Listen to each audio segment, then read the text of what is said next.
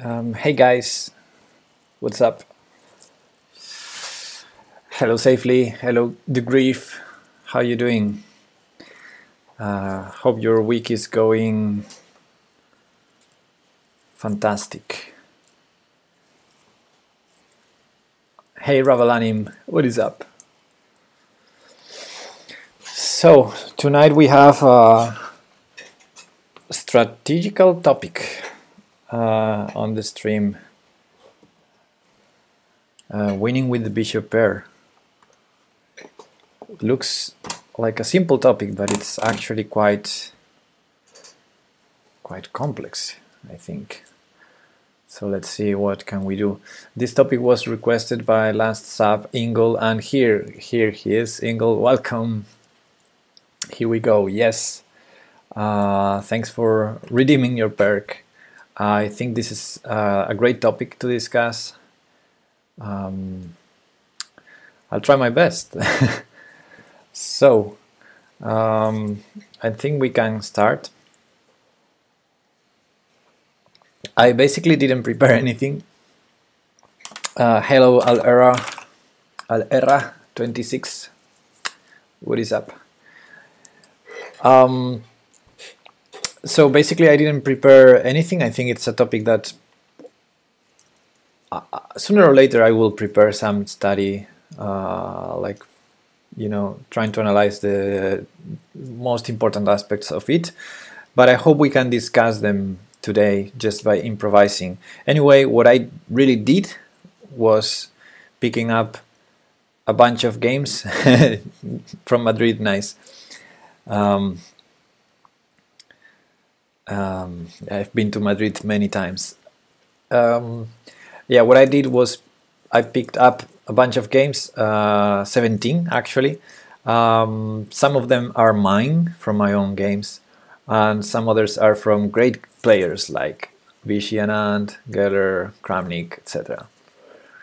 And all those games feature at some point uh, the bishop pair um, for the winning side because we're talking about winning with the bishop pair, which you know it's nice that you said winning with the bishop pair because that narrows a bit the topic because yeah it would be also a good topic to discuss um, saving games with the bishop pair or stuff like that or even winning against the bishop pair. But okay. Today we're gonna focus on winning with the bishop pair it could have been better to learn how to lose with the bishop pair, but anyway, that for another for another day. Tenta chess. Actually, it's nice because I was looking for games. Hey, Martin, when I was looking for games, I found quite a decent amount of games where Anand was winning with the bishop pair, and he's very well known to to play to like playing against the bishop pair. So okay, I guess when you're a good player. Um, you can manage any situation. Maybe next month losing with the bishop pair, yeah. Which could be renamed as winning against the bishop pair, of course. So, um, before we go, looks uh, basically I have a bunch of games that are examples. Uh, of course, the bishop pair is just one strategical factor, and of course, there's no game that you can say uh, oh, in this game, this side won because he had the bishop pair, and that's it. Uh, in the games we're gonna see, uh, there are several other strategical factors. We're gonna try and focus on on the importance of the bishop pair. So, starting from the beginning, uh, what is the bishop pair? What do we call the bishop pair? I don't know if maybe there's some uh, beginners in the chat who. Um, so, so I want to to start from the scratch, although we're gonna get very soon to the games. Um, how to lose with bishop pair, just do the opposite of today's session, exactly. Um, okay, so what do we call the bishop pair? Let's, let's be clear from the beginning. Uh, obviously bishop pair means the two bishops when you have the two bishops, but we say you have the bishop pair when you have the two bishops and your opponent does not. That's important to, to say. So usually, usually, um, you one of the of the sides gets the bishop pair when his opponent decides to trade one of his bishops, usually for a knight. But there are other cases, of course. Uh, for example, you can decide to sacrifice an exchange for one of your opponent's bishops, then you win the bishop pair. But your opponent has something in return, in this case material. Um, and maybe sometimes um, your opponent sacrifices a bishop for a couple of pawns. So there are many situations where you can have the bishop pair and it's not quite after you know that uh, bishop pair knight uh, had happened but yeah I think in the games we're gonna see some examples of those. But yeah in general if you have the two bishops and your opponent doesn't have the two bishops that's what you what we call having the bishop pair as you all know of course. Now what is it so good about it? I mean all grandmasters want to have the bishop pair. Why? Why? How how could this be so important about the bishop pair? How could be this a strategical advantage for for for the side who has it um, what do you think, guys? Just asking some. Uh, I'm just starting with some questions. Hey, Candela, to to see whether we share a common language or a common knowledge before going to the games, because in the games we're gonna uh, we're gonna see these topics again and again and again. Long distance. Yeah like the bishops have a long long range yes. What is the difference between mistake and blunder? I see the counts on the right side. It's the the kind of blunder is just a big mistake. Uh, mistake is maybe when you you give some advantage to your opponent but it's not a big one and blunder is when you pass from winning to drawing or from winning to losing stuff like that uh, bishops can control both sides of the board and knights cannot. Okay, yeah, that's definitely related to the long range uh, uh, of the bishops. But both of you told me what is good about a bishop versus a knight. But what is it good about the bishop pair? That's today's topic. Uh, BM Fuchs, thanks for the follow you control more squares the long diagonal. KNV Bay doesn't prefer bishops. Yeah, but uh, some other day we can analyze Eman's play. anyway, um, yeah, definitely bishops are better than knights sometimes, and we're going to discuss that as well. Uh, so in general, you prefer to have the two bishops because if your opponent doesn't, um, that means at some point you have a bishop versus a knight. But that's not quite it, I think. That's not quite it. Um, bishop pair control both color complex. Yes, yes, that's more or less it. Both bishops together can control many squares along the diagonals. Also, if you have the pair, the opponent has not. Exactly, that's the point. Exactly, that's the point. And is missing control on one of the colors. Exactly. I think when you use the, both bishops, you can restrict the king. Yeah, that's a point for endgames. Yes, that's a good point, Ravelani. Yeah, I think the key concept, and precisely coming from our definition of what is having the bishop pair, it's not just that you have the two bishops, it's that you have the two bishops and your opponent doesn't. And I think that's the key point. Uh, your opponent is is lacking, is missing at least one of the bishops, sometimes even the two of them, but at least one of them. So that means, let's say, for example, you have the common case. You have the two bishops and your opponent has a knight and a bishop. If that bishop controls the light squares, that means you're gonna control the dark squares more than him because you have a dark square bishop and he doesn't. And that's the key point when it comes to strat strategy. When you have the two bishops and your opponent doesn't, you need to realize uh, what bishop does he have. Okay, then he's gonna have problems in the other color. Uh, therefore, you should put pressure on every possible weakness you can find in the other color, because you're not, you're gonna have one piece more to attack that color complex than your opponent has to defend it. Uh, this also means evaluating the position is connected to evaluating how good your unique bishop is. If you have a black square bishop being dominated by pawns, it sucks. Um, yes, but still it's a long-term advantage, the bishop pair. And for example, I, I, have an example that I think we're gonna see because that was my last game. Uh, it was a horrible game, but I, will show it. Um, when I had the bishop pair, but it was horrible. I mean, I could do nothing with my bishops. But eventually, we got to an endgame, and the bishop pair was completely winning the endgame. So, yeah, sometimes you just have the bishop pair, and you don't see in the short term how, how good they are. But still, it's a long-term advantage. And one thing we know about bishops is they're so great in open positions. So they really excel in endgames. So even you know as compared to other advantages that can be more temporal like space advantage or or development uh, the bishop pair is really a long-term advantage that if you can keep it till the end um, the bishop pair can be really really strong in an endgame especially if you have pawns in both sides of the board because as some of you already mentioned the bishops are really great uh, controlling both sides of the board.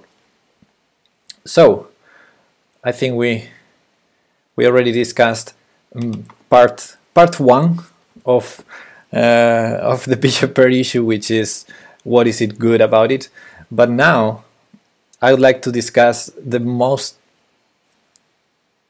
critical part of it which is um, how to convert bishop pair, the bishop pair advantage to other advantages. And you know, it's really hard to find a game where um, you start the game in the opening, your opponent gives bishop, you know, has a bishop on g4, takes the knight on f3, typical case, use case. Um, so in the opening, you get the bishop pair, then nothing happens throughout throughout the game, and in, and you get to an end game where you have the two bishops, you win. That's not the common scenario. The common scenario a of a game is the bishop pair is just one of the of the strategical factors, and at some point you can convert that advantage into a different advantage. Hey OJ, what is up? So I would like to take a moment, uh, although we're gonna see it through examples, I would like to take a moment now to discuss which um, which advantages can we get by converting the bishop pair. So if you have the bishop pair, uh, by for example trading one of the bishops, how can you how can you get another advantage? I don't know if if I'm explaining myself. Um, let's put an example. The typical scenario would be you have two bishops, your opponent has a bishop and a knight. Uh, let's just take that scenario, which is the most common. You have the two bishops, your opponent has one bishop and one knight. Um, that means that at some point, maybe, you can trade one of your bishops for the knight, or one of your bishops for the bishop of your opponent. So let's think for a moment, in which scenarios could that be a good thing? And obviously, in, in chess, everything is about tactics, and sometimes you have a tactical reason, and that's it. Sometimes um, by trading, you expose your opponent's king, or you get to promote a pawn, or whatever tactical reason. But let's not talk about. Let, let's just uh, think strategically in a strategical uh, from a strategical point of view. Let's say there's no immediate tactical reason what would be a good strategical reason to trade one of your bishops for the knight or one of your bishops for your opponent's bishop in that scenario of two bishops versus knight and bishop. Uh, does my question make sense? Or do you prefer to go to examples and then I'll ask the questions there?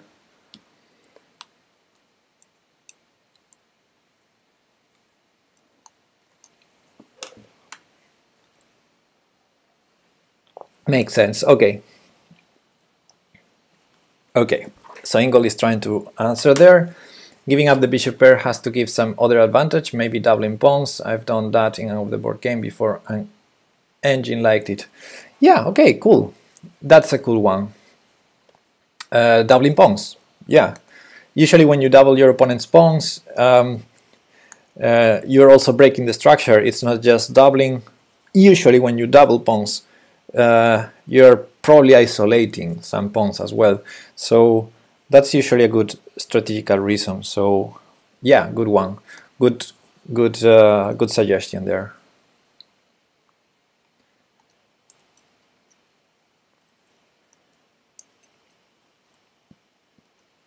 Let's um, talk about the pieces themselves.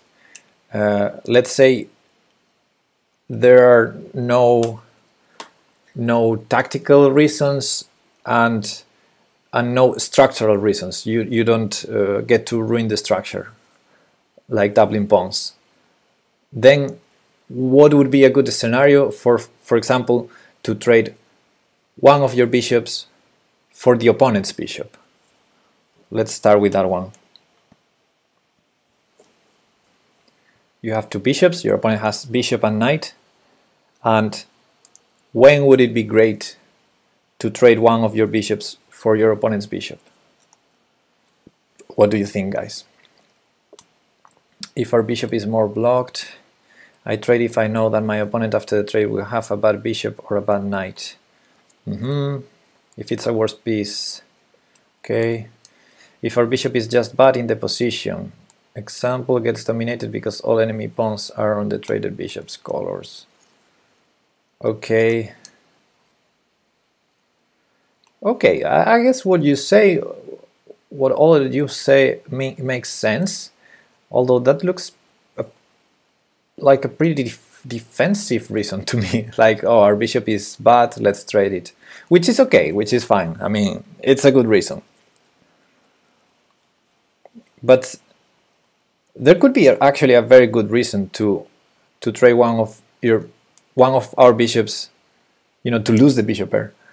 Uh, trading one of our bishops for the opponent's bishop. Trade if his bishop is good. Okay. Different perspective. Yeah, but uh, you're saying the okay, okay, different perspective. Yeah.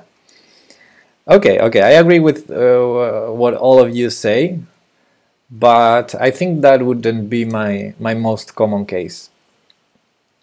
Um, my most common reason to trade one of my bishops for for my opponent bishop would be to get to an endgame. Uh, of course, if he has bishop and knight, and I have two bishops, and I trade one of my bishops for his bishop, I'm getting to a bishop versus knight situation where I have the bishop. So, putting my my previous question in another words, when is it good to have bishop versus our opponent's knight. We can hit color squares. When is it great a bishop against a knight? Predictive text. Ah, weekend, yeah, predictive. when the endgame favors the bishop, pawns on both sides. Yeah, that's a great answer, Ingle. When you can have your bishop in the center squares during the endgame. Yeah, in an endgame, for example, uh, if you have pawns in both sides of the board, I would definitely trade one of my bishops for my opponent's bishop because the knight will have such a hard time defending against the bishop. So that's definitely a way to to play for the win in an easy technical way. Open position, working against weaknesses on both sides. Yeah. Yeah, of course, bishops are better in, in open positions, so that means that that actually gives us a hint also in the middle game when you have the bishop pair you usually try to open the position your opponent usually tries to close the position. We're gonna see that in the examples as well. Um, and yes if we have the two bishops and our opponent has bishop and knight I would trade one bishop for the opponent's bishop when the endgame is clearly favorable to the to the bishop which is typically when there are pawns in both sides of the board Uh, now the trickiest is when would you trade for the knight? When would you go for a bishop versus bishop situation?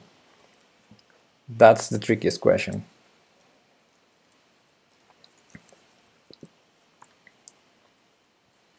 And I think we're gonna see at least one example of this that I did in a game. We probably see more examples of converting the bishop pair advantage in a bishop versus bishop good situation. If I'm pawns down and I get opposite color bishops to increase drawing odds, that's a good answer. Yes, although since today uh, today's topic is um, winning with the bishop pair, we're not gonna see examples of that, but that's a good answer as well. Yeah. When I have pawns when I have my pawns on the same color than his bishop to restrict him. Uh, eesh, almost. That, yeah, that answer can be a good one or a bad one depending on the case. Because we didn't talk about the cases, but there are two cases in this scenario. Again, to get into the endgame, it sounds like an A for yeah again to get into the end game you want was going to say a drawing one depending on your level of ambition. Yeah we're talking about winning today so uh, when would you when would you trade uh, one of your bishops for the knight to play for the win that's the question. And we have two cases. Either you go for an opposite color bishops situation or for a same colors bishop situation. So now we need to think when bishop versus bishop of same color can be good to play for the wing, and when bishops of opposite colors can be good to play for the wing. Those two cases. And in, in those two scenarios, if they exist, uh, that would be a good trade for us. So this, yeah, this reminds me of what a friend of mine usually says that he, he, he says he, you, sh you should only study endgames in chess because then you have all the understanding you you, you require. and yeah, if you understand really what endgames are good and what endgames are bad for you, uh, you can make these kind of strategical decisions, let's say, easily.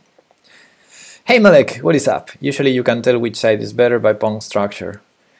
Um, yeah, and uh, of course I said already um, in the games we're gonna see the bishop pair mixed up with other strategical factors like pawn structure.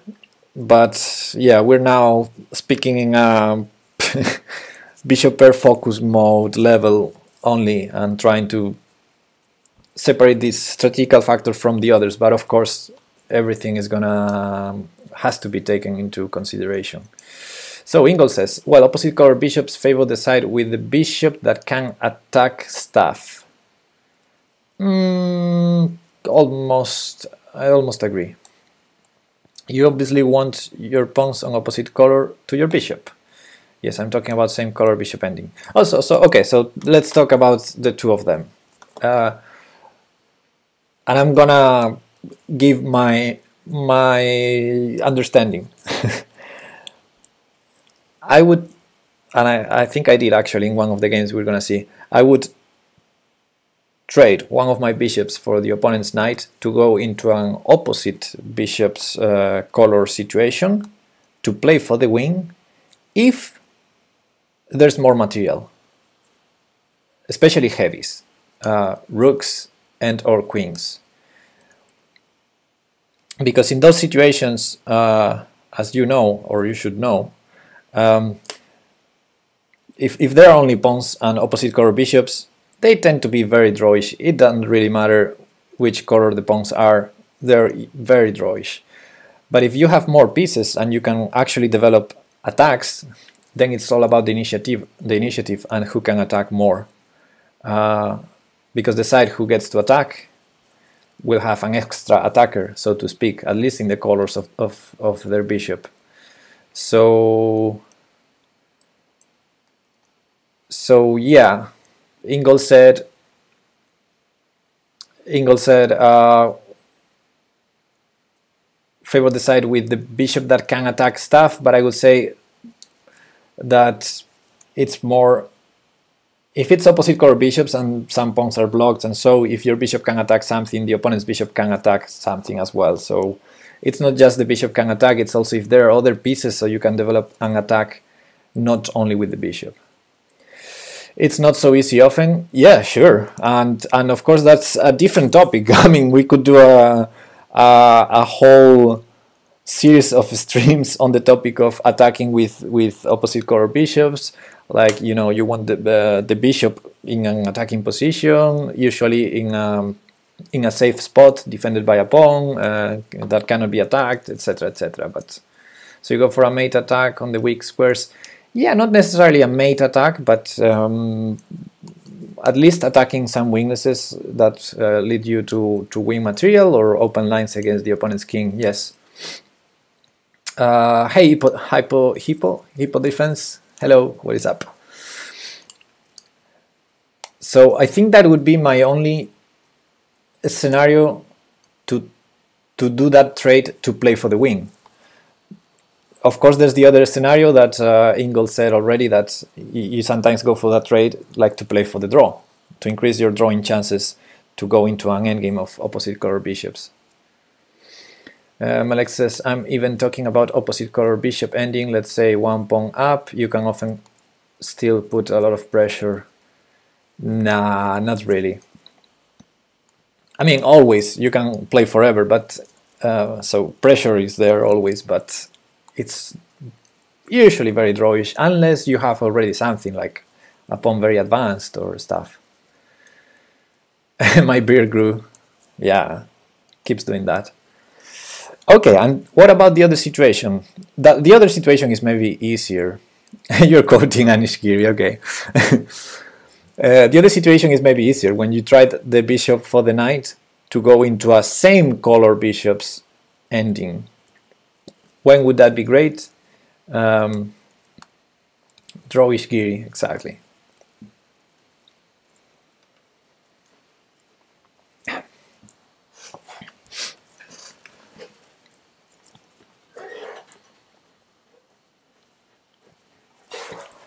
when when would we when would we um, give away our beloved bishop pair to go into a bishop versus bishop with same color bishops? When could that be so great for us?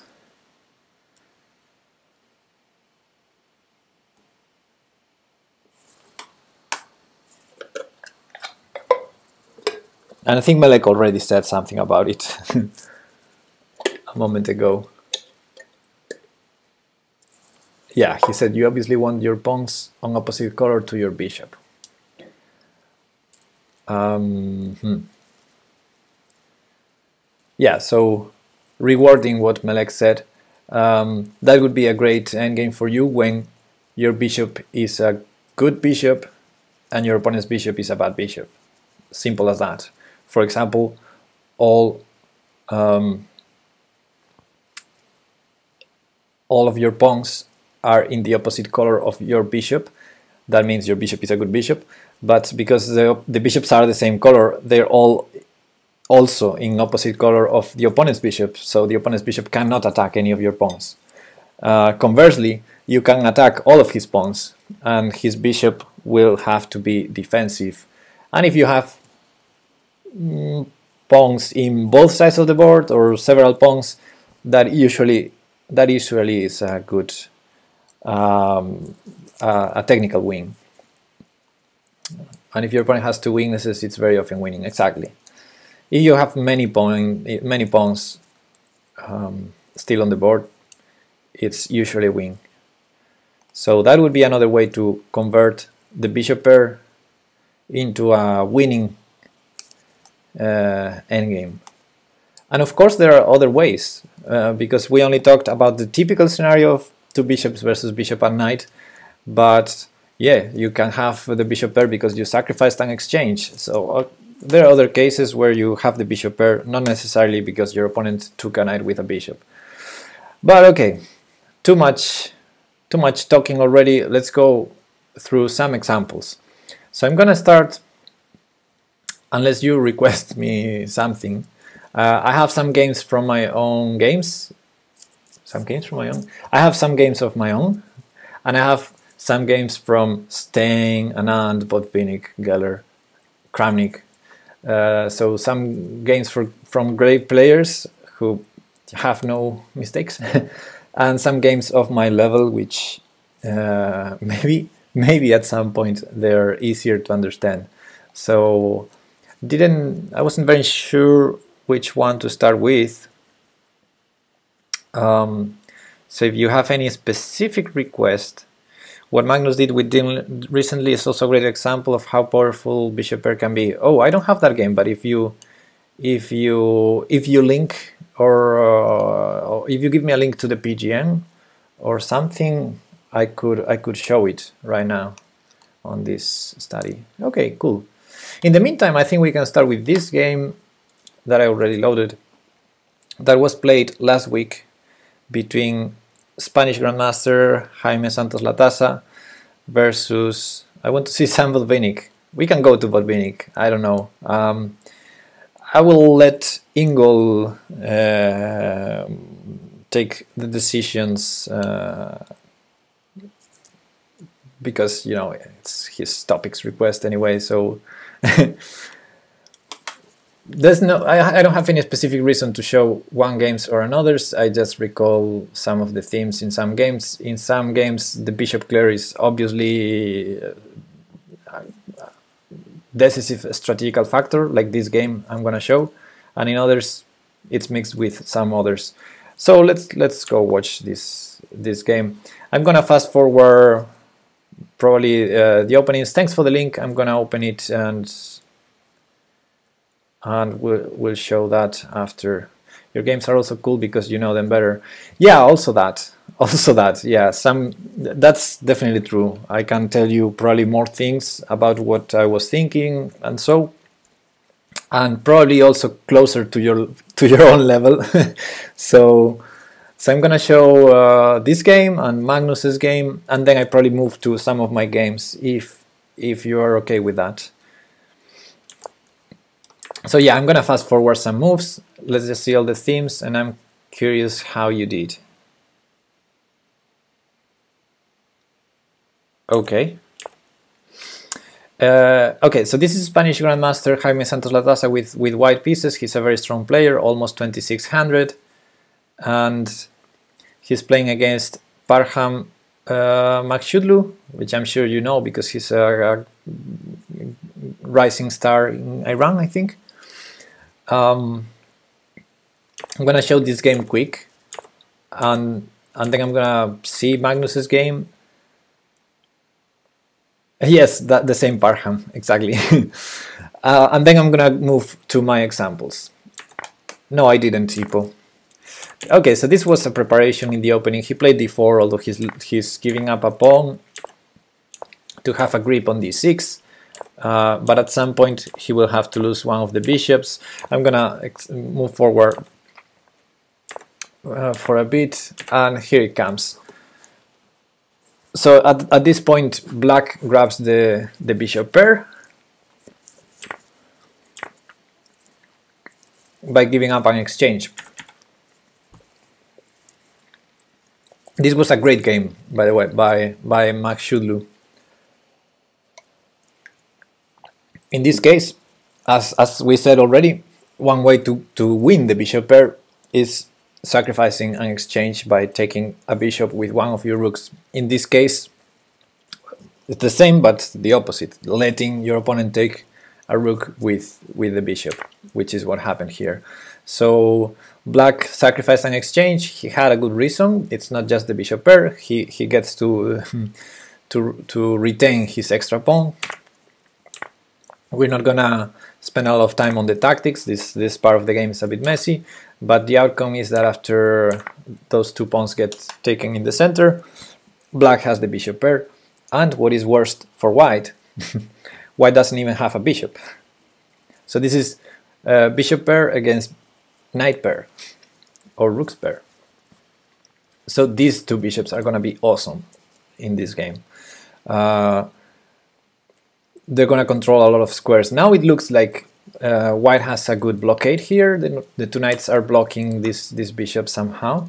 So this bishop cannot attack b2 now. This bishop cannot attack the castle, the castle king so far. But that's not going to be there forever, of course.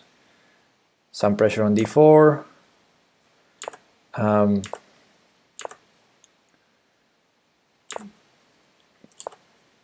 look at that.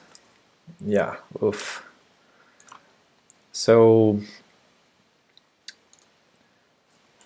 another typical situation when you have the bishop pair, uh, a good price for it to pay is some damage in the pawn structure. So a moment ago, black had double pawns, but now it's not even that. and what you want to do, what what you want to have usually um, when you have the bishop pair is open lines and open diagonals. So you don't mind double pawns so much if you have bishop pairing in return because double pawns usually mean you have open lines for your bishops and sometimes for your rooks as well. Yeah, in this case, those bishops are, are amazing now. Trace rooks. Ugh, look at this this funny rook. So white is an exchange up, but that rook is suffering a lot. Has almost no squares. Ugh, rook a2. And here comes the pawn. So the engine says this is an, an equal position. It says 0.00, but from now on the game goes all in black's favor because this is much easier to play for, for black now. Um, just total control.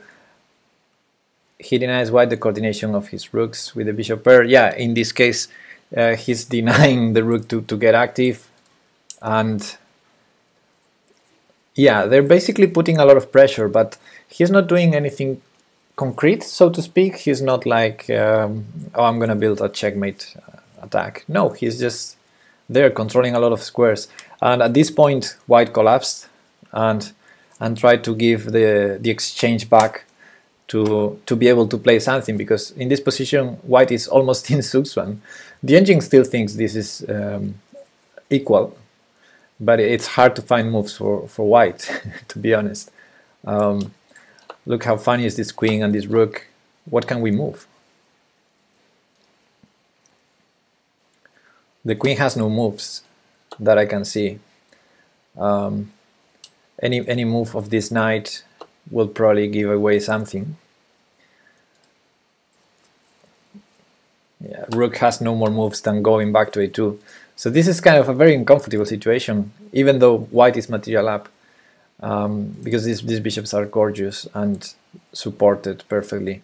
So in this situation, white collapsed and tried to play knight e2 to, to allow knight e4 and, and, and give the exchange back with this move. But after this happens, is g4 or g3 good?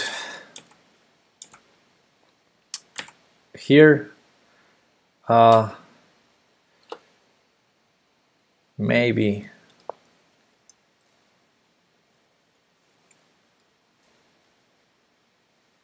It's hard to tell.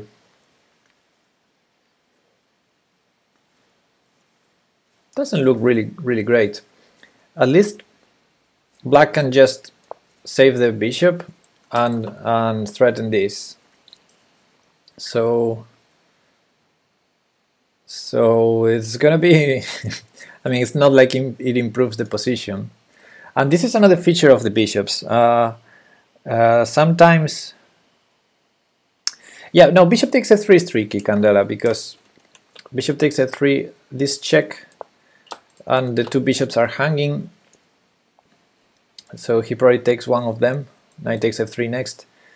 It's tricky, but after we save this and next move we do king g7 the thing is what can white then we can take so uh, what I was going to say is sometimes you have the bishop pair and you don't need to be scared of moving a bishop back the bishop usually has moves because it's such a powerful long range piece you usually have moves to preserve your bishops and and keep all the pressure So in this case, for example, a move like g3, I think it weakens white's situation and black can just play bishop back and, and keep all the threats. And actually king g7 next move will, will really threaten this knight.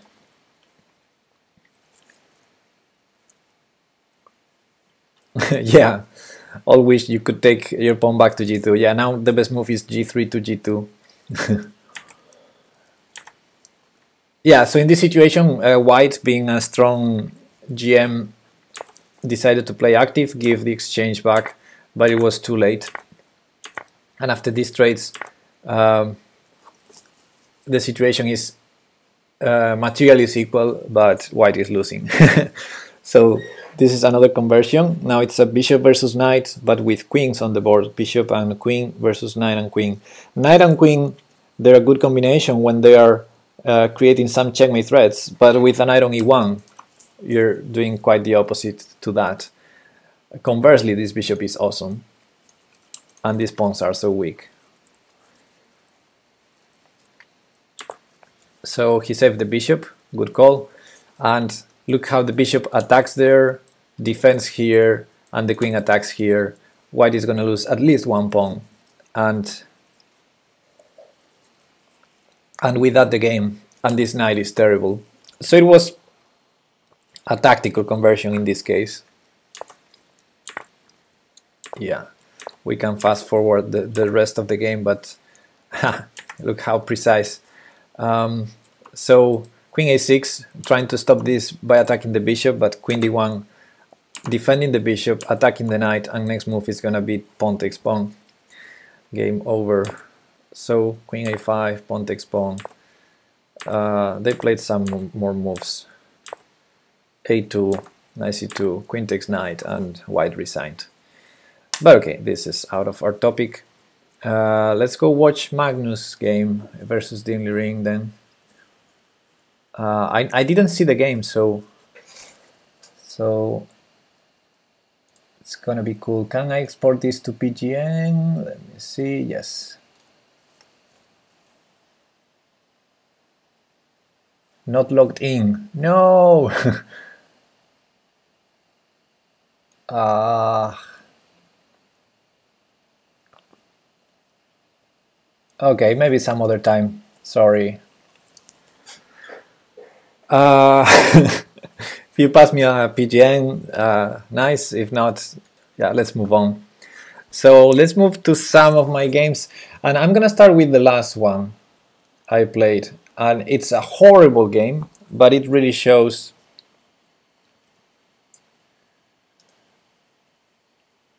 No, but I guess it's okay because people asked to to to see some of my games. Uh, if you can give me PGN, we could, we might look have a look at that game later. So the next game I'm gonna show this one, as you can see from the computer analysis here, it wasn't very very well played by me. I was white. Um, at some point, I was actually even in trouble, minus 1.6 um, it was a blitz game, I have to say. Uh, in the in the last tournament I played two months ago, and it was the last game of the tournament. So after defeating an international master, a brilliant uh, miniature with black pieces, I played this game next against a very weak opponent. I don't know, maybe 1300 player, and I played horribly. But uh, I just had the bishop pair out of the opening. I didn't do absolutely anything during the game, and we get we got to an endgame where I had the bishop pair and he didn't, so I I won. So yeah, this is very common actually in in when you see strong player versus weak players. You see this a lot. A strong player does absolutely nothing special, but uh, the opponent uh, does not take the right decisions and eventually gets to a losing position. And that's what happened in this game. So let's see. I'm gonna fast forward until he gave away the bishop pair for some reason. So we're playing a Scandinavian, I'm white. queen c7. Yeah, the check on e5 is not supposed to be good. And bishop f5, rook e1, e6, uh, all very standard. And here I played bishop c4 for some reason. I think I, I, I wanted something on e6. So he castled and I played knight h4. So basically it's very common in the Scandinavian that, that black loses that bishop for a knight. Sometimes the Scandinavian players we, we play bishop g4 and we trade on f3 at some point. And in other cases you do this with white, knight h4 after playing h3 and I'm gonna collect that bishop. So, so far I can take that bishop already, but for the moment I don't take it, because I can take it any moment. So I play a very bad move here, because of course I had to take it. But I was trying to, to do something, uh, I was trying to induce h6, but the way I did it was very stupid. So I play 92. hey, the pun's real. You're trying the commands there. Um, 97. Ah, I know, I know what I did here. So let's go back here. This was my way of thinking. It would be lovely for me to take, so this is, if I take the bishop, I have the bishop pair, which is, which is good, good enough. But if I can also have something additional like ruining his pawn structure, that would be great. So I wanted to play bishop g5 to induce him to play h6. The problem is if I if I play bishop g5 here, I'm threatening to double pawns on f6, so he's not gonna play h6. Right? So I played a, um, a waiting move, and only after knight bd7 I play bishop g5. As I said, this was a blitz game, so my my strategy was not deep at all. So I play bishop g5 now that I'm not threatening to double pawns, just to induce him to play h6, which he didn't do of course. 95, which is a good move. And now I decided, alright, alright, I take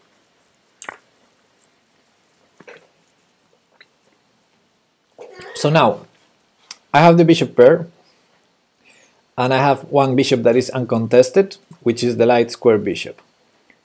Is h6 worse than doubling pawns? Uh, not sure if I get your, your what you mean. Uh, thanks for the follow, you dirty nickname. Um, the thing with h6, so I want to induce h6 uh, because then after, for example, bishop takes, because I think what I could do is bishop takes here, I wouldn't have the bishop pair. But what I would have is an amazing struct, I mean, a terrible pawn structure for him after this. Actually, he's losing a pawn immediately. Yeah, and this is this is terrible. So yeah, basically when when you have this situation after knight h4, basically here. Um, if he ever plays h6, when we take the bishop, he has to take with the f pawn, and that is terrible because the e6 pawn would be, in this case, lost, but in general, a very weak pawn. So h6 is not a move you want to play here.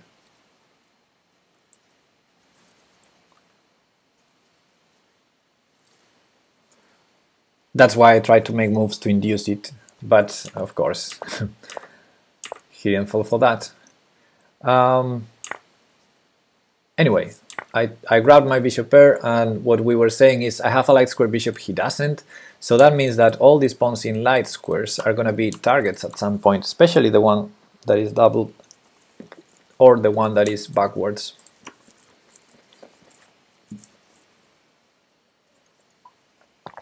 And of course, if he ever pushes this pawn, then this is going to be the target. Anyway, um, of course, I cannot exploit my bishop pair yet. Um, black is very solid, but from now on, I decided to keep the bishop pair. And I basically did nothing in this game. It was horrible. It was horrible. I did stupid moves like bishop back to d3. Um, here, he can he can just remove my bishop pair, and at least I would hope for a bishop versus knight endgame, but he didn't do it. So yeah, I said I was it was a horrible game. e5 wasn't the best move because of bishop c4, but knight b6 was a good move, and bishop b3 was horrible. How do you know when to go for the targets? When when they are um, basically when I was talking, for example, that this could be a target, uh, I have no way to attack it right now. so uh, it's not about when, but when you can reach them. Yeah, when they exist.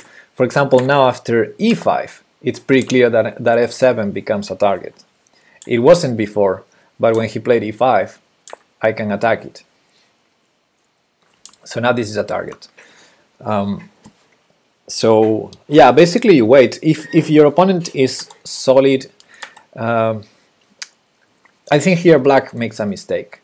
Although he goes for active play, so it's arguable that he's making a mistake. But from a positional point of view, he's very solid in light squares. He has a dark square bishop. If I was black, I wouldn't touch the structure.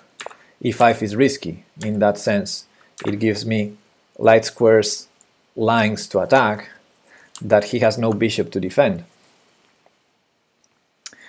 But yeah, arguably he, he wants to get some activity, which makes makes sense for the move, and especially after he found this knight b6 move, and I went back, he could have blocked my bishop. Maybe not now, but um,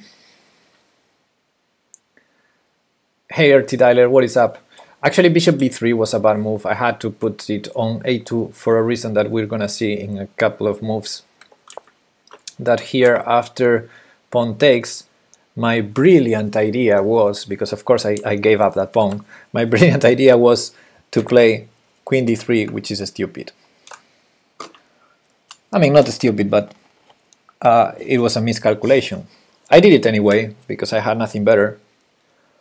But um, my idea is a double attack to this pawn and this pawn.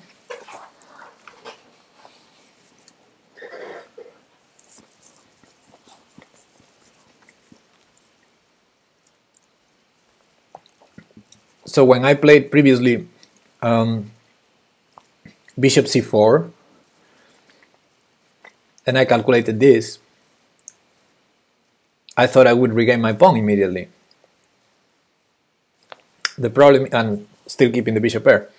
The problem is, after his move, which is the obvious, c5, I cannot take on g6 because of c4. With my bishop on a2, that would work, queen takes g6. But with my bishop on b3, it doesn't work. So here I had to say, alright, alright, my mistake. Uh, let's find something and still c4 is a threat, so I played bishop a2. And fortunately for me, as you can see by the way in the diagram here, this is the part of the game where I was in trouble. And he didn't see my threat, fortunately. He only saw this pawn hanging, so he defended it. But he didn't so, he didn't see the g6 pawn hanging, so I was lucky. And he played queen d7, so I took my pawn back. Yay! Anyway, let's move forward. c4, queen h5. I'm doing nothing, trading, trading, defending. I don't want, I don't have nothing with my queen here. I don't want to trade and, and give up the e-file, so I go back to defend my rook. But I still keep the bishop pair. King f8, now I trade. g3, queen e4, good move.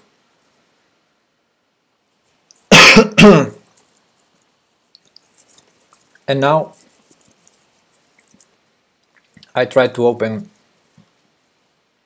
lines for my terrible bishop on, on a2. because this bishop is not so bad, but the, the, the bishop that should help me win is totally trapped here. So I play the obvious, maybe b3, which is a bad move, but from a statistical point of view, it's a good attempt. Trying to open this bishop. And now maybe it wasn't easy, especially in a blitz game, to see this, but the best move he had as someone who's playing against the bishop pair would be to keep this bishop blocked. So the best move would be 97. So if I take this pawn, he would block with either bishop or knight on c5. Why is b3 bad? Uh, because of this. because of after 97 I have not I have no way to really open my bishop. If if I play uh, b4, he just defends this, maybe b5, maybe 95, and my bishop is out of game out of play. And if I take here, he blocks it with either piece, probably. And my bishop is out of play. So yeah, sometimes for that other stream we are gonna do about how to play against the bishop pair. When you play against the bishop pair, it's nice if you can kill one of the bishops like this one. I think it's gonna be so hard for me to try and, and activate it. And if you put the knight there, I'm never gonna go here. So yeah, I can try some stuff with bishop b1, but b3 is kind of blitz move. Yeah, it was a blitz game.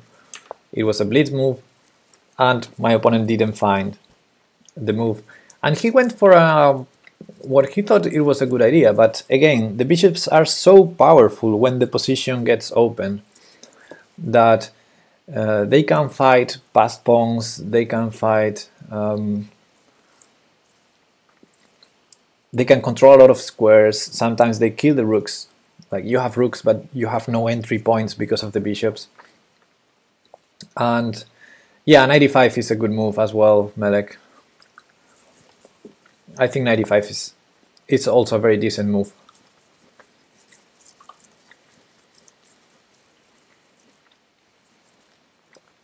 I guess I should take anyway.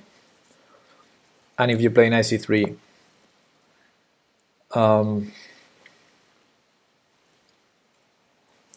I was thinking to defend, but now I'm seeing the problem here. So may maybe, maybe just going for these threats. I don't know, and follow with bishop b3. Yeah, it's a really tough situation, but uh, of course, um, specific calculation is required always, always. Uh, so when, when, when we talk about strategical concepts, we talk about general rules, but they always depend on specific tactics. Um, hello, my name is CJ. Thanks for the follow. yes, I rated Astral. Uh, Queen e1, King g2, f6. Yeah, Could be. Could be. Maybe we don't have anything better than start checking and keep checking. And oh, you have that because this is covered. I have this check though, and yeah, it's a mess, which is at least good for us. but yeah, sorry to be that person, but what is your rating? I can't see. Uh, no worries, my name is CJ. I have a command for that, at least for my FIDE rating. In this case, we're, I'm I'm showing an over-the-board game, so I don't have the online rating shown on the screen. So, yeah, at least that would be a mess, which would be good for me to try and save the, the game, because uh, I was in trouble here. I was in trouble. But my opponent didn't take his chances, and from a position that was bad for me, we went to a, an equal, equal, equalish endgame from the material point of view, but I had the bishop pair, and that was game over immediately. Hey Rogan, what is up? And he played d3, which he thought it was nice to have a, a passed pawn there, defended, rar. But the problem is, as I said, bishop pair is so strong, they They are awesome against isolated pawns, against passed pawns. In this case, the pawn is immediately lost. Even though I lose this one, it's okay. It's going to be a great endgame. And his knight is bad. Yeah. Yeah, of course, you have to use your knight if you don't have the bishop pair. Good quote, Roken. Yeah, that's the quote we need today. The bishop pair is stronger than love. So he played queen e2 for a reason, I don't know what the reason was, and we traded and we went to this endgame. He took here, immediately um, uh, regaining the material equality, but then I played bishop e4 and he realized he was in trouble. This endgame is horrible for black now.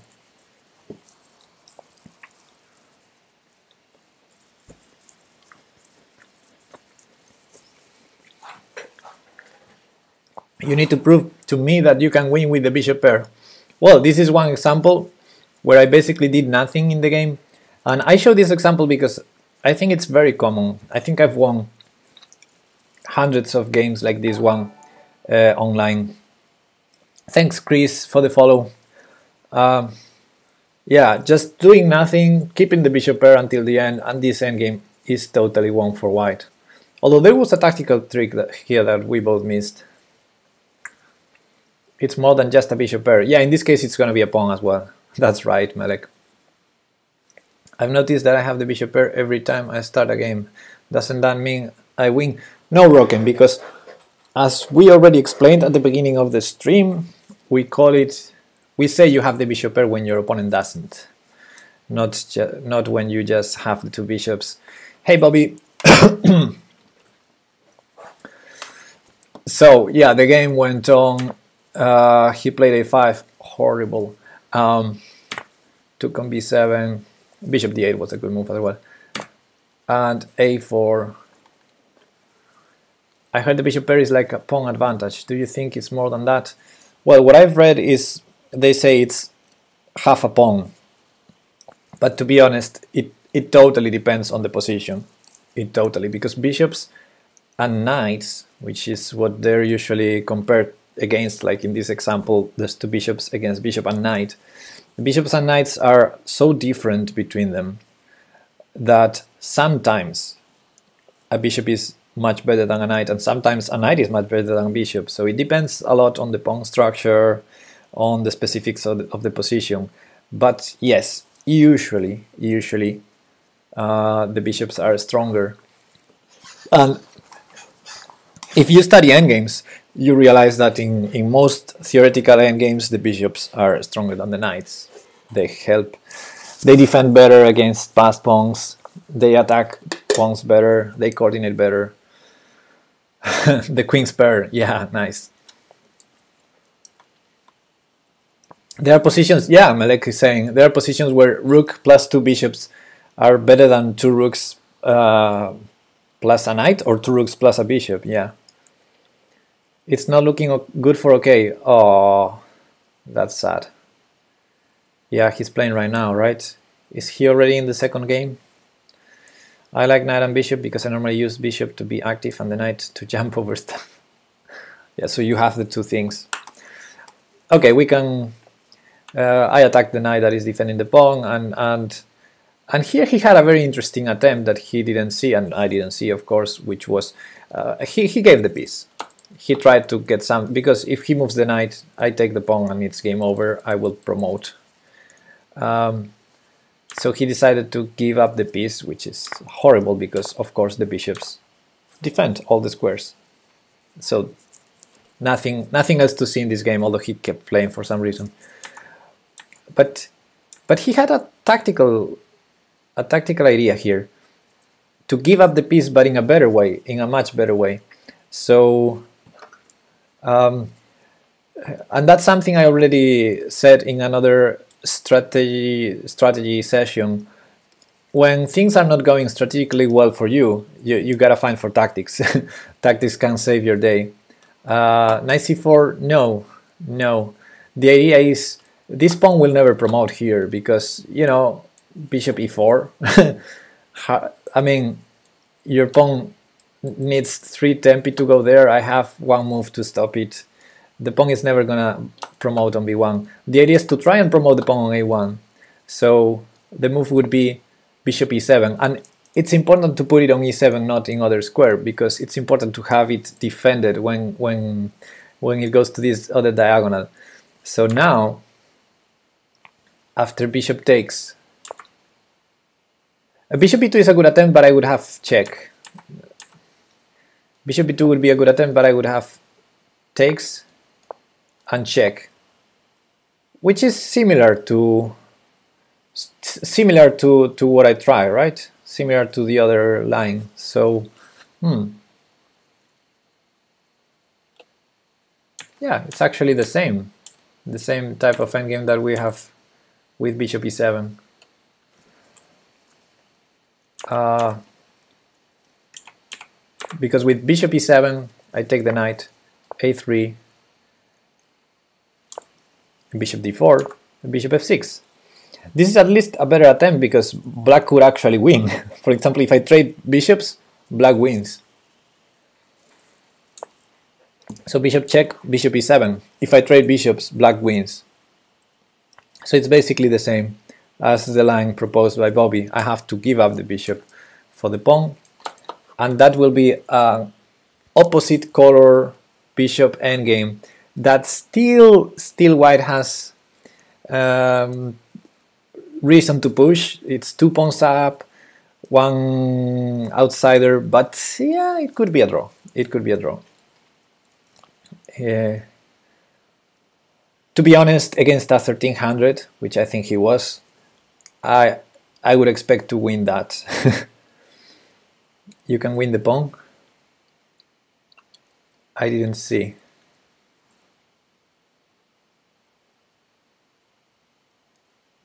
What pawn? I would sacrifice the bishop for the pawn. Ah, yeah, the a pawn, yeah. Yeah, by sacrificing the bishop. so that would be a 4 versus 2, chances to draw, but I think I think I should still win. Anyway, that was just a horrible game, but I wanted to show it because, yeah, sometimes you just keep the bishop pair until the end, and eventually the opponent didn't get anything. You you have a good endgame anyway, let's let's look at some uh, more interesting example. Uh, he's a 1100. Uh, no challenges now, Angerto, sorry. I think he played outstanding for his rating. Uh, I don't have his rating, but okay, I believe you. Although this was a blitz game, so maybe the rating is not the same. Um, anyway, I'm trying to pick a game that could be interesting. Uh, there's one game I wanted to show. Let's go there because I was impressed specifically at um, at some point. Um, this was a game between Gata Kamsky and, and Vladimir Kramnik. And uh, I, again, I'm gonna fast forward the opening. Uh, it's a Sicilian, so it's it's complex. Are there any bishop pair miniatures under 30 moves? I don't know, probably. I don't know all the bishop pair uh, games in the world. Okay, castle long, going for a crazy game. And uh, yeah, so far so good until we reach to a point here, I think. Yeah. So here Kamsky decides to take on f6. Um, giving up the bishop pair for uh, the pawn structure basically. So again, in this case, it's not uh, as easy as uh, one side has the bishop pair and the other doesn't. There are other strategical factors in play. So when you give bishop pair for two double pawns, you usually isolate another pawn. Um, but also this pawn structure is not so bad, especially if you keep the king here in the center, it's going to be a good shelter. The pawns also help controlling the center. Um, even though this is weak and these are weak or at least um, clumsy, it also means that you are opening lines. So good things and bad things about both the pawn structure and having the bishop pair, which we didn't talk yet. What does black have now that he has the bishop pair? What is good of this? For nothing, because black gets g-file and h6, c1 diagonal, so I feel like he didn't get anything. Well, Kramnik thought, sorry, Kamsky thought he had something. And it's white to play in this position.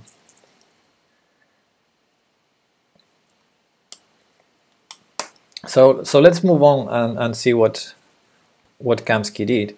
Kamsky played 94 and he's saying, no, no, you're not gonna have the h61 diagonal because I'm hitting f6 now and if you defend it with that move, I'm gonna play 96 check and if you don't give away the bishop pair again uh, back, I'm gonna take on f7 winning a pawn. And then I'll return to d6 probably. You follow the idea. The king is overloaded, overworked, defending the bishop on d7 and the pawn on f7. Maybe he got hypnotized by Mikhail Tal, which secretly was standing behind Kramnik. yeah, and if bishop g7, he can probably do the same, knight e6, check, knight takes f7. So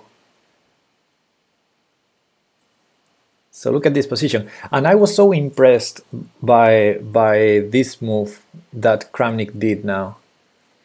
Just king e7 though? Well, king e7 I can take on f6.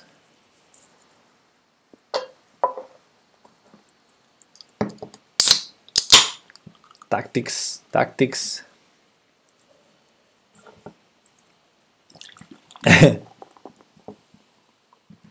can he play bishop c8? Uh, he can, but then I take with check on f6.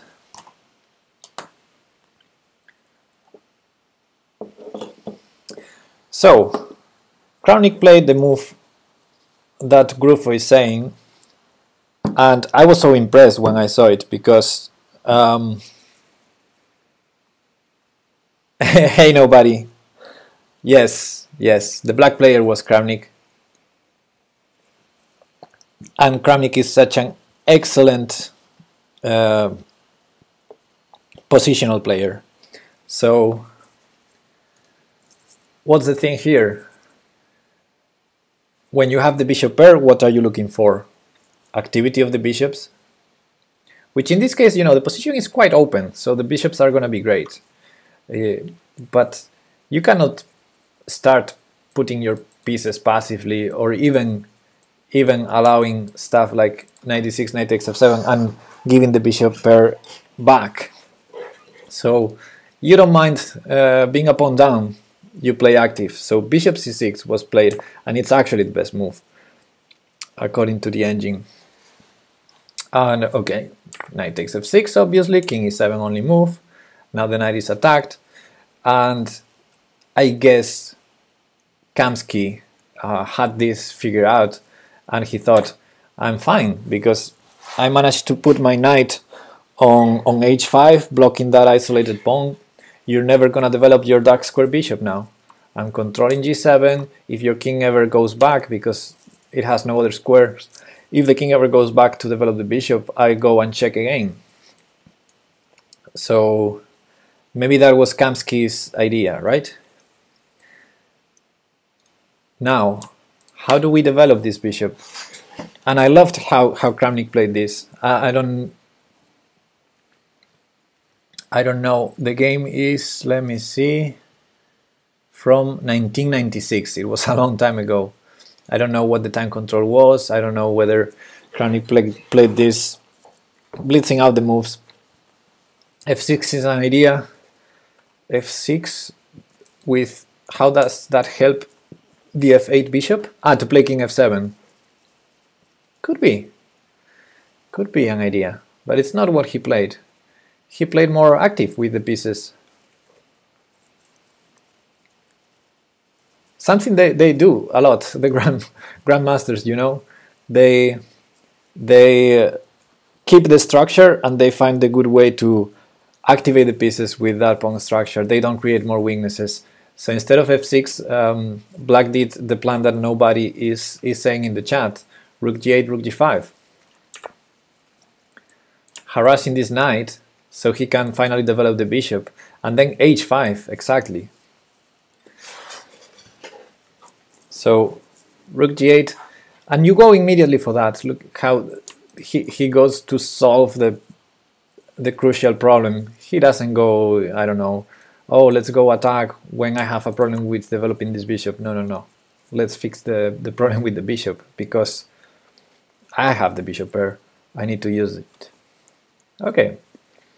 So Kamsky blocks the diagonal of that bishop on c6. It also kills a bit his own bishop. Rook g5. Knight had to move. Look how g4 is never an option. Not here, because of course f3 is hanging. But even if the pawn was back on f2, it wouldn't be an option because the rook would be hanging. So, so this bishop is actually helping this plan of rook g8, rook g5, because the knight cannot be defended. Um, if with the pawn back you played bishop e2, then you would hang g2. So this, this bishop is actually helping a lot to develop the other bishop in a way, because the knight cannot stand on, on h5. So the knight has to move, and now h5. Uh, white is Gata Kamsky. I don't know if you can see it on the screen. I thought you could. White was Gata Kamsky. And yeah, h5. We don't... I feel like black will win the game. Yeah. um, now the bishop can not only go to g7, also to h6. So maximizing uh, the squares the bishops can go to. So remember these ideas. Don't, if you have bishop pair, look for diagonals, look to open lines, even if you have to give up pawns, activate your pieces.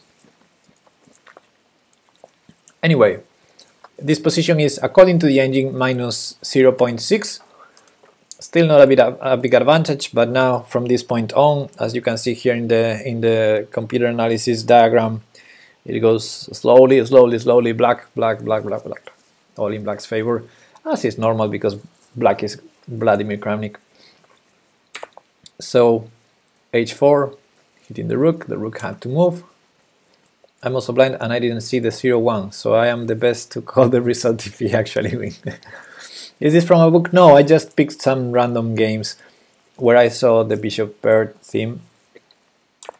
I could have picked some other games. Okay, at least Kamsky is using the knight, not unlike my previous opponent in the game that I showed. Um, bishop h6, king has to move. And now the rook enters e3. Um, rook e1. I'm not sure if I would do that because that rook is funny on e3, but I guess, okay. I didn't analyze this game, so I'm probably missing some some points. Rook g8 now, putting more pressure on the weaknesses. And look how Kramnik has all the four pieces active, the two bishops and the two rooks, while Kamsky has some problem with, with some of his pieces. Even though white is a pawn up. So he trades rooks. What else? And plays c3, only way to to incorporate the king, right? Um, f5, rar. And a common theme I, I heard a lot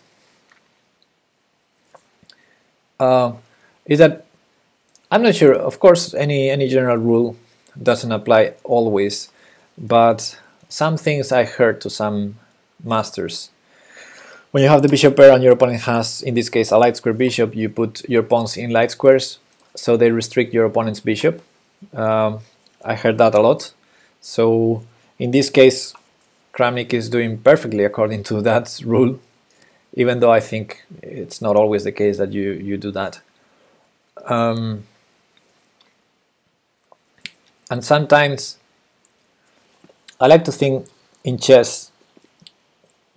I think every every time I do a strategy session, I do this. I say this. I like to think in chess not like A causes B, but A goes well with B. So sometimes you have the bishop pair and because of that you take some strategical decisions like putting the pawns in some squares and some other times you have the pawns in those squares then you decide to grab the bishop pair so it's not always that one thing implies another it's just things that go together well you you try to look them look to look for them. Anyway um, let's keep looking at the game. Kamsky activates his king. I love Zugzwang endgames where I get to give the Zugzwangs to my opponent. Oh, there's one game, I think it's the Botvinnik game or the Geller game, where the two bishops uh, put two knights in Zugzwang. Restricting opponent's bishop is mostly more important than safe pawns. Uh, thanks for the thanks for the point there, nobody. And everyone um, look at what nobody says in the chat because he's much stronger than me. So everything that he says is gonna be a good tip.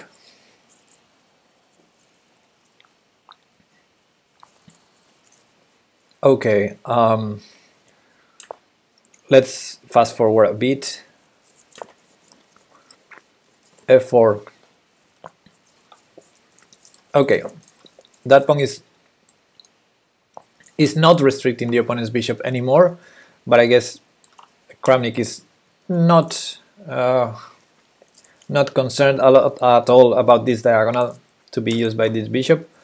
Mm, but more importantly, he's he's definitely restricting this this pawn structure and this rook now.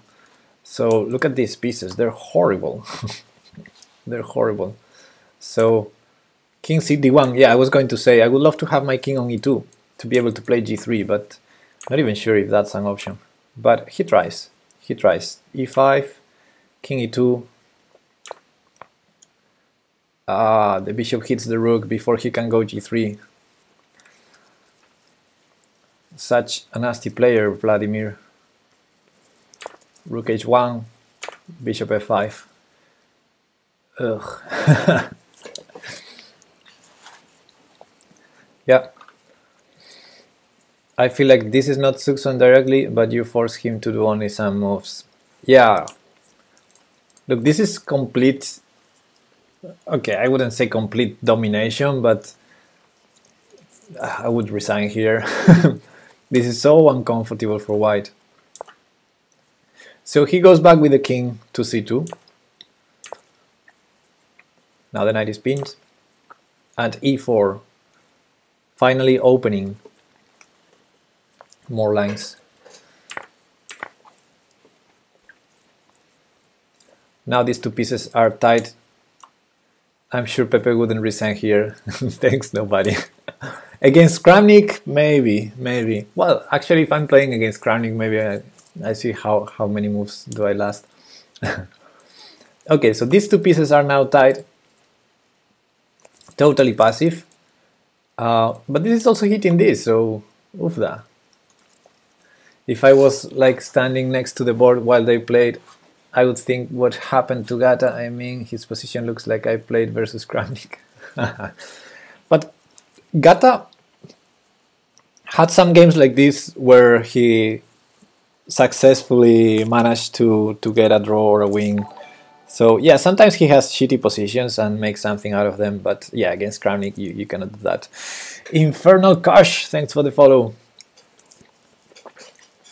Suddenly he would drop a knight on the board he brought from home. okay,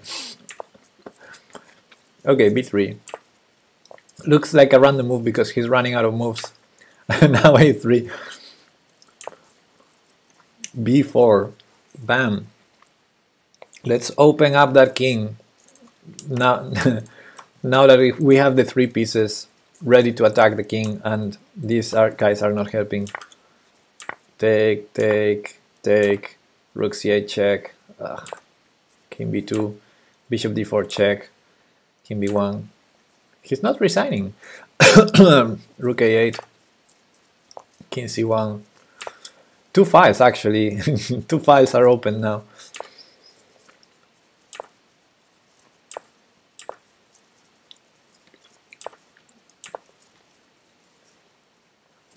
Threatening rook takes d3. The knight is pinned. He cannot prevent it. But instead of rook takes d3, he does a better move. Although the engine liked rook f2. But yeah, rook f2 threatening rook takes bishop, that, that would be a good one. But rook d1, anyway, good move. King c2 and rook c1. Oh, snap. Oh, look at that move.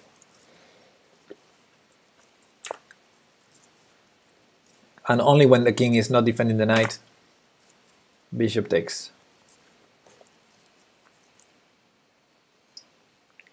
Well, that's game over. Not for Kamsky. Kamsky keeps e6, rar. okay. b7, rar. Bishop d4 check. King a3, bishop b5, and now he resigned.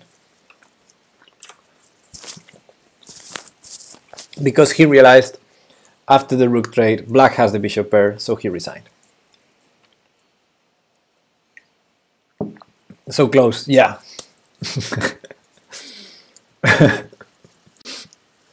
okay, so let's move to one game, to this game from great players to one of my games.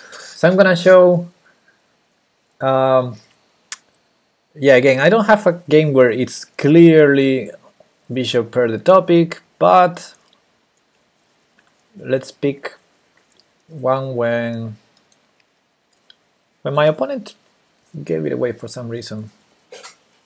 So, let's show this game. Let's go with Magnus game. Ah, oh, I think you pasted the PGN in the chat, maybe? I don't know, maybe maybe next time, like I, I, I have it um, prepared. Yeah, I followed that link, but I couldn't copy the. It asked me to to log in. Okay, I'm gonna try later. I'm opening the link and I'll try later. Let's now watch one of my games. Um, so I was black here against a uh, player. uh, this is from the Galician Team League. Let's move. So this is classical chess over the board. I played this game um, four four years ago, I think, or less. Let me check. It was only two years ago. Okay. But it was in my previous team. So that's what I thought it was uh, much before. Um, so this was my last year in that team. Anyway, um, when I played this game, hey Sphinxy. Uh, so this is a game where I had the bishop pair basically. It wasn't entirely the only theme in the in the game, but okay, it was definitely one of the strategical themes. And this link is PGN directly. Oh, thank you, Hypo Defense. Thank you, thank you for that. Then I can I can see it later. Okay, so after after this game, we're gonna go to Magnus's game.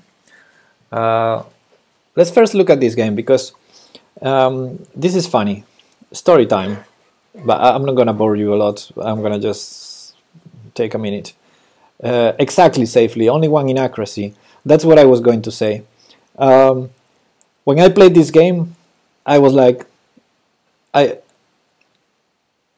I finished the game and I was like, okay, that was a good job. I mean, it was a good job. I put a lot of effort on the game and I felt like it was nothing special, the game. I just calculated, played what I thought were the best moves. Next day, I analyzed it as usually. I made my annotations. I, I thought, oh, I played good moves according to the engine, that's good. Um, and then years later, like two years later, basically, this year, I looked at the game and I thought, hey man, this is my best game ever. so and I was actually looking at my comments that I did the next day of what I thought during the game, and I said, "Man, the things I'm trying to teach my students, they are in this game." Uh, so I used this game. I used this game this year at the chess school uh, several times. Um, but yeah, it happens to feature the two bishops thing. Still, I think I committed some mistakes. I don't understand why the analysis says only one inaccuracy because there's one point that eh, my calculation was a little bit iffy, but I played well anyway. So let's go to the game. Uh, I played Sicilian with black, which also, by the way, one inaccuracy, 12 average centi-pawn loss. I wouldn't expect that playing Sicilian with black, but okay. You gotta do a deeper analysis, maybe. Yeah, um, and my opponent plays the Alapin. Do you have some tips on analyzing your own games? Um, well, I guess every player is different, not just the, the, level, but also what they like to analyze or what they like to play. So it would be hard for me to to give specific tips, but there's one that I can say: analyze it as soon as possible because I think, especially at low levels like like mine or less, um, you don't expect to play like an engine. So more importantly that what an engine can say about the game is what you were thinking during the game. So therefore, I think it's a very good advice to analyze the games as soon as possible after you play the game. I with with classical chess games, which is this one, for example, the game maybe took four hours. I like to analyze the next day um, because the the day of the game I usually I'm usually tired I want to have dinner or take a beer or something but the next day I, I analyze the game and when I analyze when I analyze it I try to in the important decisions like for example bishop takes knight when I take a decision like that I, I try to write down what was I thinking why did I decide that? And actually two years later I, I, I read what I what I was thinking in this game and I said oh man that that was the perfect game. I took the right decisions every time. The reason why you play accurate against weak opponents is because they blunder or play bad move and you only have some moves that give you advantage. Is that over the board game? Yes it was an over the board game that I played two two years ago and if you know me, I never played the Sicilian, so I don't even know why did I play the Sicilian. But I have the, my comments here. Yeah, I have my comments here in, in perfect Spanish. So I, this is what I wrote two years ago. I didn't remember the repertoire of this opponent, but I remembered that we played Scandinavian in another game. So I decided to, to get away from that in case he, he was uh, prepared. In, in Spanish, no. Thank you, we'll keep this in mind. Cool. I hate when you're black and your opponent try to play draw opening. That's difficult. Chess is chess is too complex. Uh, well, yeah, some of you said d5 here. There are two lines here, d5, um, knight f6, two main lines. Uh, thankfully, I played the Alapin with with with white, so I had an idea or two. And I took two minutes to decide this. I have this annotation here um, because um, I usually have more problems to play against d5. And my annotation is, is curious.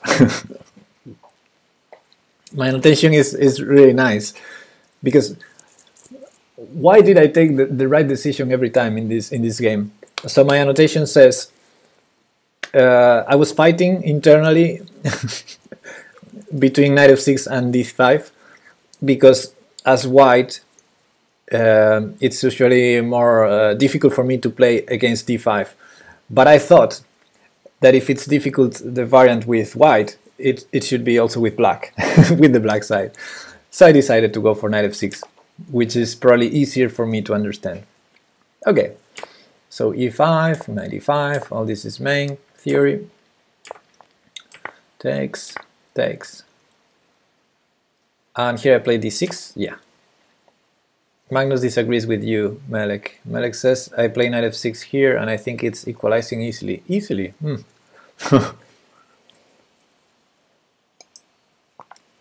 and and this is another important moment, bishop c4.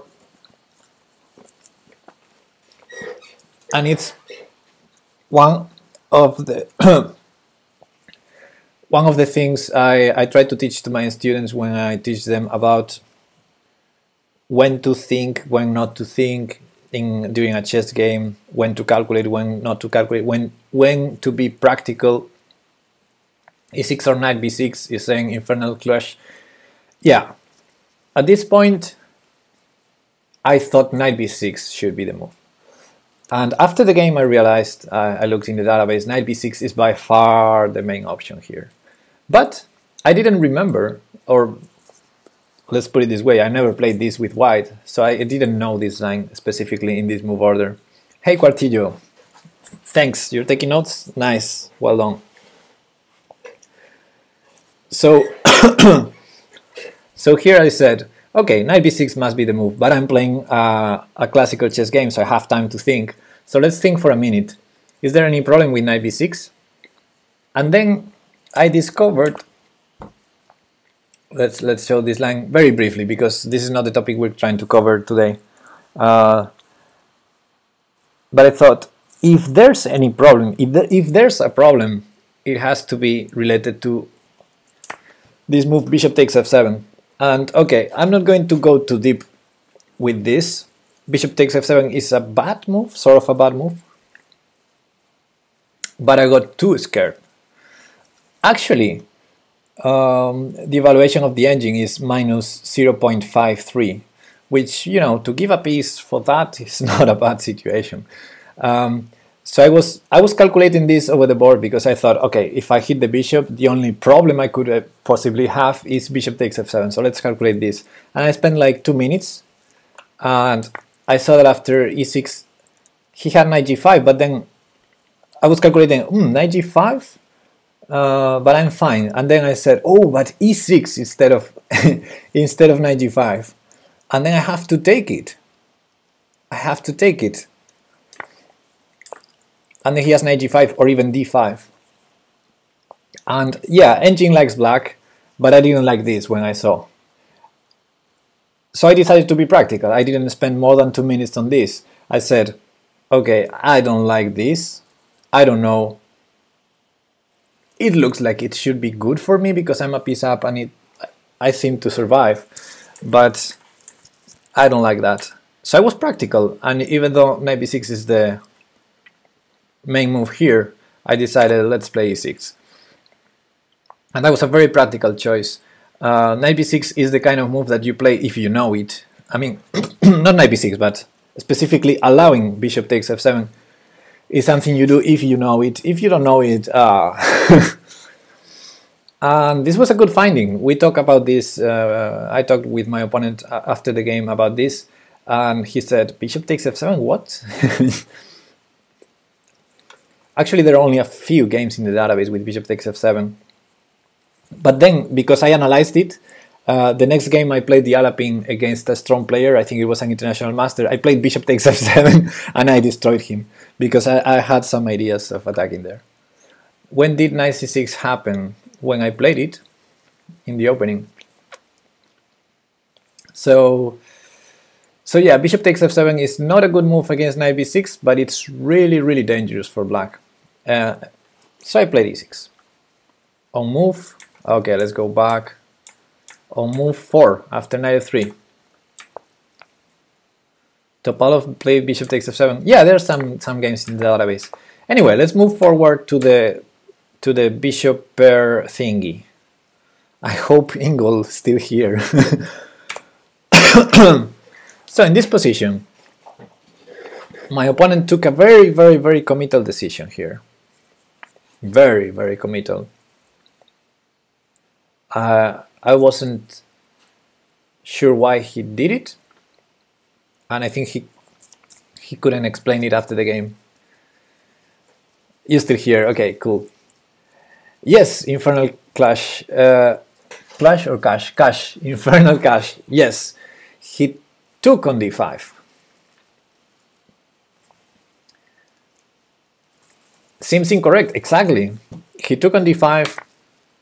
The engine doesn't like it. Uh, it says position is equal anyway, but from a statistical point of view,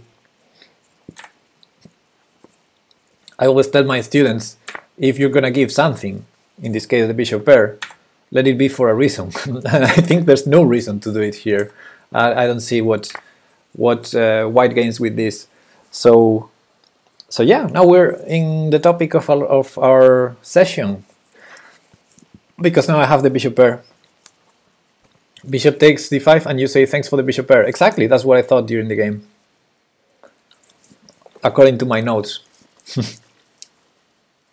I think he had an idea, but it was the wrong idea.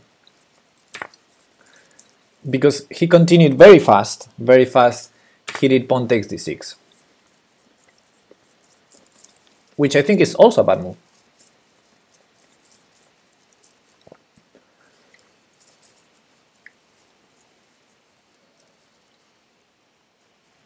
Yeah, I was very happy to see this. And I think actually black is now uh, for choice after these two moves. So basically he gave away two strategical advantages in these two moves. One is the bishop pair, and what's the other, guys? What's the other advantage he had and he's giving away with this e takes d6? Respect the bishops. The space, exactly the space. He had the space with the pawn e5. He had the space. Now, after this, no space. We're equal. Double isolated pawns. Ah, you mean these pawns? Yeah, okay. Yeah, you in. Uh, yeah, I could have taken. That's right, Ingol. Um, so it's not as important. And also, as we mentioned, sometimes for the bishop pair, having double pawns is, is a good price because then you have open lines for the bishops. But but yeah, he had he had the space here. Now he doesn't.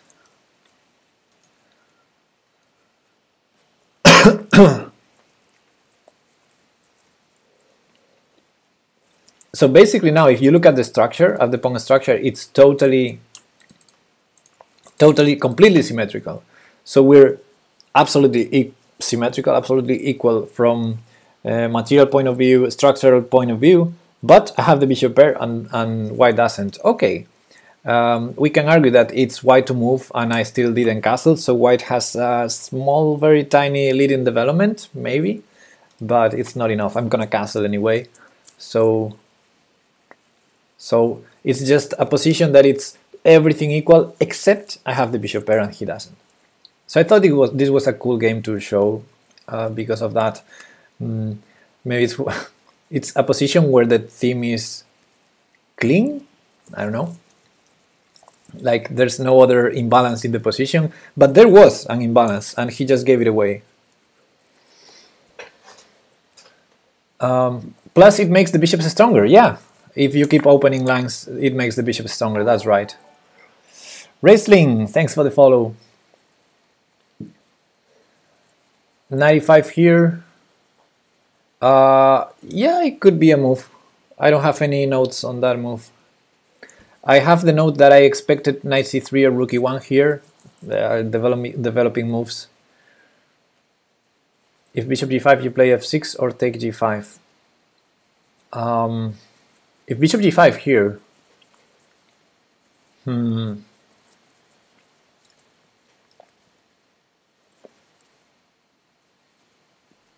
I think if I trade, I might win something. Maybe, maybe not. Because I'm still not castled. So maybe I just castle and threaten to win something. Or trade and castle, I don't know. Uh, thanks for the challenge, but I don't play unlimited. Sorry. Do you like playing with Isolani or against it? I like playing with it, but I sometimes like to play against it. I don't know, it depends. I like to attack, so I, I like to play with it. but sometimes against weak players, I like to play against it because endgames are easy. Um, anyway, my opponent played h3. I think I'm gonna, well, or maybe not. I was thinking about fast forwarding a bit. Uh, the game was really long. Uh, I just had some patience here and he did. The game was equalish. a6 wasn't a good move apparently. Um, except I had the bishop pair. That was the only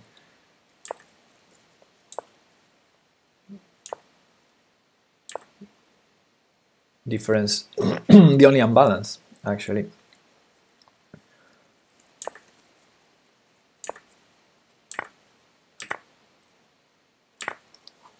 yeah, if someone has any questions specifically, I might or might not answer them. Um, yeah, here the, he, this, this, was a, a decision I, I, had to make as well. B takes c6 was also a very interesting move.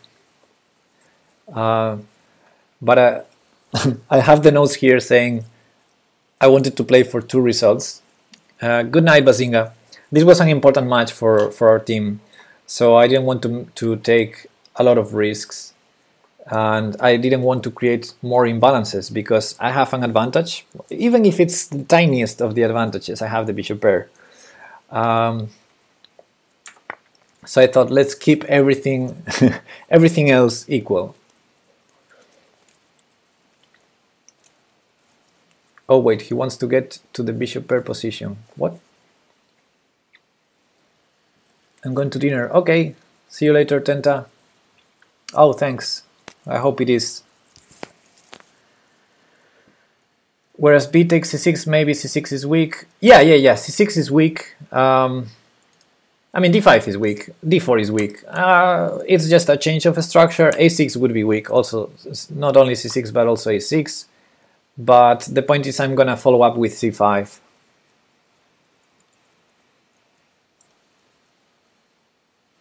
Not too much analysis on single moves. Uh, okay. I hate that when you are in a somewhat lost position, the best move is to trade queens, for example, but then you will just lose easily and you rather hope for small chances, but engine doesn't like it and decrease your accuracy. Yeah, in in in human play, you better not go for a clearly losing endgame, even if it's the best choice by the engine. So yeah, I keep moving.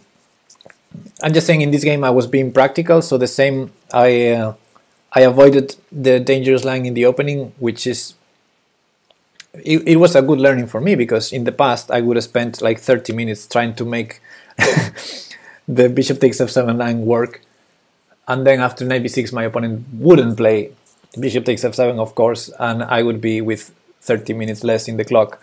So yeah, even so I was practical there and I was practical here in this decision. I'm gonna keep everything equalish except I have the bishop pair and my opponent doesn't.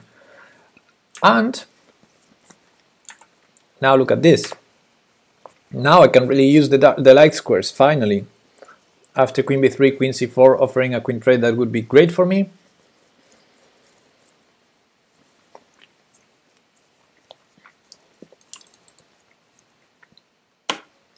and uh, and this would be weak.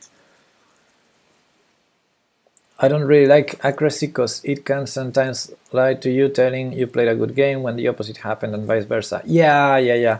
That's why even though I analyzed this game the next day with, with the engine and the engine said, good job, as it's saying now, I didn't think it was a great game until I saw it two years later and I, I said, okay, it's my best game but not because the, the, the moves were spectacular or something, just because my decisions were right, at least according to my level.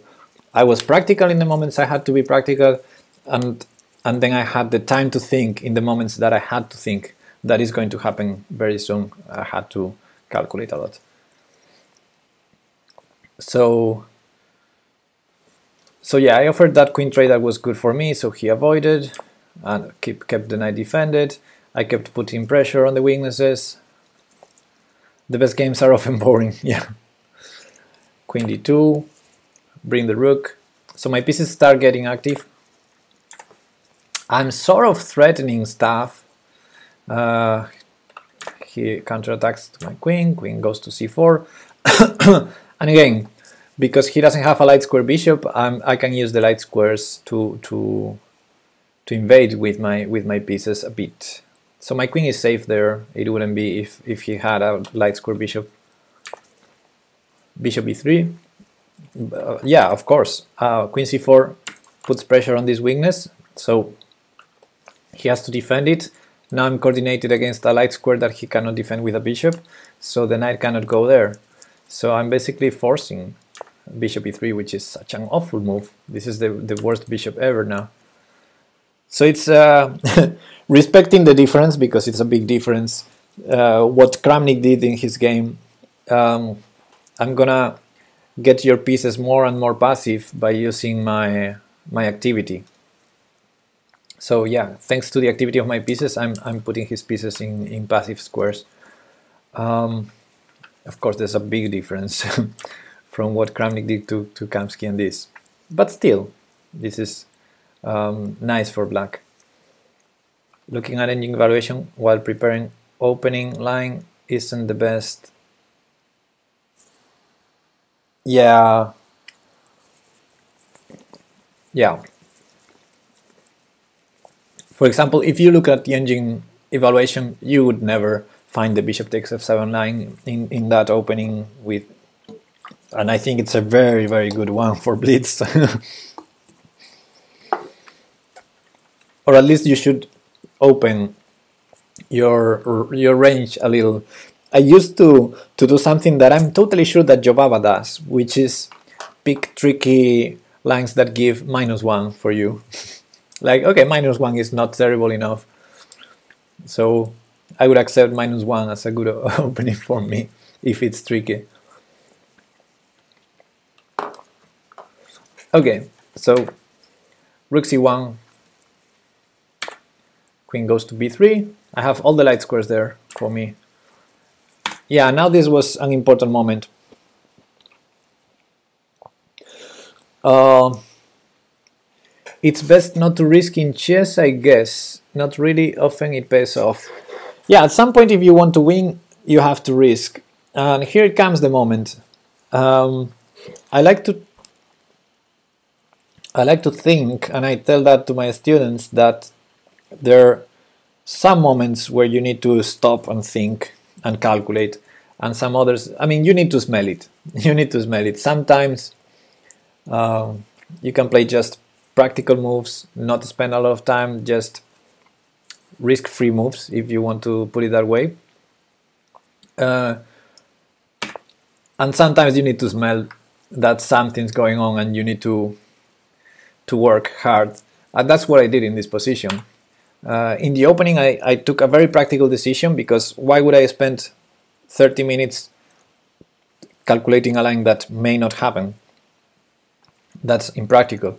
But now after queen d1, I better calculate what's going on here because my opponent is giving up this b2 pawn to take on d5 or offering a queen trade that will maybe alleviate him or maybe not.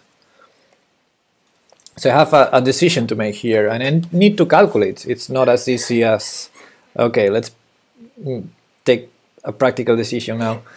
If any, the practical decision would be to trade queens and go for a, for a very equalish endgame where I still have the bishop pair. But then I will have to, to get one piece passive to defend uh, d5. And he's going to have the c5 for the rook eventually or not. Well, uh, maybe not. um, you don't instantly queen trade and win with the bishop pair weak. That would be a good try, but I don't think, you know, if it's bishop pair, if the rooks were not on the board, maybe. hey John John. But with rooks on the board and two open lines, I assume he's gonna have enough counterplay because even if I use one of the lines, he's gonna have the other um, and we both of us have weak pawns, so he's probably going to have counterplay. so his bishop is sad. Yeah, his bishop is sad. So yeah, in the opening, I, I, took a very practical choice of not calculating deeply a line that may not happen, which, by the way, is something that I learned the hard way. Uh, I played, I think it was five years ago, against an international master in a classical chess game in a tournament. And I had a similar situation to this one with the bishop takes f7 in the opening. I had a move that I thought it was cool, but it allowed a trick. In that case was a knight g6 hitting rook discovered against my queen, something like that. And I said, okay, I'm gonna calculate if it if it works or not. And I spent 25 minutes maybe to decide that I had enough against the trick. So I played my move after 25 minutes of thought, and my opponent didn't even didn't even think. He, he came to the board because of course he was walking around. He came to the board he saw that I allowed a trick of course. I'm sure he saw the trick but he was like oh you spent 25 minutes I'm not even gonna consider playing the trick he played another move a developing move normal practical move and I was like oh oh now I have 25 less minutes in my clock and everything I calculated is useless in this position and I learned that the, the hard way. yeah. So in this game, I took, I think, the right choice from a practical point of view. In the opening, it's not worthy to to calculate something that you know it's not gonna kill you if if you calculate it bad. So Queen b2, knight d5, bishop d8 says nobody. Yeah, that's actually the best line. So here I calculated a lot and there's some inaccuracies in my in my calculation because we both missed a couple of moves during the line, but mostly my line mostly worked.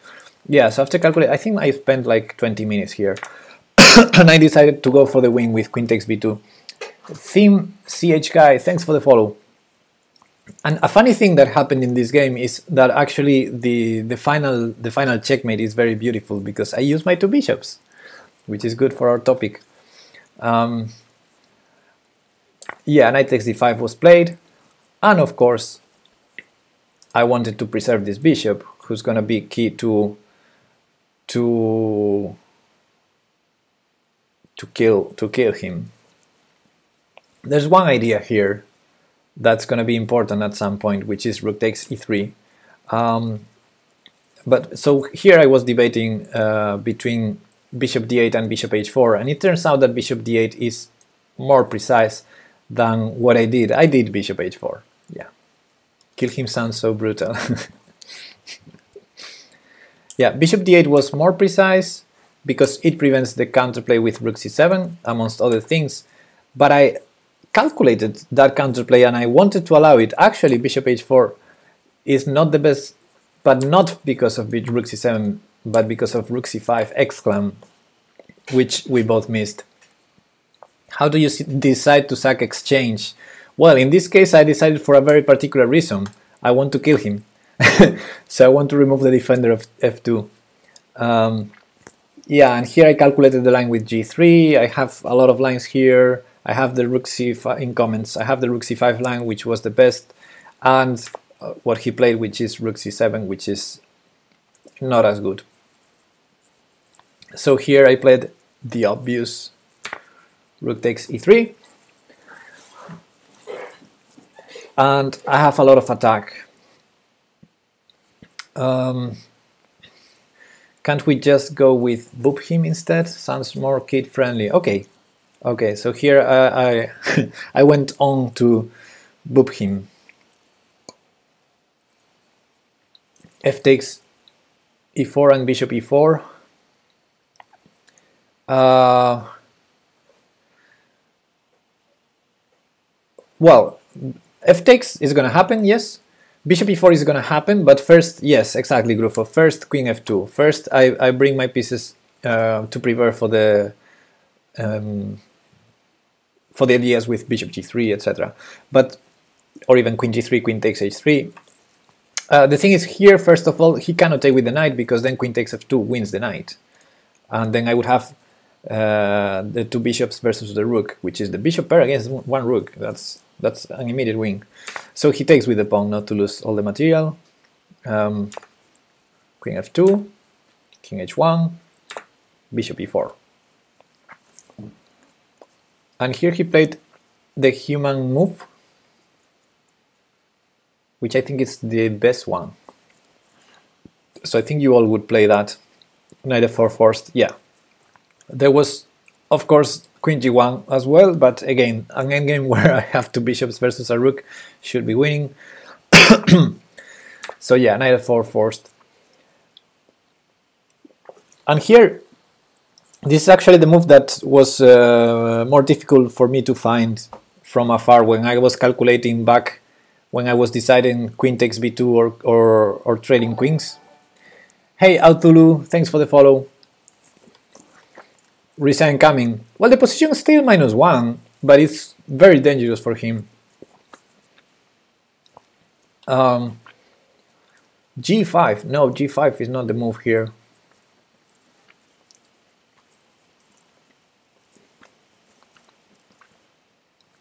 Queen takes e3 seems great. Just queen takes e3. Yes, queen takes e3.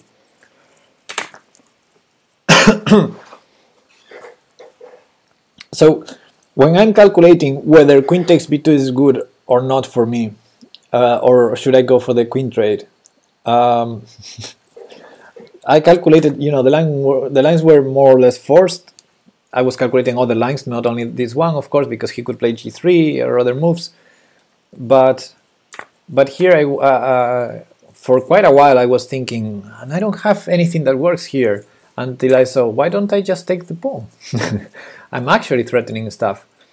Queen c1 is the best move here. He didn't play it. He collapsed here. He collapsed. Why not bishop g3? I'm sure I was calculating bishop g3. Um, Don't I have a line here? No, I didn't take note on, on bishop g3. Uh, queen e2 maybe? Maybe queen e2? I can't remember what I calculated. Queen e2, maybe bishop g2. Ah, queen e2, bishop g2, yeah. queen g1 then. Then queen g1.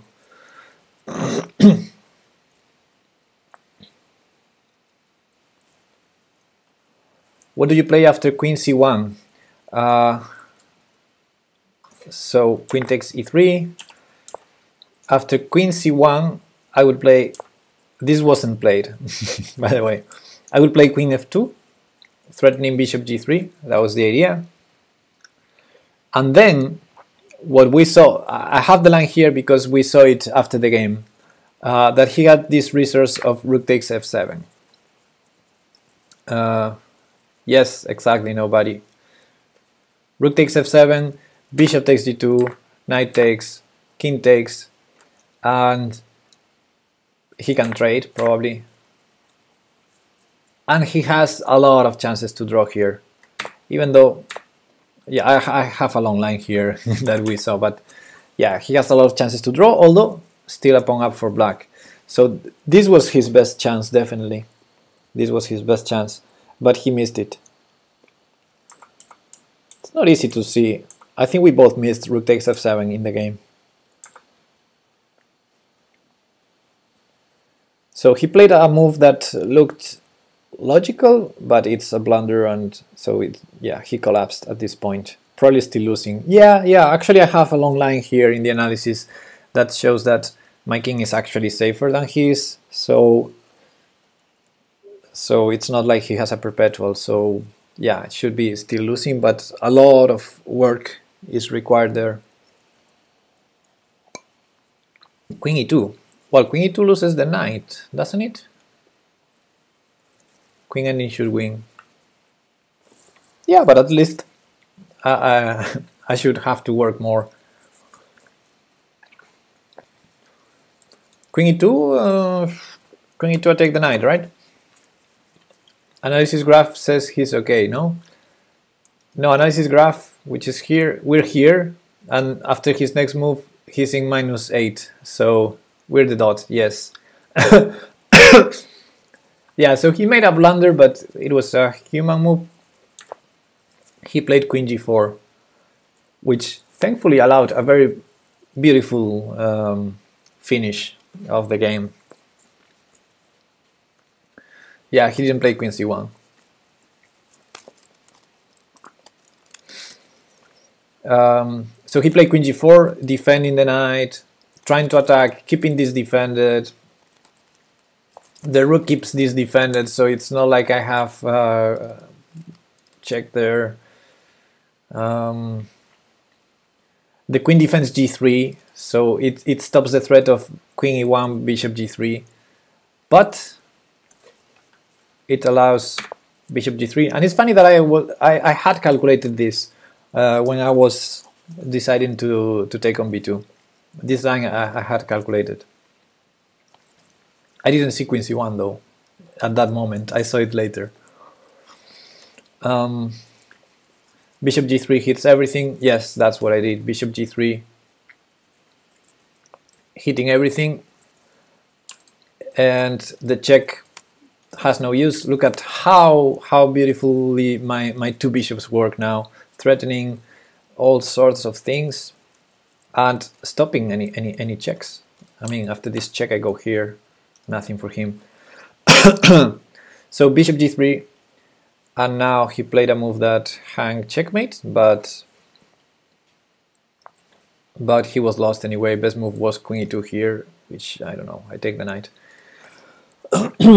but he played 92. No, he played the check first, sorry, and then 92. And he says, oh yes, I'm stopping this, I'm stopping that. And now it's mate in two, guys. So it's nice because I, I use my, my two bishops for the checkmate. So it goes with the topic. Look how active my bishops are. What's the refutation of queen e1 and bishop f2 instead of bishop g3? Let's put it on the board. Uh, instead of bishop g3, queen e1 and bishop f2, 92 I guess.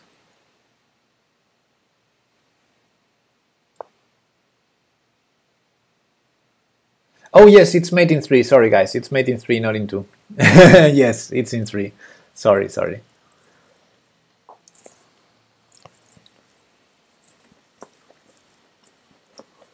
Maybe 92? Still queen of... no. Mm. 92 hitting my bishop.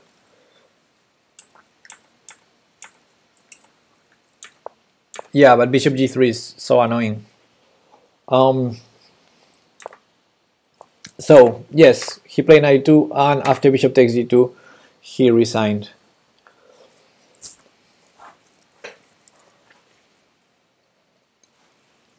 Bishop d3 is still winning. Well, he plays rook c8, rook e8 maybe. And defends the knight. Ah no, I can take the knight anyway. Oh, how to get better at chess? Um, I think I have a command for that, but I can never remember the the name of the command. Give me a second. Uh,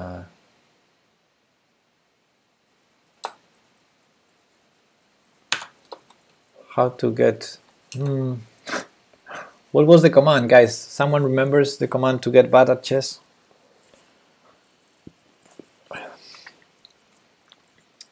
Okay so that was it. Let's go watch Magnus's game. Let's let's watch a, a high quality game instead of my my shitty play. Oh get better. There you go. It's get bad the command That's the one.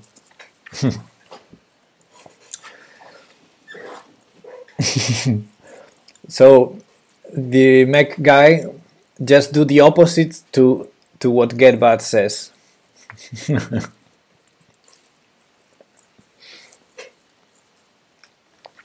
All right.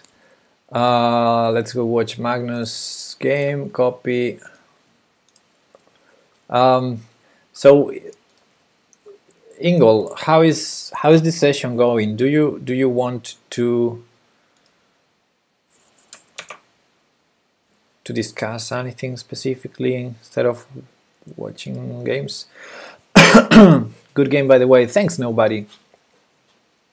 Um, did the import work? Yes, Ding Liren versus Magnus Carlsen.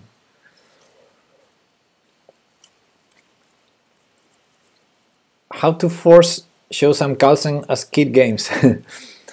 How to force myself to calculate deeper? Uh, just do it. When I do tactics,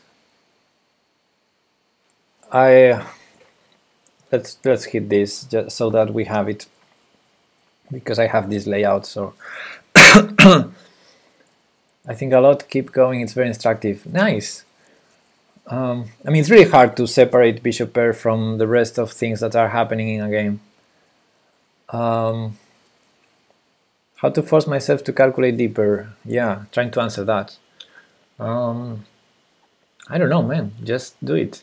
Uh, you're not in a rush. Don't do puzzle rush. don't do puzzle rush. And that's it.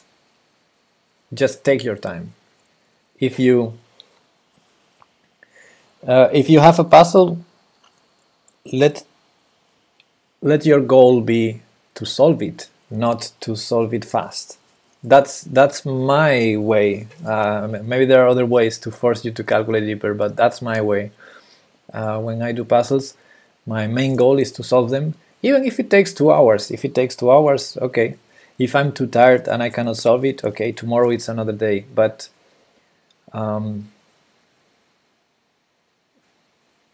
yeah, focusing on on finding the moves, the ideas, discovering them. Um, I guess re reinforces. No, uh, it um, builds those. Um, I'm lacking vocabulary for this. it builds those um, tools in your brain instead of doing puzzle rush or stuff like that that only makes you be more and more lazy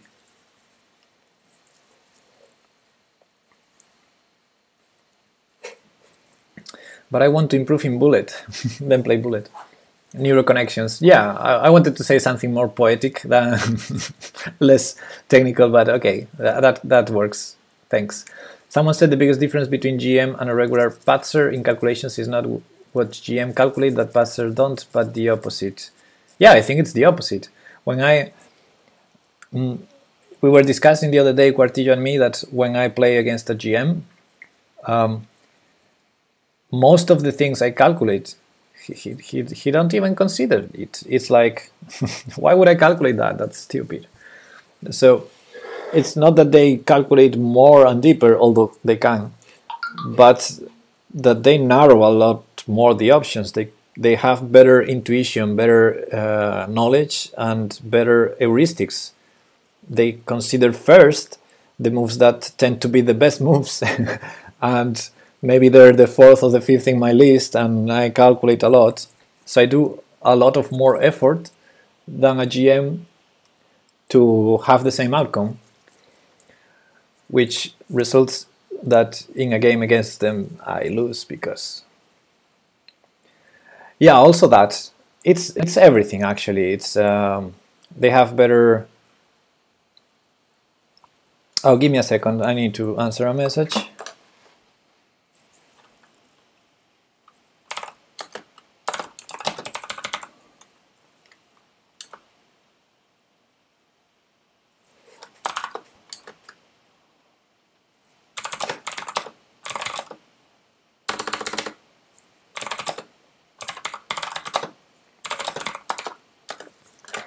um, GM grandmother. so what nobody is saying is a good point. A strong GM calculates a line once, weaker players keep rechecking. So that's right. And I think that's improved a lot uh, with practice, basically. So I, I repeat my tip, my advice. Don't you bother spending 10 minutes, 20 minutes in a puzzle, no matter how easy it is. Um, the more time you spend, the the better you your your brain is gonna be working towards the goal of understanding things and solving things. Don't rush it. Um, probably when you have more experience, you're gonna do it faster for sure. But now, don't rush it. Focus on the goal of solving the problems, understanding the things, not on being the best bullet player in your neighborhood. Um, and uh, yeah visualization. It's not just about calculating it's also visualizing. And um, in the in the past i used to do that a lot to recheck lines. Um, now for some reason i don't. Sometimes i blunder blunders happen even even magnus blunders once every five years but blunders happens they will eventually happen less. I don't care about that but I don't recheck my lines uh, unless necessary, unless I discover something that tells me, oh, I need to go deeper in that line because I missed something. Um, but yeah, somehow you develop that memory of knowing that line ended in that conclusion. I don't need to to look at it again. Uh oh. uh, Okay, now I'm gonna check the game, but give me give me a second. I really need to to answer this message.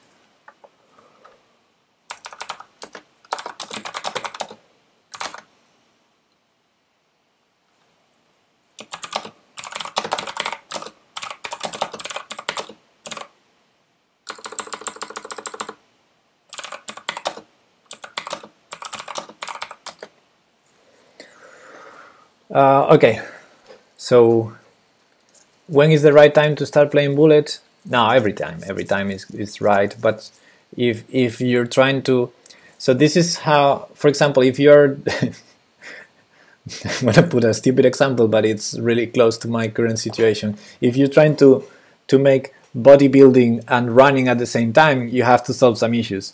And the same if you're trying to improve your understanding of chess and your bullet you have different goals there so you're going to have a problem there. So you have to prioritize what, what is more important to you.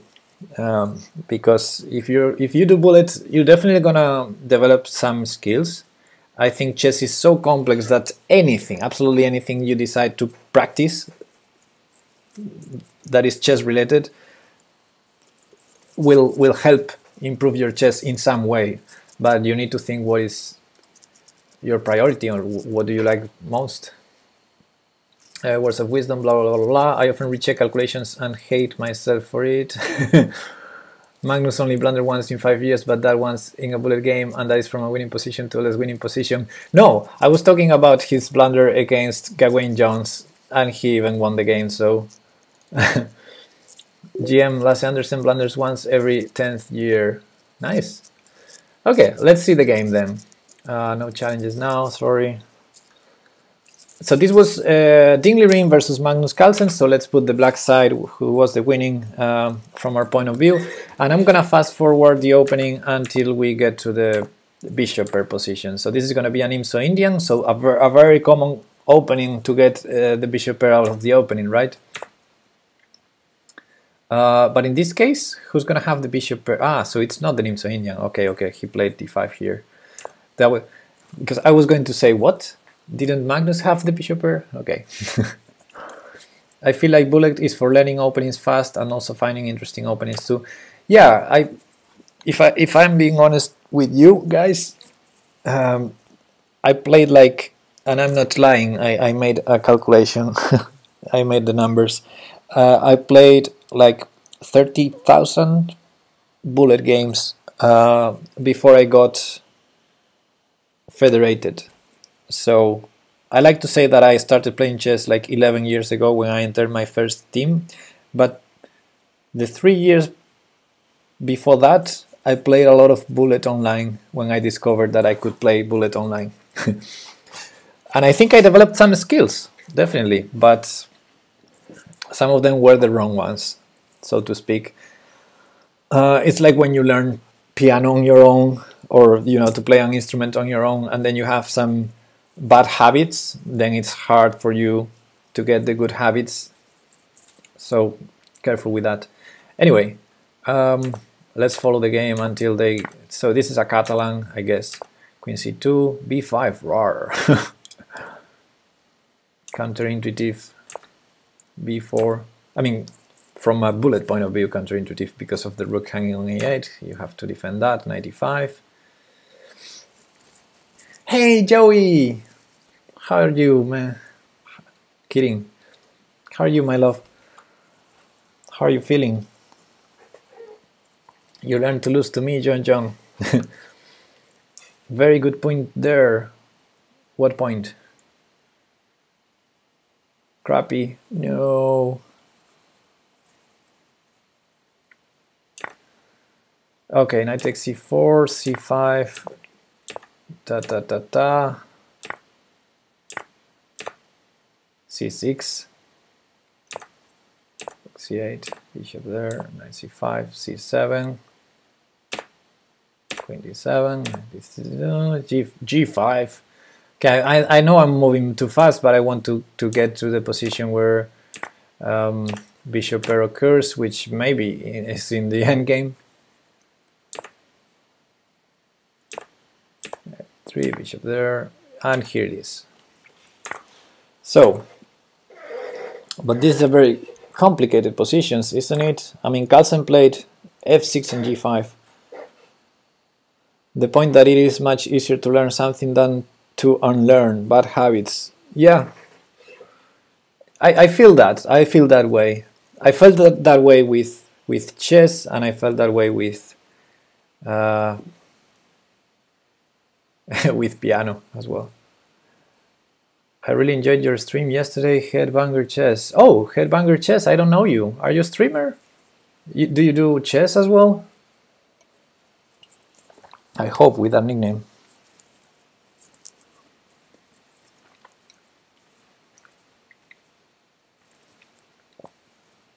Oh, you didn't tell me you were watching a stream yesterday, Joey. I could have joined, maybe. Anyway, knight takes d4, queen takes d4. What do we have here? You recently started. Well, welcome to the family here, then. So, after I went to bed. Oh, so it was late for me. Okay. Hey, Queen Savage, what is up? So, uh, I would be worried about losing the bishop pair, but I guess it's not a problem. Uh, well, if you stream too late for me, it's gonna be difficult because we probably have different time zones. Like, for example, it's past midnight already here right now. Um, okay, so was this game, guys, uh, bishop pair endgame? Can I just move forward a bit because this position is so complex? I, we could spend maybe 20 minutes in every move. Pawn structure, this is so unbalanced. It's not just the bishop pair, it's uh, the pawn structure, this pawn here versus this pawn here, these advanced pawns. Just go to the point. Yeah, but I'm trying to know where the point is because we already have a bishop pair situation. you tell me what's the point. So, so isn't d5 hanging? Okay, he takes it in a different way. This is the famous game Magnus Ding. It looks that way, yes. And he saves the bishop. Okay. So I guess this is the point. We have bishop pair versus bishop and knight right and yes it is. Okay. And the pawn structure is totally symmetrical except some pawns are more advanced than others but you know from a file points files point of view it's totally symmetrical. Um, and now it's the things we mentioned many uh, you know, at the beginning of the stream, um, where, for example, having pawns in both sides of the board, you wouldn't mind, especially trading uh, one of the bishops for the bishop, because the the remaining bishop should be better than the knight in general. Uh, of course, then you have to calculate. Tactics always uh, are there, uh, or even the other bishop for this bishop. So that kind of trade could be great. Now, when it comes for trading one of the bishops for the knight, uh, different situations happen. For example, trading this bishop for the knight would be probably a draw. Would be probably a draw because opposite color bishops, with no reason to pretend that black is better, except you have, I don't know, a space advantage or something, very suspicious from this position. Maybe later it makes sense. Um, also, trading this bishop for the knight uh, that's what I said. Trading this bishop for the knight, going to a same same color bishops endgame would make sense if this bishop is great and this bishop is terrible, which would happen only after, for example, we have our pawns in dark squares and our opponent puts the pawn in light squares. Then that could be a great a great trade to do because his bishop would be bad, our bishop would be good, and we have more than one target. Then we can fight to win that because we have a good bishop versus bad bishop situation. So those kind of conversions are there, but some of them, like this one, only can happen in the future if we get a specific uh, situation with the pawn structure. And some others, like this for uh, for this, I mean, like uh, trading one of the bishops for the other, could happen even now well, not now because there's no way, but really soon with this pawn structure because still an endgame where the bishop should be better than the knight. At least that's the way I see it. But in general, you don't want to convert un unless it is clear. I mean, the bishop pair is already an advantage. You don't want to give it up. Uh, first, you're going to try and, and, put some problems to the to the weaknesses of of, of, of white, of course. Uh, isn't it good that the queenside pawns would be fixed on white, so same color bishops would be quite good.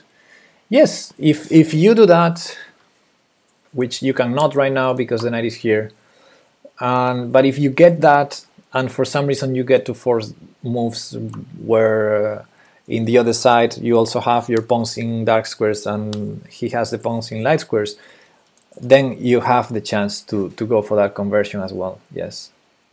At least I think so. Bishop pair doesn't have to come to be converted. It's a powerful weapon itself. Exactly. Only with an active king, otherwise not so important. Yeah, also that that is something, you know, we're in an endgame, so the best move for black now it's it's whose turn it is, it's white's turn. Let's see what white played. Okay, white played king f2. Now the best move for black is obviously king d2.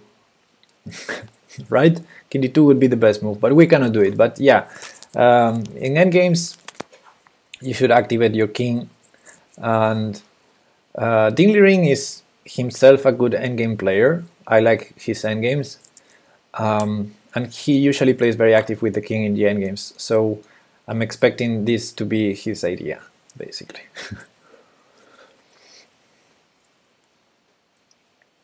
Only cheat if it's not obvious good good advice there. I think King Ding would notice King D2. Yeah. And of course I, I, I lied there. King D2 is obviously not the best move. King C2 is. King B3. King B3 is great. no, what I mean is you need to activate your king in the endgame. Which now doesn't look so easy because we have this pawn here on f6. So let's see how how Magnus did this. The problem maybe is that if this king goes too far away, these pawns could be could be potentially weaknesses. King b3 is a blunder. Oh, I didn't see the knight.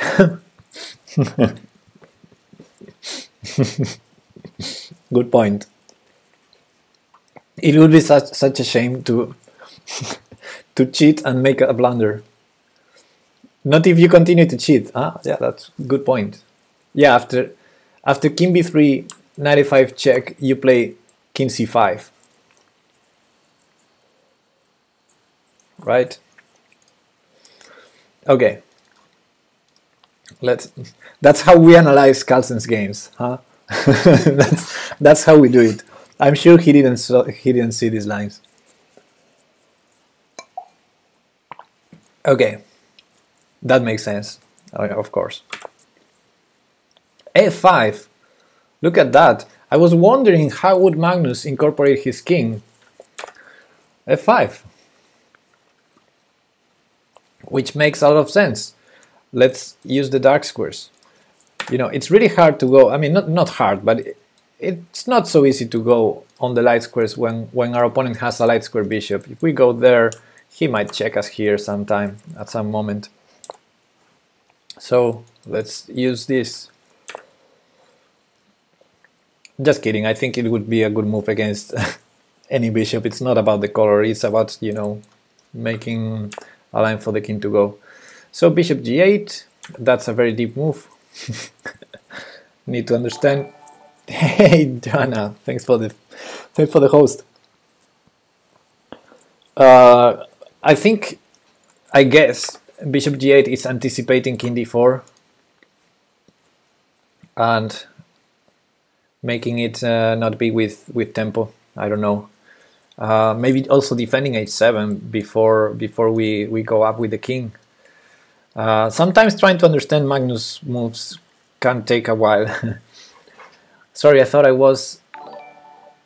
I'm a bad girlfriend. No, you're the best girlfriend.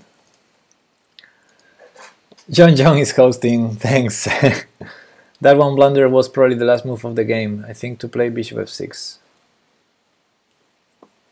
without knight c5 with tempo. Uh, 96 maybe or, or 95 if I remember correctly bishop g8 was actually Ceci recommendation. But yeah you, you have a point there. The bishop was exposed.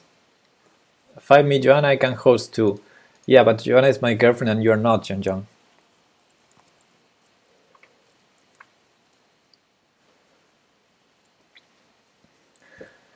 so yeah, the bishop is exposed there, not only exposed to king d4, but also to uh, specifically the, the knight jumps.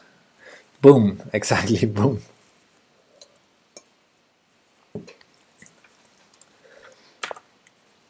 So, cool move. Actually, I, I brought some examples. Hacks, John. Don't feel bad, John John.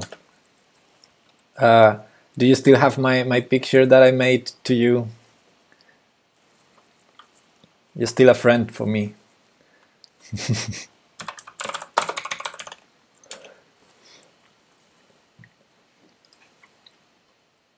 still not so obvious why it's the best move. Yeah, why why bishop g8 is better than bishop f7? Maybe we see in the future that this pawn has to be defended. I don't know, we'll see or maybe we, we won't see it, but let's see how the game continued. Um, g4, g4. So obviously not going for for a same color bishop's endgame.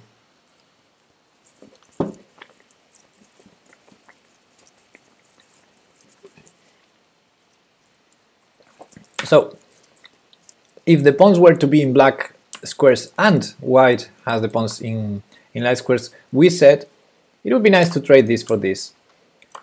Because then his white has a bad bishop, we have a good bishop. No, Magnus' idea is, no, no, no, no. I'm gonna use the bishop pair. I don't want to trade any bishops.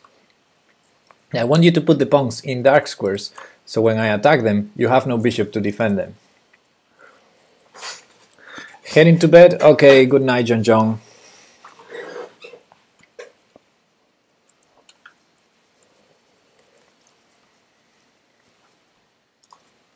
So I assume Ding took. No, he didn't take. Um, I don't know if I'm feeling like I'm defending. I I tend to take pawns, but I guess first of all I didn't spend more than 10 seconds to think about it, and and second I'm not a GM. I think bishop g8 because it's as far away from the knight as possible. Yeah, that's right. Uh, g8 and a2 would be the two squares where the knight can that the knight cannot attack in one move. Which makes sense. Well also d5 but of course that wasn't available. Okay so g4 knight a5 bishop c5 now that it is available. Oh snap. Was white in Zugzwang couldn't he do something different hard to suggest moves when when your opponent is cutting the board like this. I can understand why bishop g8 not the other square, but it's hard to understand why not to delay this move. Um, so let's go back there. So for example, why not doing g4 first?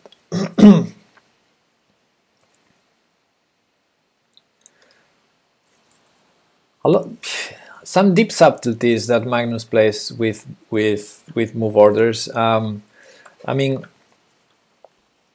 um, after Bishop G8, I guess Knight A5 doesn't make a lot of sense.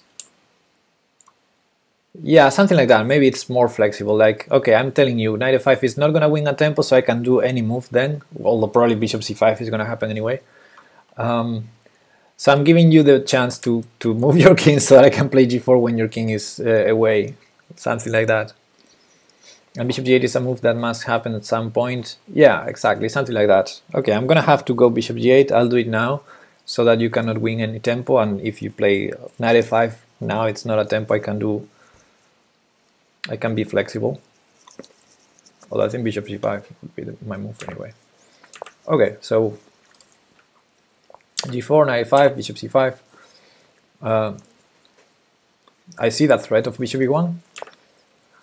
Knight c4, bishop g1, knight e3. So he's trying to trap this bishop somehow. I don't see how.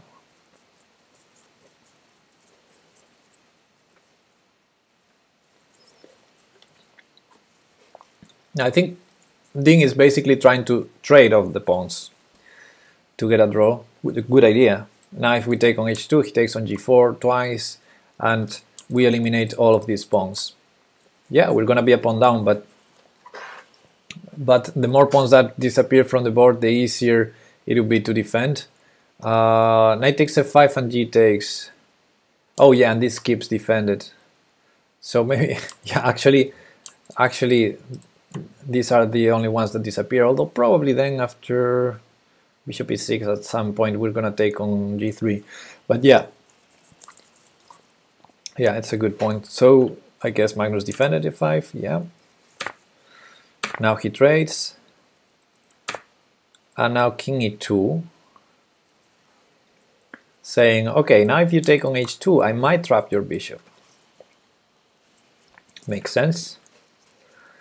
So clearly this is the bishop that is uncontested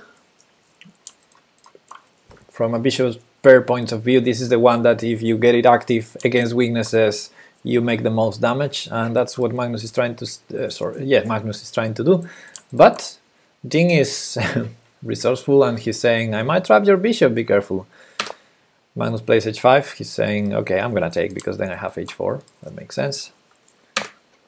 Bishop d5, trying to trade. I think I figured out bishop g8 white doesn't have a useful move? And after g4 first you have king f4 yeah that's kind of what I thought that after bishop g8 you pass the turn so the next move by Ding was moving the king away so yeah something something like that we talked about mm, about that.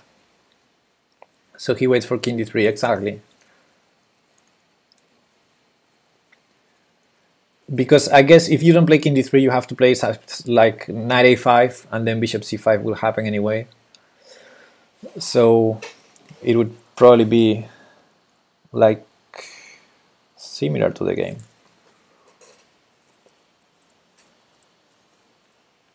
Anyway, I guess Magnus didn't trade. Yeah. Hitting the pawn on a4. Oh, I expected b3 here.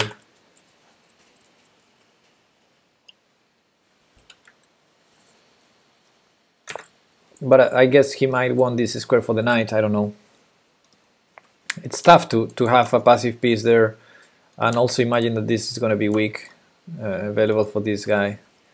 Anyway, Magnus takes the pawn. King f2, so I guess h4 must be played because this is a threat and this is also a threat. h4, saving the bishop. Uh, takes, now the bishop is free. There's annotation, an annotation here from the engine that says that knight f1 was better, but the position is already minus 2, so at this point players are playing like, at least Ding is probably playing like a human, not like an engine, trying to save this position. Bishop e5. Horrible.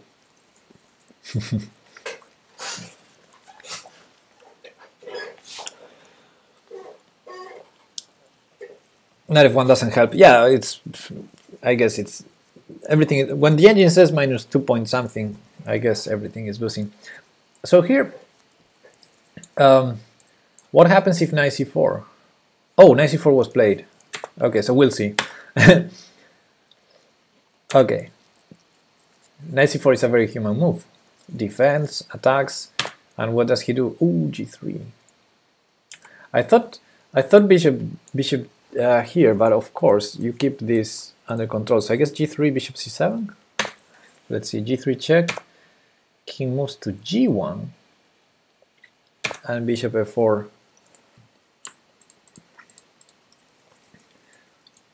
and this is what we call this is what we call domination guys look at that knight only has one square horrible square on a5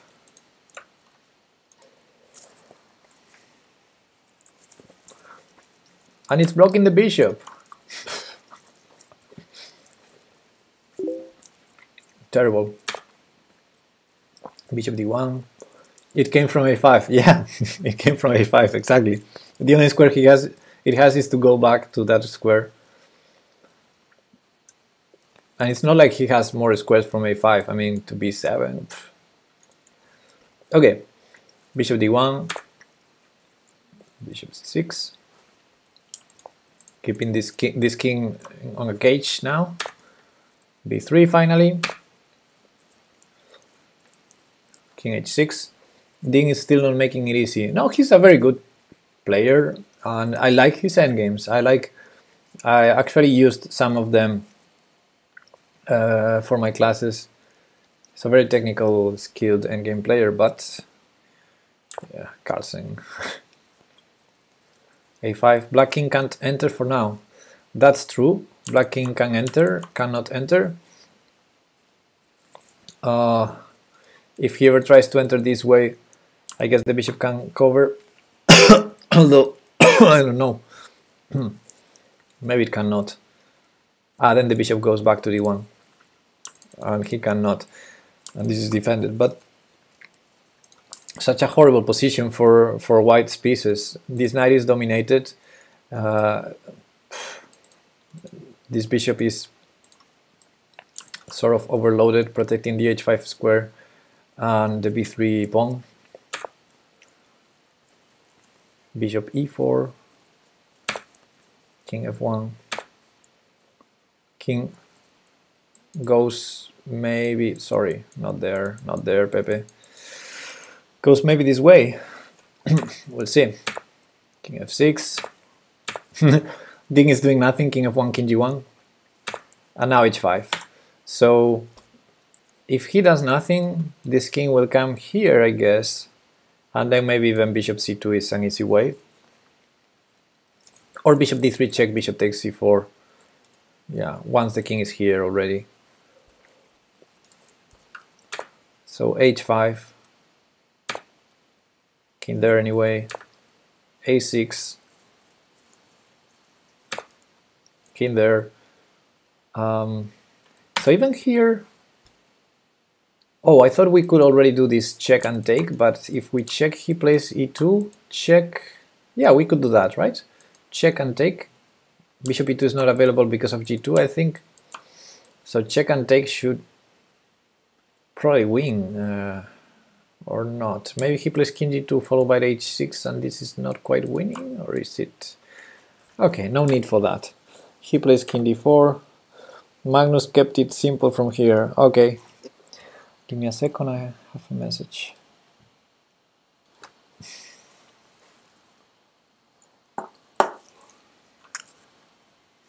Okay. King c3, okay. Uh, Bishop e6 for the trick. Now if takes... One second. Uh, he has some discovered check or something. So bishop c2. Okay, I'm gonna take with the bishop. Knight a5 defending. Good call. Oh, snap. That knight is not stable on a5. Knight b7. I would consider to attack this the a7 pawn at least. I don't know. Oh. Oh. Shoot. Okay, no more moves. No more moves. Yeah, he resigned here. Yeah, that was a complete complete domination of the bishop pair.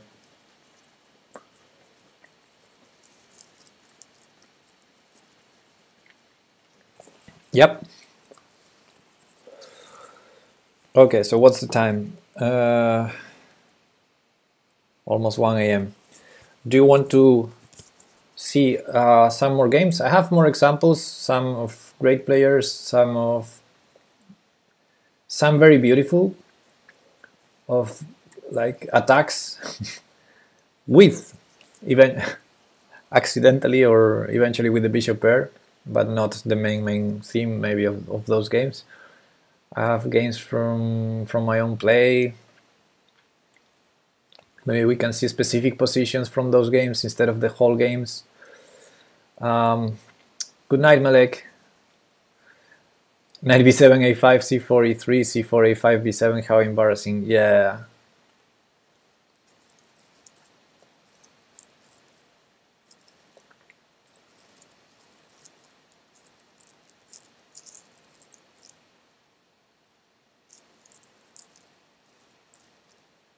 Speaking of embarrassing, seeing one of the games I have here.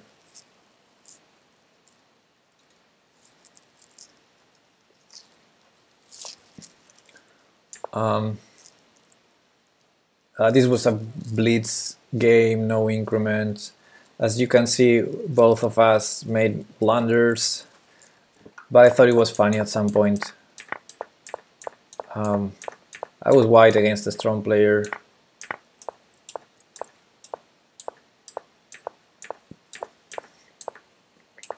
I'm moving forward, but I already have the bishop pair, sorry from the opening when he decided uh, sorry here to take on f3 the typical. In this case in the Caro-Kann but in some openings you put the bishop on g4 to take then so yeah in this case I happen to have the bishop pair from the beginning.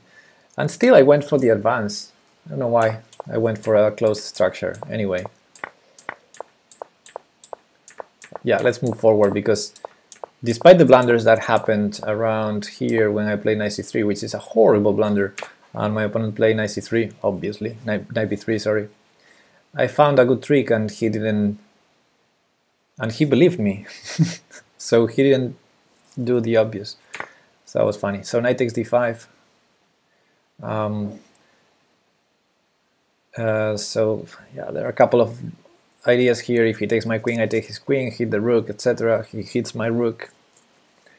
Uh, the other line is if he takes on d5, I take with the bishop with check, then I get to trade on b3. Um, and that's the best line for him because, of course, he takes a free piece for, for two pawns. From a practical point of view, interesting because I have two passers connected, but that's objectively the, the best move for him, the best line for him. Um, uh, but anyway, he didn't want any of that. Have to say that this was uh, again a blitz game. Um, no increment, not really passers their block. Yeah, exactly. It's it's definitely very good for black. This is minus three according to the engine, but I don't know. He got scared of something. I think this guy is. He doesn't have the title of international master, but he got to that level at some point in the past. But um, he went down a bit after that. Anyway, he did this horrible queen d8 move, and after this, I traded queens, and we got to this position where where I have three two, two, two, two, two pawns up and bishop pair versus knight pair. Uh, he still has. Oh, sorry, sorry. He takes the exchange, of course, so it's not that clear. Yeah. so I have an exchange for for a couple of pawns. So from a material point of view, it's uh, he has the exchange for a couple of pawns. Sorry. From a material point of view, it's equal, but I have the bishop pair, and also I have after his move rook c2 um, I have this move now, which I'm sure you all see. What would you play here as white, given that we have the bishop pair and we want to use it? Uh, I'm gonna grab a fizzy water while you tell me what would you play here.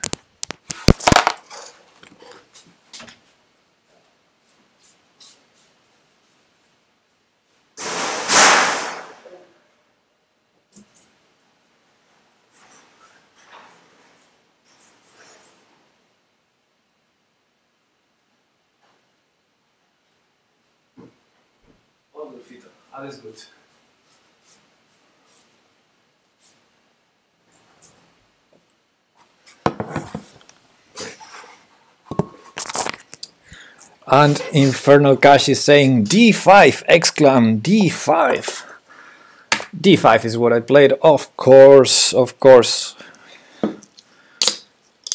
Yeah, give me, give me open diagonals, give me activity. Um, again, this was a blitz game. Mistakes were made for him from now on, specifically. um, but still, I thought it was funny, the end game, because the two bishops did a good job here. Um, pawn takes, king takes, and I played the obvious from a human point of view, but not from a engine point of view. Um, f4. After the game, a very strong player that was looking at the game said, man, rook d1 was really strong instead of f4. And it was, but my idea was to play it after f4. Rook fc8 blunder, and now I played rook d1 with two threats, but he only saw one of them. Um, he saw the threat rook d6 check to win the knight, because the king must go there. So he prevented that but by pinning my rook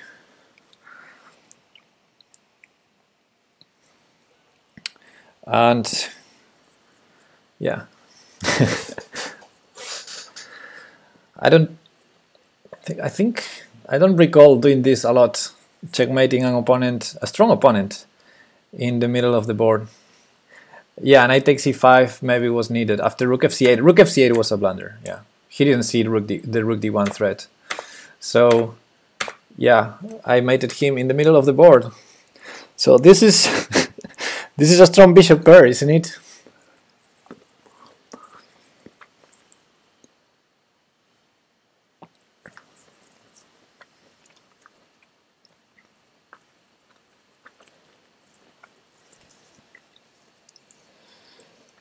Hmm.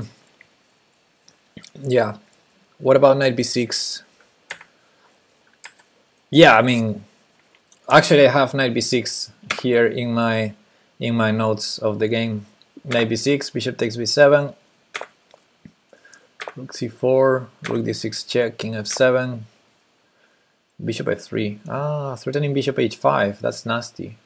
Rook c1, king there, rook here, king... okay, I have this line for some reason, I don't remember it. And the line stops here, but yeah. No rook c1 after bishop d7.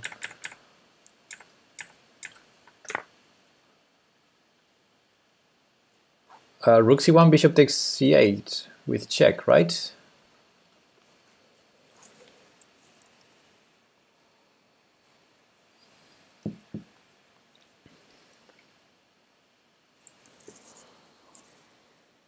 Yep. Okay, yeah, any move that doesn't hang mate would be better than what he did. I just thought it was funny to share this. It's not that actually I was in a bad situation until he decided uh, not to take my knight. So in this situation I'm already, uh, you know, bishop pair, I'm already in a good position, but then he blundered everything here. I mean, king f7 was already a bad move, etc. But okay, just wanted to share. It was a blitz game, doesn't have a lot of importance. Now I have some of my classical chess games that might be a bit more interesting. Although to be honest, I don't have good examples of bishop pair usage against strong players for some reason, only against weak players. I have one from this last league I played. I have one against I have one against a 2000. I think that's the strongest I have. This one.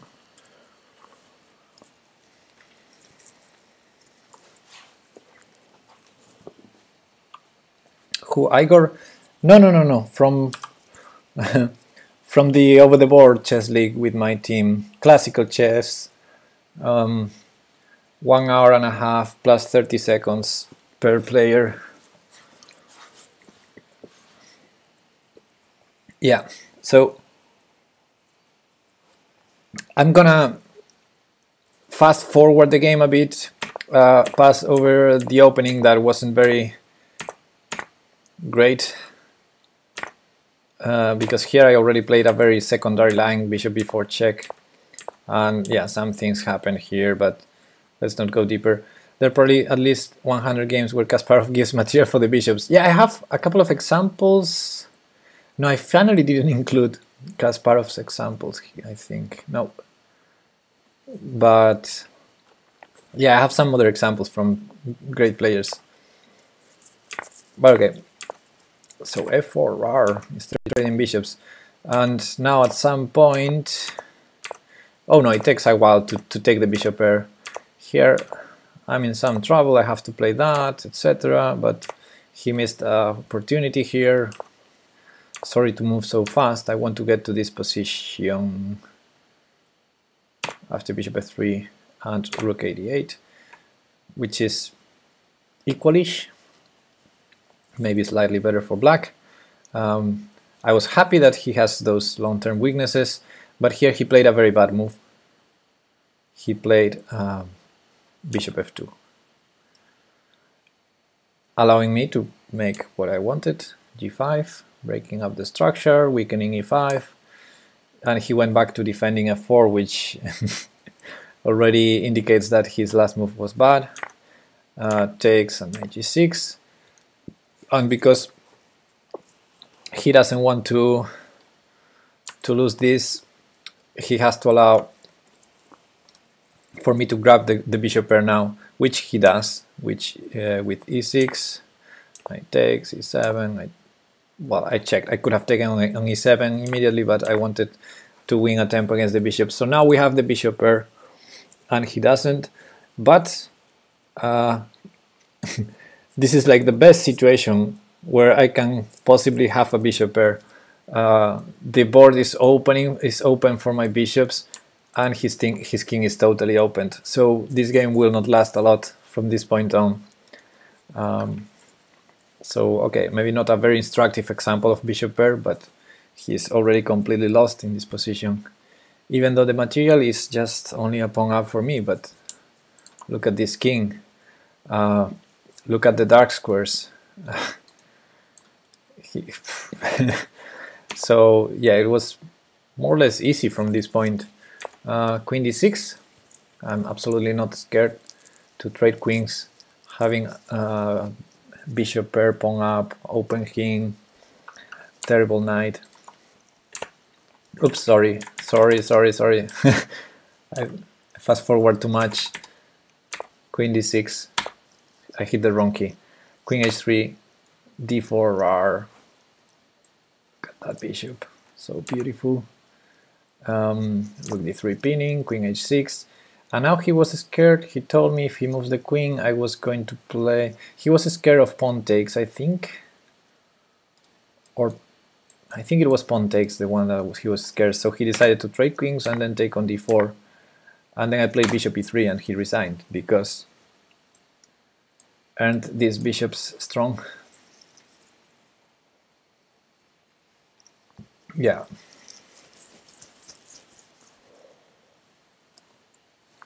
And yeah, he has to give up the exchange, but I'm not gonna take it immediately, of course. I'm gonna have a passer, defended.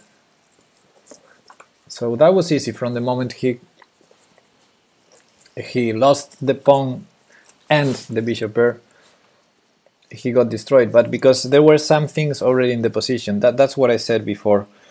Um, it's not that A implies B sometimes it's the other way around so it's just things that go well together. In this case the bishop pair was amazingly good because the position was already weak for his king and open the board was open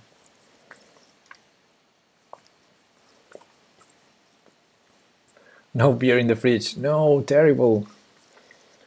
Um, let's pick up an example from some great player from the past. I have one from uh, Geller here. Let me see if I recall this game. I have also from uh, Botvinnik. I think the Botvinnik one was cool. Can't remember. Mm -mm -mm. I don't have any annotation here. So let's see the game. Okay. Ah, yeah, I remember this game. Look at that. So, Botvinnik plays knight h3. Um, strange looking move. Instead of knight, knight f3. Yeah. And for some reason, Bronstein says, oh, I have to take that. I'm not really sure whether there was a reason to take there on h3, to be honest. Um, I mean, the only difference from, you know, with the knight there instead of here is that now the knight can go to f4, build some pressure on d5. Well, I don't know after e6, d5 is going to be pretty solid. At least uh, that's what I think. I don't know if someone in the chat can understand why Bronstein would take the knight here. I'm really confused. But he took it immediately. So Botvinnik has the bishop pair. Cool. And uh, Bronstein says, I'm fine, I have a dark square bishop, I have all the pawns in light squares. What can be wrong? Well, I guess the light squares can be wrong. Two, CA, castles. 97. Not sure what the idea is. Maybe. 92, queen b6. Well, it wasn't that. Bishop c3. d8, knight 4 so the knight goes back to f6. Uh, hey Giko, thanks for the follow. I guess the knight will land on e4 at some point. Queen b3, knight e4. And here we have a situation where a terrible bishop is passive and it's threatened to be taken.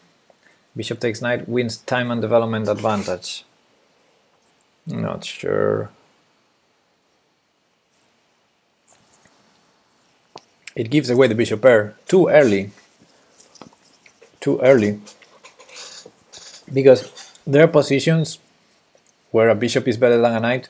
There are positions with where the bishop pair excels. But in the opening, with, with everything still to be decided, it's very committal to take a decision when you still don't know whether you're gonna get a good or a bad position for bishop pair or knights or whatever you're trying to achieve with that trade. Mm. I don't know. I think it's very committal. Anyway, here uh, Botvinnik makes a move here that is very, very typical. Well, first he trades queens, sorry, trades queens.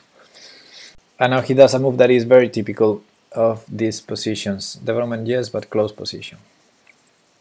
Hmm. So sometimes when you have the bishop pair, like in this case, white has the bishop pair, white also has maybe a tiny structural advantage there, although it's really hard to get this knight here, it takes a while, but yeah, this could possibly be an advantage in the future.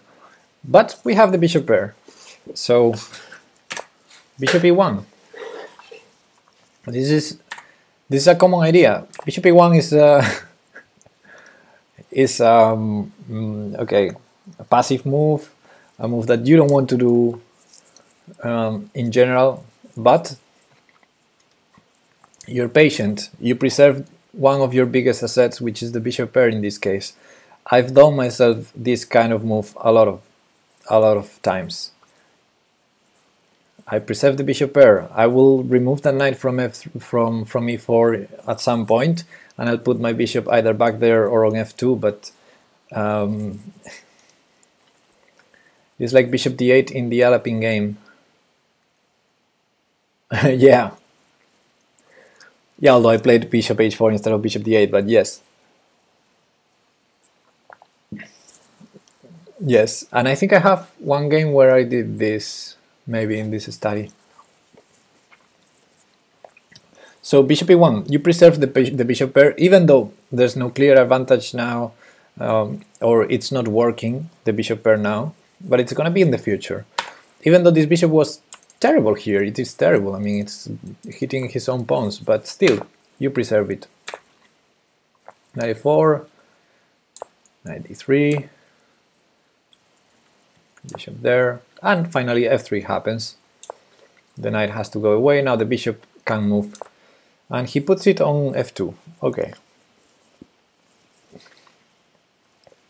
Now, for example, if rook c2 happens, thanks to this beautiful knight defending b2, we can fight immediately for, for the open file and maybe even trade all the rooks.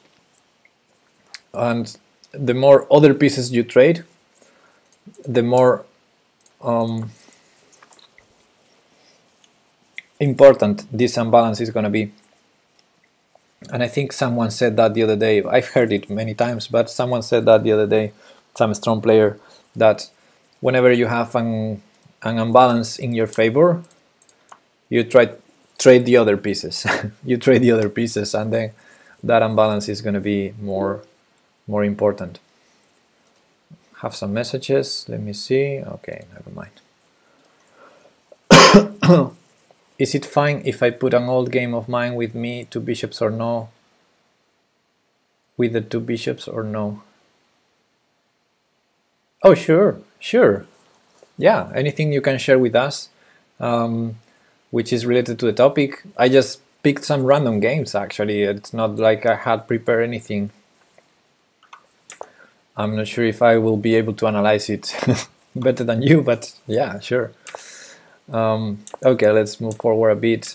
Um, see when the bishop pair is going to be excelling in this game. So far, uh, Black is not finding anything, so there we go. We trade all the rooks. Bishop a3, good move, intends to take a pawn on b3.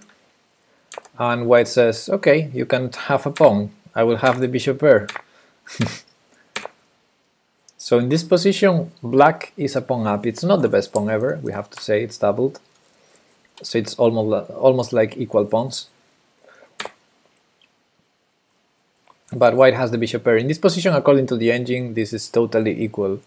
but it's so much fun for white when you have the two bishops. And this is a weakness now on, on b6.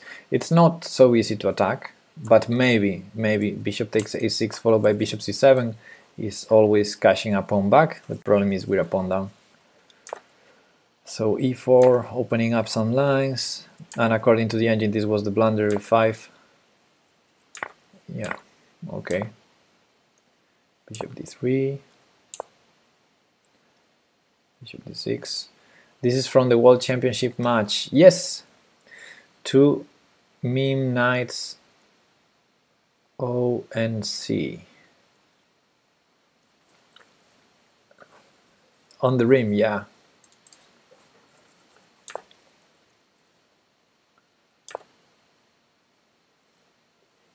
Uh, bishop b1 mm, I guess it has some explanation I'm, i guess after takes takes he's intending to do some move that is not moving the bishop I don't know suddenly recognize the position. Nice. Yeah it is let me see. Uh, 1951 from the world championship match yes.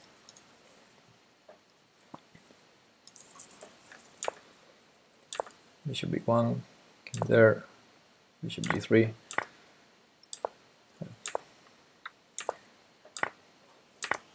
trades h4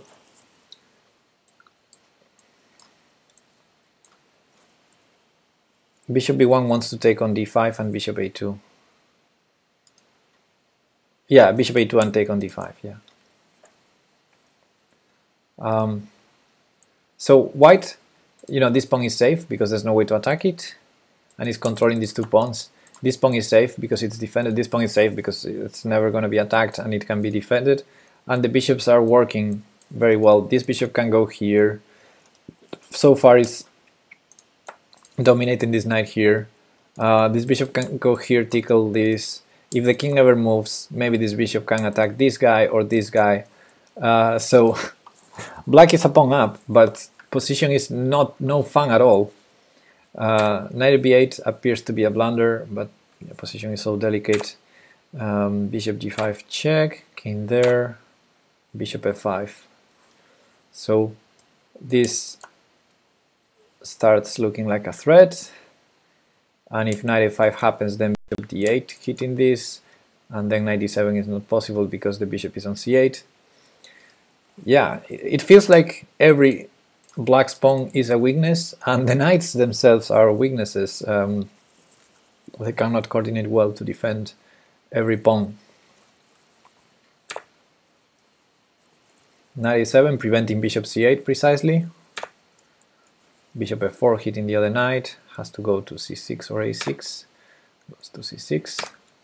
Maybe to defend with knight a5 the b7 pawn. Bishop d3, I guess trying to attack this guy at some point knight c8, bishop e2, king must go to g6. He repeats, goes to f6, repeats, goes to g6, and now bishop f3. Maximum pressure. Now the king must defend this guy, and now one knight must defend this pawn. So knight c e7, uh, sorry, knight 6 e7 so now this guy is tied to this, this guy is tied to this, and bishop g5. And black resigned in this position. Did you ever resign in a position where you had a material advantage? I hate when that happens.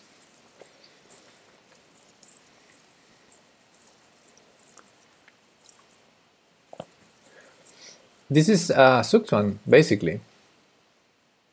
So the king is defending this, the knight is defending this, the knight is protecting the knight that is defending that.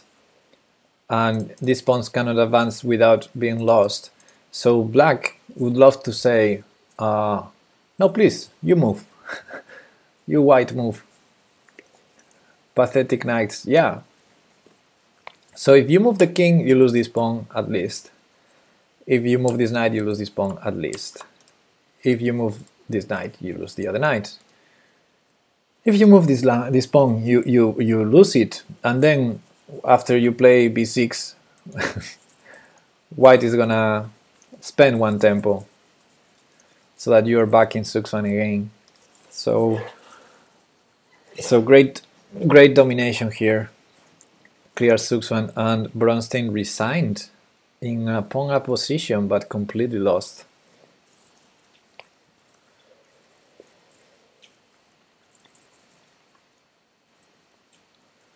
Now, what else do I have here?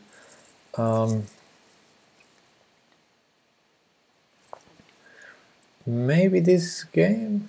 I don't know if my game was the best example, but I should send it to you on lichess Uh, if you how how you want it. I mean, if you have the PGN and you can paste it on the chat or on lichess whatever, however you you want. Um, in the meantime, I can show this one real quick. 95 and 98 d6, but he was probably fed up with this. Wow, 31. I mean 87. That's hot in there, Joey.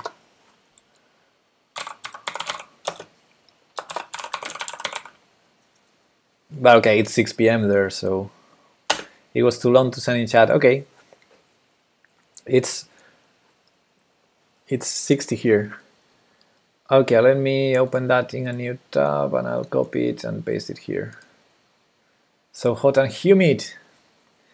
Uh, well, humidity is, is always higher here in Galicia, as you can tell by by uh, the outcome of Nightbot there. Yeah, humidity is definitely not gonna be a problem for me. Everywhere where, yeah, yeah, humidity is the is what we have here. The yeah. you need a scuba mask. No, anywhere I, I go in the world, I think I cannot have more humidity than here. I'm gonna be fine anywhere.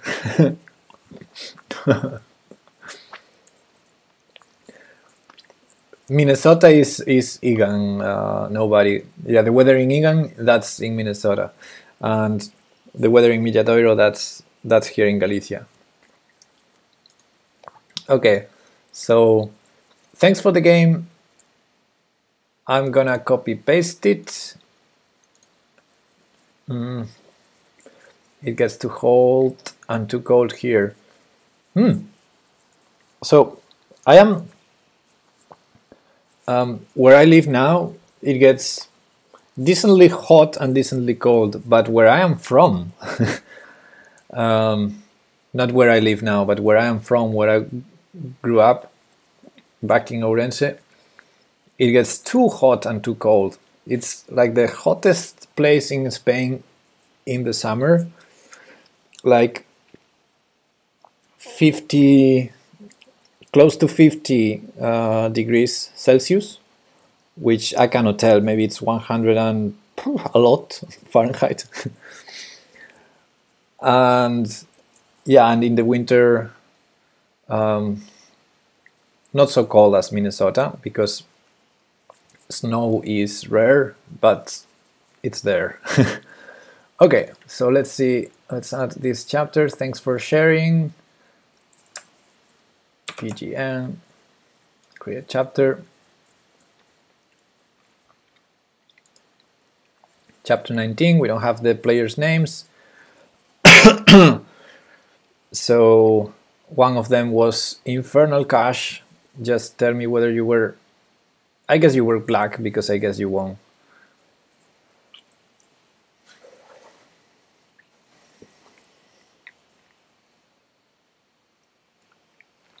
I had well over 40 once in Malaga. That was no fun. Yeah, the the highest temperature you have in. Oh, your internet cut out. Oh, okay. It gets decently. It gets decently.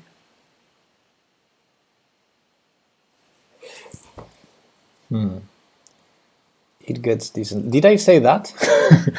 it gets decently hot. Uh, oh yeah, here in here in Santiago, uh, yeah, it gets hot and cold, but not a, a lot. But where I am from, where I grew up, as a kid, well, until my twenties, um, in Ourense, it's really hot and really cold. And I was saying that the hottest temperature, the highest temperature in the summer in Spain, is back there in my in my hometown, uh, Ourense, close to 50, 50 Celsius, which is I'm gonna tell you real quick, 50 Celsius to Fahrenheit. I said 100 and a lot, but I'm gonna tell you exactly.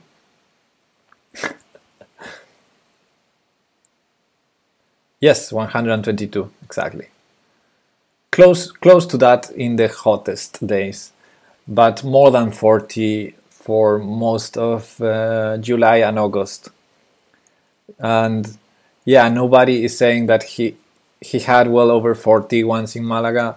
Um, so in the summer you have the highest temperatures in Spain are in Malaga, Sevilla, so in great part of Andalusia, Malaga, Sevilla, Granada, Cordoba, those cities. Also Madrid, Madrid very hot in, in the summer as well. And Ourense. Ourense, which is weird because Galicia is supposed to be a cold place or cool in the summer, but Ourense is like a micro micro weather there, and it's really hot, really really hot in the summer, and it's also really cold in the in the winter. As and, and I said, um, snow there in the winter. Snow is rare, but it's there, so so it, it gets cold. It's not as cold, yeah, not as not as cold as Minnesota, of course. How do you spell that town? Oh, I'm gonna tell you in the chat. Ourense. Name the name comes from um, from the Roman Empire name of the city, and it relates to the to the thermal waters that it has. And part of the part of the heat of the of the town is because it's over.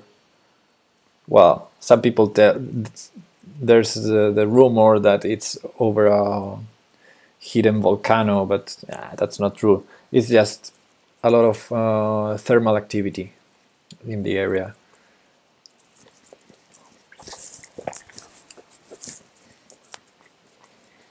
Anyway, let's have a look at this game that very kindly um, Infernal Cash shared with, with us. Come to Ireland! Yeah, thanks, Safely. Um, sometimes rain, sometimes sun, but most of the time overcast. That's how it is here in Santiago, to be honest. Thermal activity even after you left.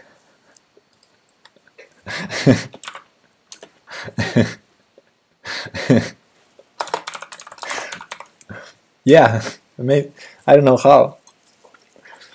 Now thermal activity is there and here.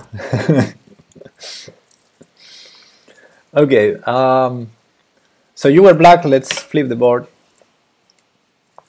Um, and you played a Sicilian, nice. F, knight 3, d6, d4, takes, takes, all pretty standard. Knight or bishop g5, knight b7. I have no clue. I don't play the Sicilian, so if you want to do any any comments on the opening, I I'll just move forward until some bishop takes f6 happens or something.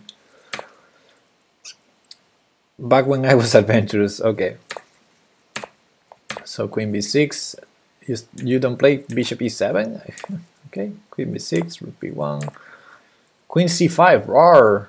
Forcing him to to do something with the bishop. And he took on f6.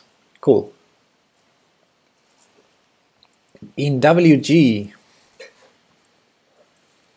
in WG, in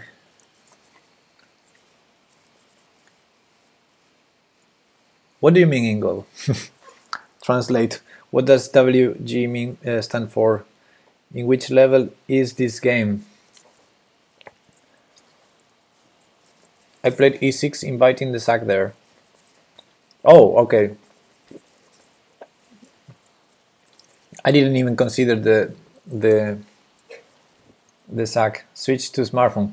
Oh yes, um, Infernal. If you can uh, give us some context, uh, I don't know the rating of the players or the time control or whatever you want to tell about the game. Um, that would be nice. Queen b6 because I used to know theory. Ah, okay. So you hit the b2 pawn and then you, you, you fork the two bishops, so he's pr probably forced to take on f6.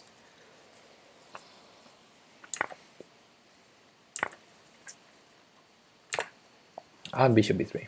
Okay. I was 2080 on Lichess and he was 90-20, I think provisional. 15 plus 15. Ah, okay, so it's an online game. Cool. Okay, so bishop b3, bishop e7, normal. So far, um, I like black um, because as many times happens in the Sicilian, you have more control of the center for the moment. In this case, you have the bishop pair, and yes, your queen is funny there, but it's actually active and not easy to to to attack unless with a move that you don't really want to do because yeah, it can that. So yeah, like black, king h1. Uh, clearly stating that he wants to go f4, f5, which I guess makes sense against uh, this pawn here. b5, of course. I can, I, I never played the Sicilian, but I can identify identify the the um, typical themes of the opening. Losing that bishop is already advantage for black. Yeah, it was. I mean, I guess rook b1 was a, was a mistake already. Um, bishop b3. Yeah, bishop b3 would make more sense. Um, yeah, but after rook b1, I, uh, queen c5, that's a fork. I mean, I don't see anything better than bishop takes f6. So, okay, let's move forward again to the position after king h1, b5, f3, not f4. So that was his idea, which is really weird in a way. Um, because now that's not a, I don't know, castles, queen d2. I mean, when you have this, you would love to have a dark square bishop. I think he was afraid of b4. Yeah, so he defended uh, e4. But I guess at some point, if that's what I will always say, when you have a problem, a strategical problem, sometimes you need to find or you need to look for a tactical solution or at least a tactical mess.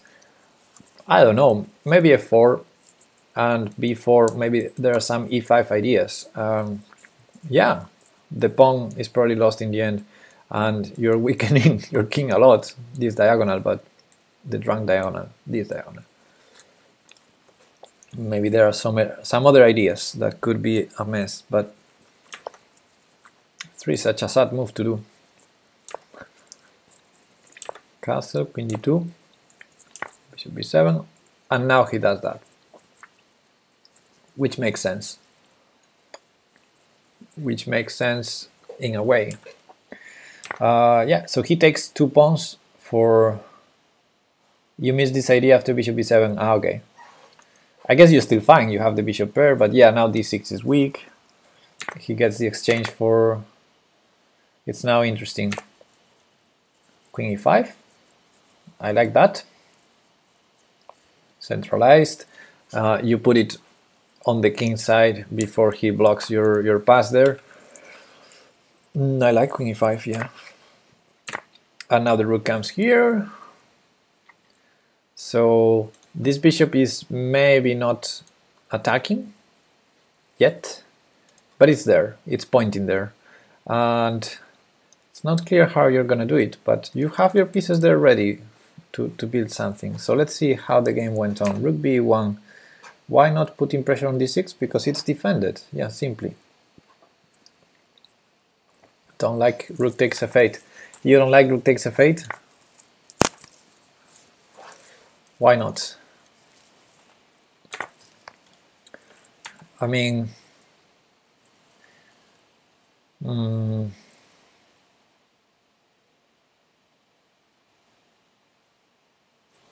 I think I don't like the alternatives. oh, you mean the knight is trapped anyway or something? I mean, wouldn't you take it here? With bishop seems more flexible.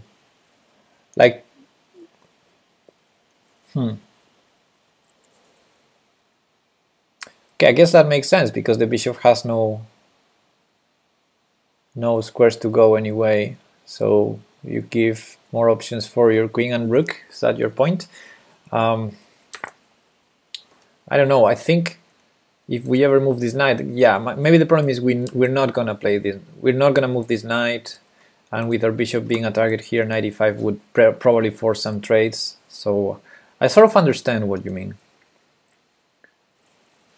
95 never attacks the bishop. Yeah, yeah, I understand what you mean. That maybe with the bishop here, 95 will force some trade. So, yeah, I can see that. And rook goes to c8 indeed. Yeah, the rook the rook can go there anyway after rook takes f8, the same as the bishop can go back to e7 at some point, but but yeah, I see your point. Yeah, and that's a good good appreciation because especially having the bishop pair it's good that 95 doesn't hit the bishop so that's a good point and to be honest when you said you didn't like rook f8 it took me uh, I mean I was having a bad time understanding why but uh, that's a really good point. Uh, thanks for sharing. Of course, um, in in chess there are some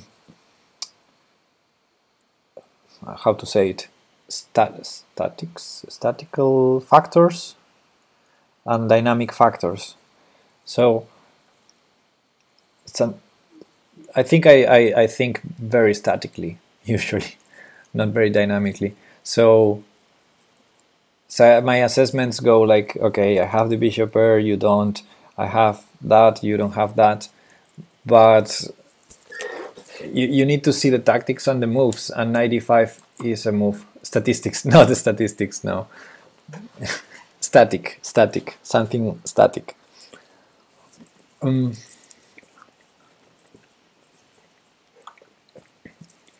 yeah, bishop takes f8 more flexible because if 95 ever happens, you can even have the chance to do nothing because uh, your bishop is not attacked so you can wait for him to take on f6 okay anyway let's continue with the game queen h5 uh, looks nice this knight is still kind of in the middle of the pieces that want to attack let's see how how it goes and d5, rar. d5. Very interesting.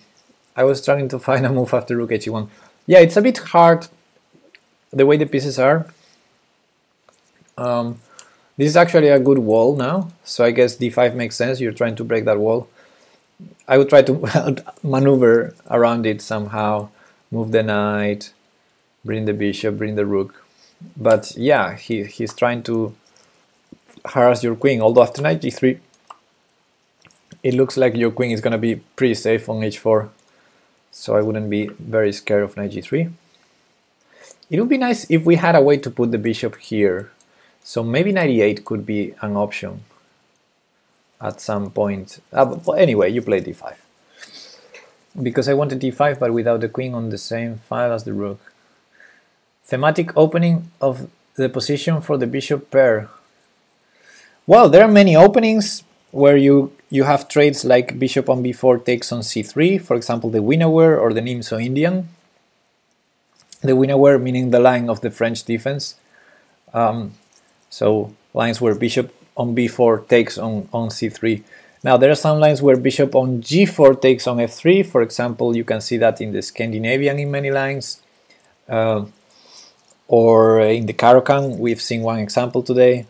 Um, but of course, in many other openings in the Pirc, you have lines. In in many openings of e4 openings, you, you, you have that. For black, as Infernal Cash is pointing out, the Rossolimo, for example, uh, the first game we saw today, it was that, a Sicilian where white played bishop b5, but in that game he didn't take on c6. But um, was referring to d5 though, not sure what you mean. ah, you mean thematic break, not opening. You mean d5 thematic break for the bishop pair. okay, okay, okay, okay, okay. Still, I think it was a, a useful information we were sharing here.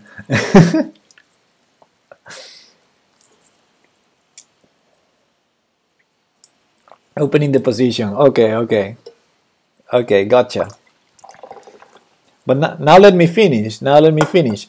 Bishop on b5 taking on c6. You can see it in the Rossolimo of the Sicilian. You can see it in the exchange uh, of the Ruy Lopez exchange variation. And in some others as well. And bishop on g5 taking on f6. You can see it, well, we saw it here. So in some Sicilians it happens. But for example, in the Trompowsky or um, it's not a Torre attack, but um, yeah, many d4 openings where you play g5. That's not the Torre attack, right? It's the Colle. I always mix up those openings. Uh, sorry about that. Um, but there's also the Botvinnik variation of the of the Semi-Slav, I think. The Botvinnik variation, where you play bishop g5 and they play h6 and sometimes you play uh, bishop h4, g5, knight takes g5, pawn takes, bishop takes, and then e5, and eventually the bishop gets traded for the knight. But bishop takes f6 immediately should have a different name. Is that the Moscow? I never played d4, so I'm speaking from what I heard. Is that the Moscow? I think it's the Moscow variation of the Semi-Slav when you take on... I mix all those lines, the Moscow, the Merano, because I never played that. Anyway, let's not talk about openings anymore. d5, let's continue. Colle blocks the bishop, so it must be the Torre. Okay, it must be the Torre attack. h6 and then d takes c4. Don't know any names, only care about the moves. Okay. Colle. Where black gets g5 and b5 is the Moscow. Okay. Okay, never mind. Don't uh, don't mind me. So knight g3 and queen g6. Yeah, in the Semi-Slav. I, I was talking about the Semi-Slav, but yeah, basically, if bishop g5 happens, uh, whenever black plays h6, white is usually um, at least considering to take on f6 because it's like you don't carry a weapon if you're not uh, ready to use it. Well, you don't put the bishop on g5 if you're not ready to take on f6. Why would you play bishop g5 to then go back after h6? Well, sometimes there are reasons, but I mean, in general, Okay, queen g6. Um, according to the analysis, queen f7 was better, but blah blah blah. You keep the queen there, which makes sense. Pawn takes, now knight takes. No, bishop d6. was knight takes d5 a move? Or is that too crazy?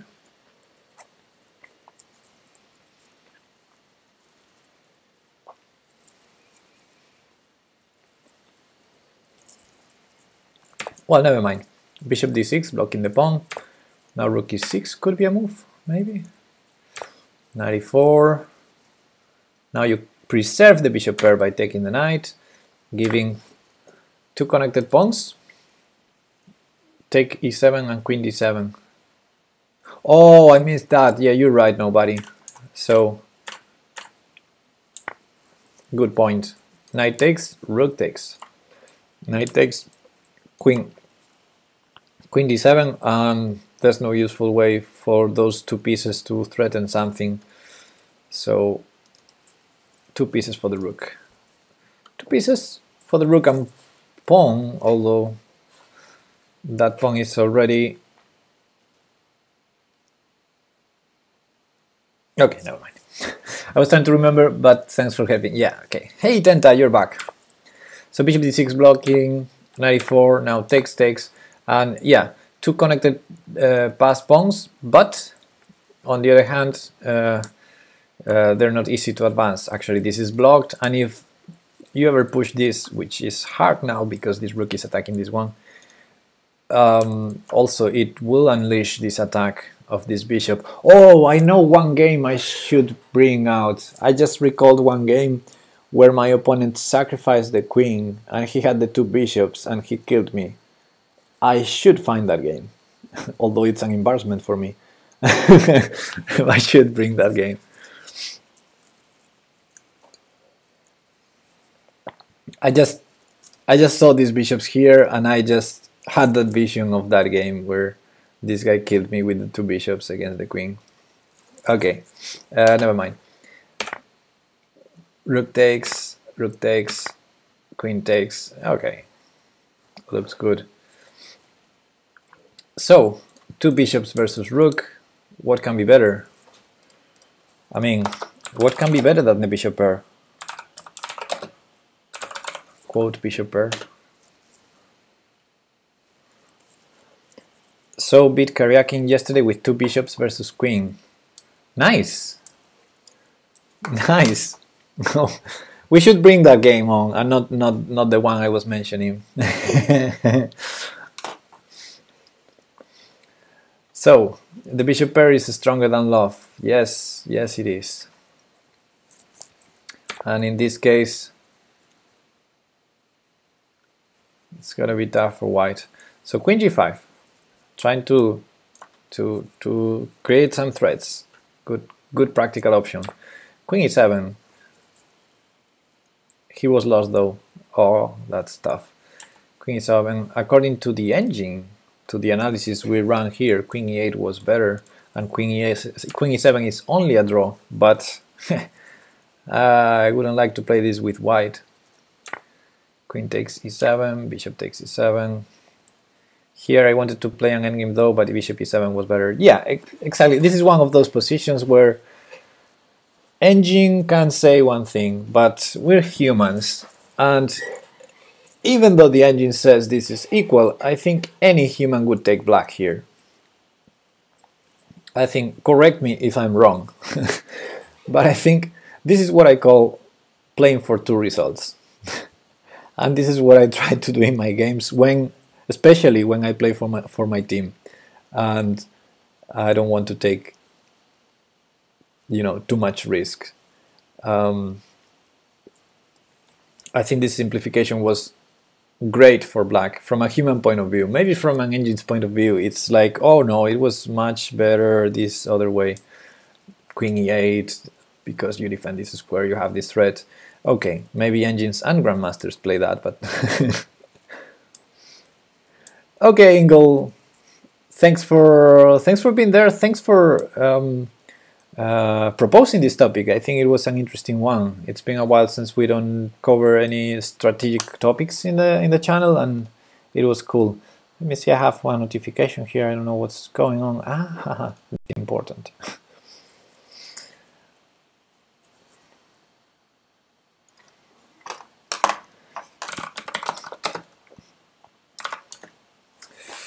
I thought this would be nice for me because the pawns on the queen side are easy to attack, I felt at the time. Okay. I mean, I love having two bishops against the rook.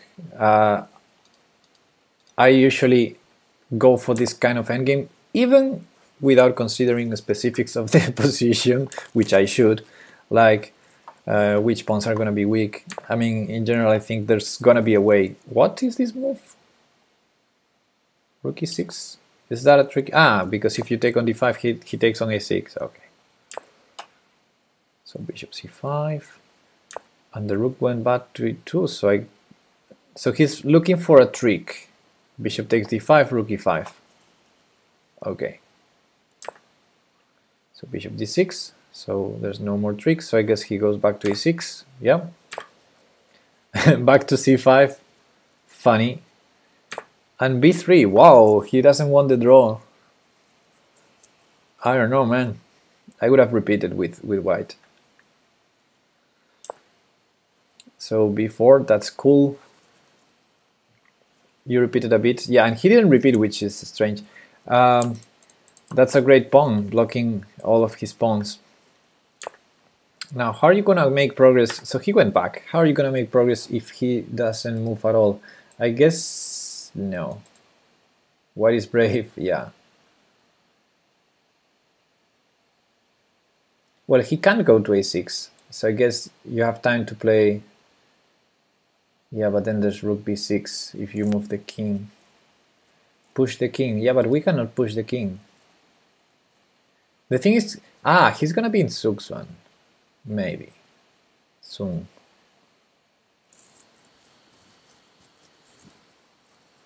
Hmm. I mean, if he does nothing, and by nothing I mean h3, king h2, stuff like that, what are, how are you gonna make progress? That's what I'm having a hard time. Because if bishop c8, there's rook c6. If if uh, this bishop ever goes back somewhere, there's rook b6.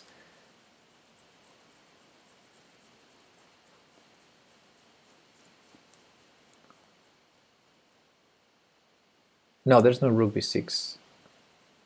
There's no rook b6, so maybe maybe bishop e7, a5, and take on d5. Yeah, maybe a5 first, then then bishop e7. Yeah. Yeah, I guess it's gonna be tough for him to keep that pawn. Okay. Anyway, he he went back. So you could you could push the king. Nice. Now your king is better. And uh, your king is defending e5, so you took the pawn and and gave a6. Um, I don't know. I guess it's it's great, but I would have kept improving the position first. I don't see anything for white. But okay, so now he's sort of threatening rook a5. You go with your king, defending your bishop. So after rook a5, you can basically either play king d4 or just move this bishop. King d4, rook b5, no threat at all. Mm, thinking funny moves here like bishop d6. Ah, you play bishop d6, nice. Um, so my idea is maybe you're you're gonna dominate that rook very soon. Uh, for example, a plan could be if he does nothing, like for example if he moves the king, control these squares, then play bishop c6, and the rook can't go here, well maybe he can, but uh, he has that as well. Okay, never mind, let's see how the game continues, but the bishops are clearly better than the rook. Rook there, which, okay, now you hit this, yeah, this is, the rook is doing nothing, basically, he, he had to go to b8 to have something back here. He had to go to b8 otherwise. So he lost that tempo and then he, he went to b8. Takes. Would be 7 now. Trading all those pawns. This reminds me of a game I, I once played when I basically burned the bridges to promote a pawn. But in this case you're not even burning any bridges. You're totally fine here. I would have gone here, winning the tempo and then b3, but okay.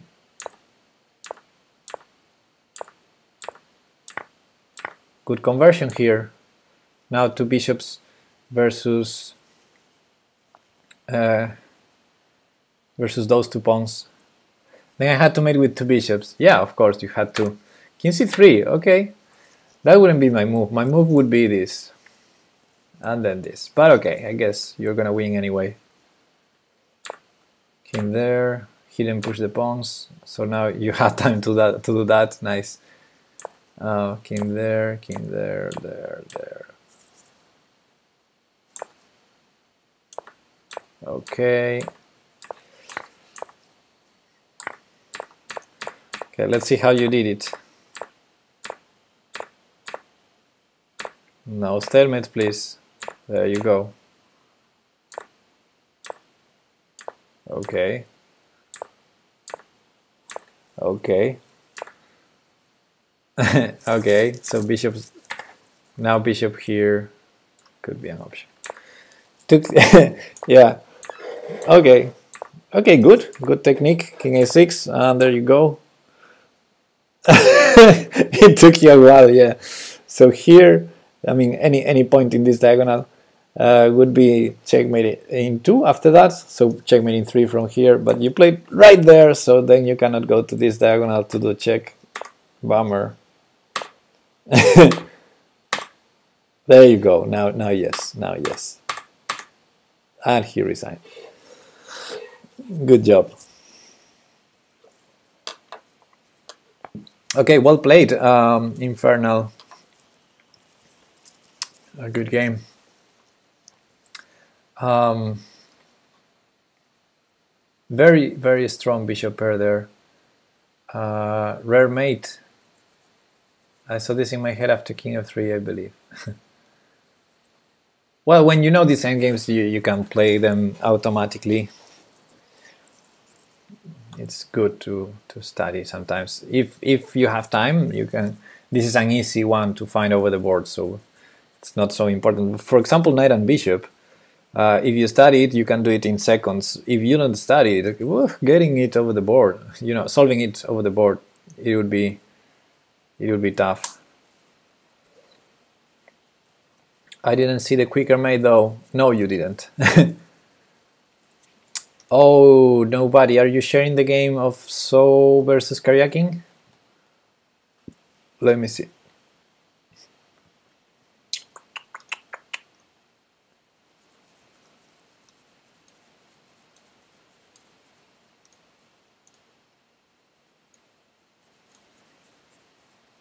One second. Yes, okay. I was wondering, did you cover any openings where you gambit a pawn for the bishop pair? Uh, no, I didn't.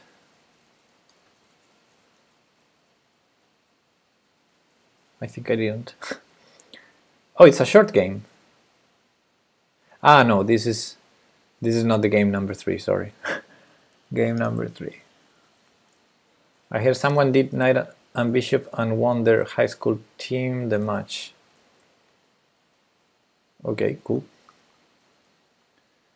Uh, let me see if I can export this. And the high school coach told me he doesn't know how to do it, but figure it out over the board.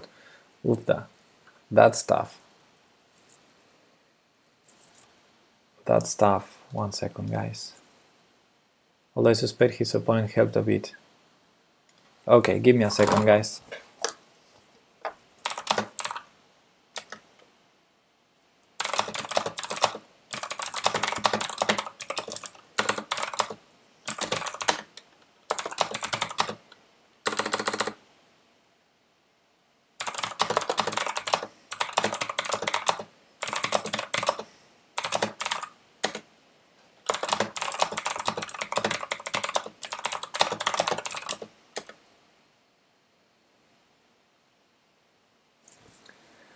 On YouTube, you can see the ladies world champion. Yeah, I, I saw that. Study PGN. Chapter PGN.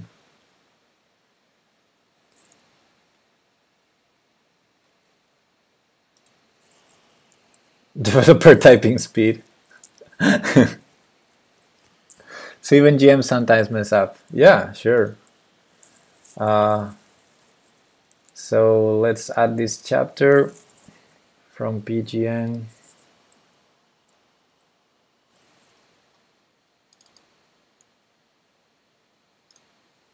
One second, guys.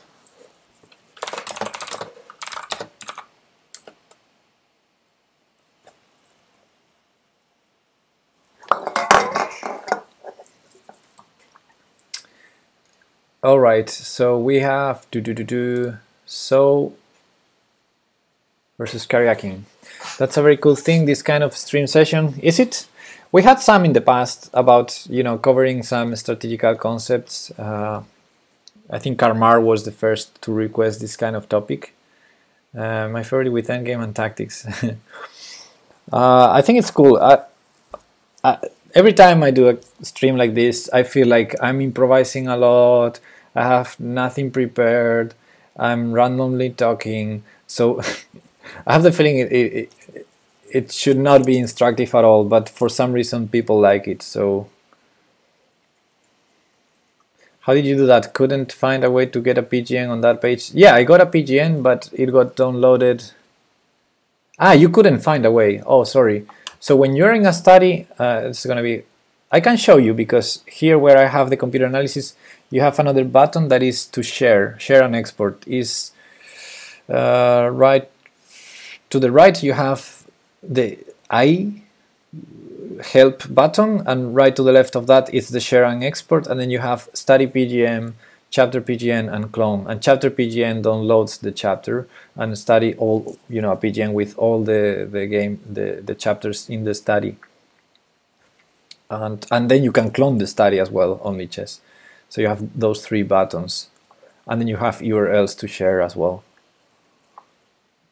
um, so I just downloaded the PGN of, of that specific chapter and I just created it here on this on my study. Underneath the video, underneath the video. What video? Uh,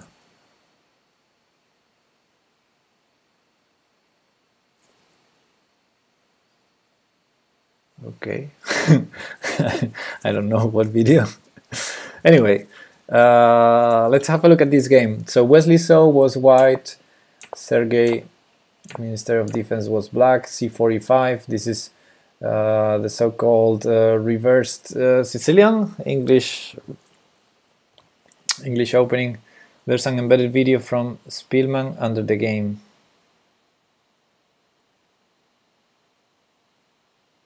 Is it?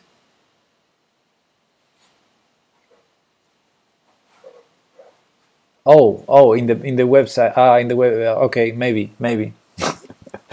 I didn't even realize there was a video.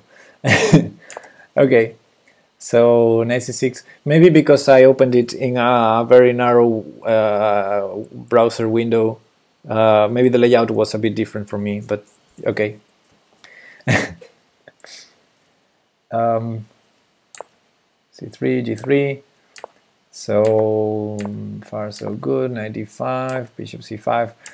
This reminds me a lot to the Rossolimo, right? It's like a reversed Rossolimo with bishop b4. So we're playing a reversed Sicilian with e5, c4, and bishop b4 happened. Anyway, 95, bishop 5 preserving the bishop for the moment, d6, e3, and d4 of course. And bishop g4 Look at that. If you take my bishop, I'm going to play e4 and regain the piece. But that's definitely a bishop fair for someone. Cool, cool, cool, cool. Nice e3. And he didn't take the piece immediately. He went knight e5. Rar, I'm going to put more pressure. Take your piece one way or the other. And here it comes, the queen sac. Whoa. Isn't that a sexy move? Which is probably not working, but whoa.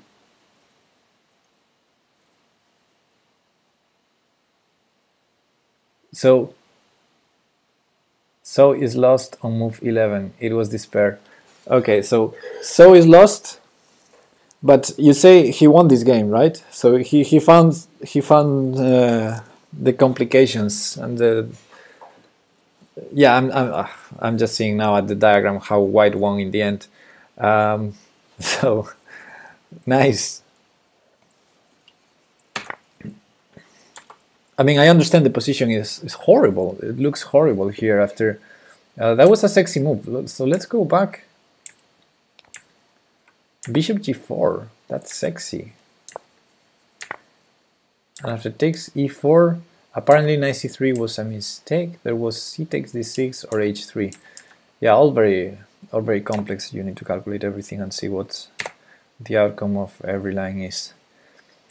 Okay, so he took the knight. Let's see how this continued. Bishop takes. Bishop g4 was a novelty. Nice. Looked like the Blackburne Legal trap, but with castle king, so it doesn't work. Yeah, no. Yeah. But yeah, um, that kind of queen sac. Yeah, when you take on e5 with the knight. I understand what you mean. Um, knight takes f7. So if you take my knight, I'm to take your bishop. Knight takes this, it keeps with the same, um, same idea. Why wouldn't he take the knight here?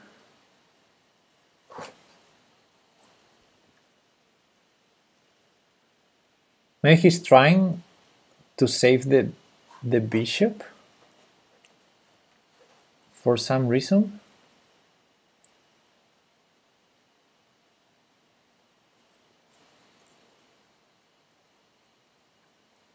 Or does the king have a problem on f7? I don't get it.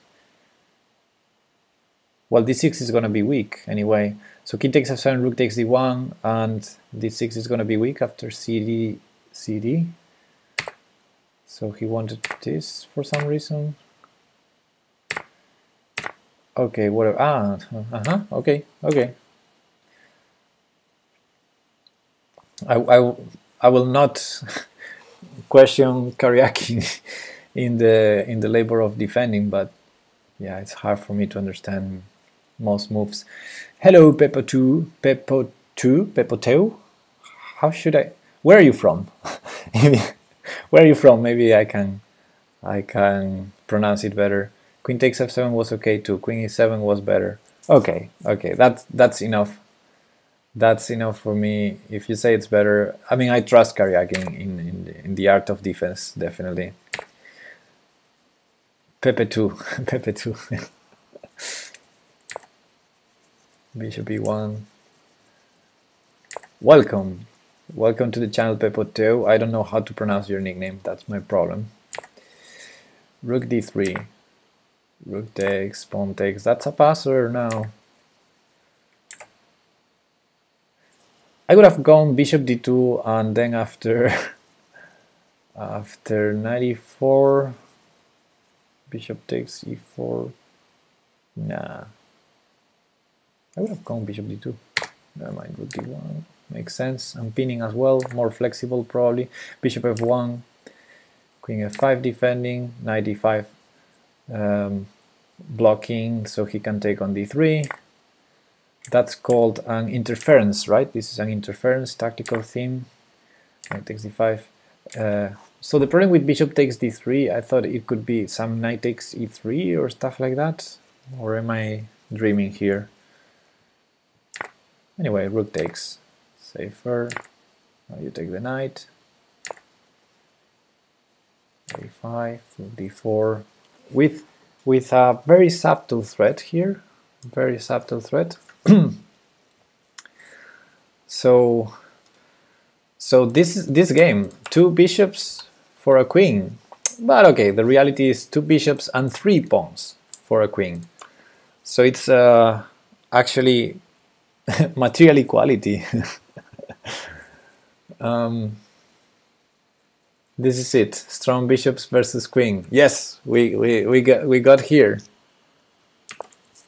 queen b1 Still, this looks... The queen looks strong in this position, have to say. Because, yeah, especially the dark square bishop. Okay, the dark square bishop will have now better spots. Oh, I expect the bishop d4, but well, I guess a pawn is a pawn. And now it comes the blunder. How did he blunder that? I can see bishop f8. Oh, seven seconds. I'm seeing, ah, yeah. He had seven seconds left. So he blundered bishop f8. Oofda.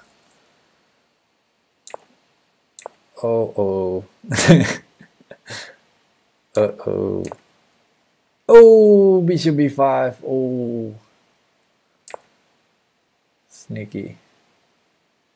Rook d6 is unbelievable blunder. Yeah, reminds me of well, a worst blunder was uh, the one that um,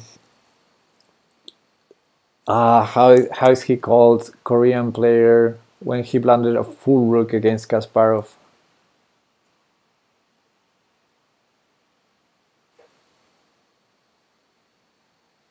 I can't recall his name right now. I'm so disconnected from from the elite right now. Um, I'm seeing his face, but I can't remember the name. Korean. Yeah, I think he's Korean. Oh, oh maybe I'm actually wrong about the nationality itself. Um,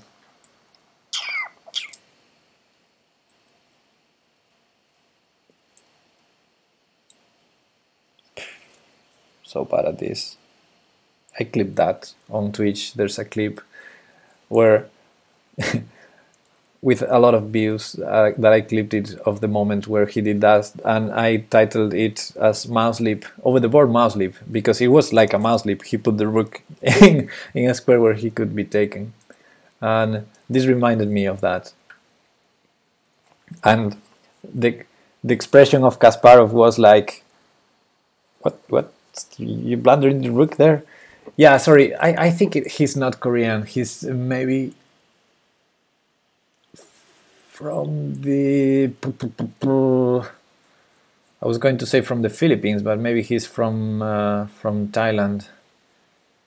Oh man.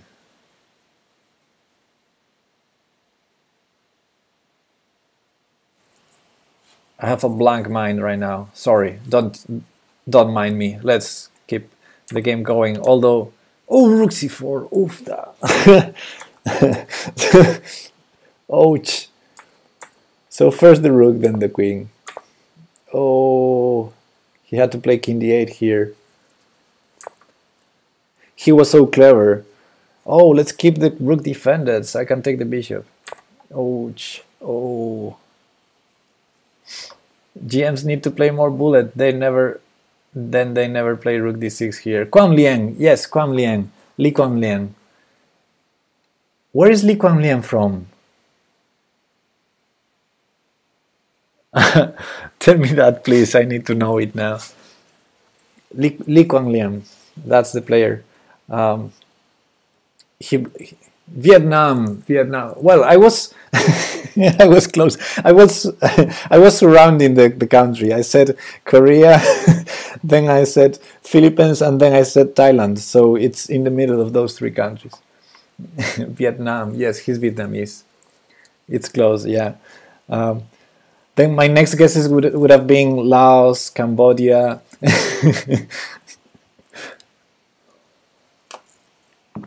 okay, so yeah, he had this game where well, it was a blitz game, but over the board, and he's a very good player. He's 2700, 27 something against Kasparov, and he put the rook in, in a square where Kasparov just can simply take it.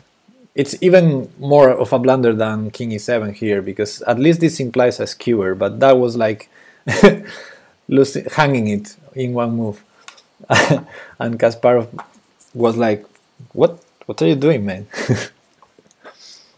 it's funny. But yeah, this was a total collapse here. Rook d6, check.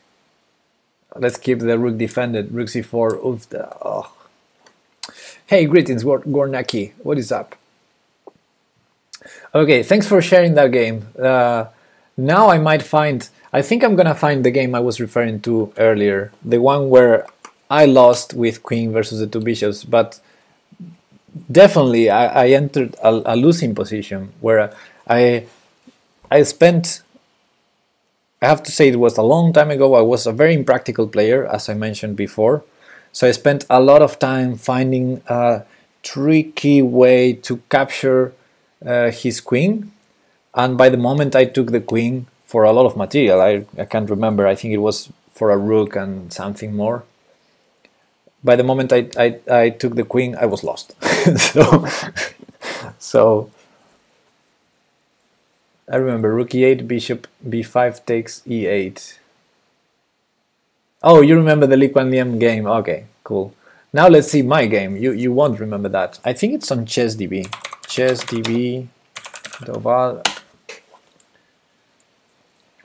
So thankfully, if if any player wants to prepare against me, uh, my my only online games are full of blunders, so that's perfect. So I think this game will be there. there are only old games by me here. Yes. So has to be here. Here, here it is. Liam had a really red face after that. yeah. So this is the game. Can I export this to PGN?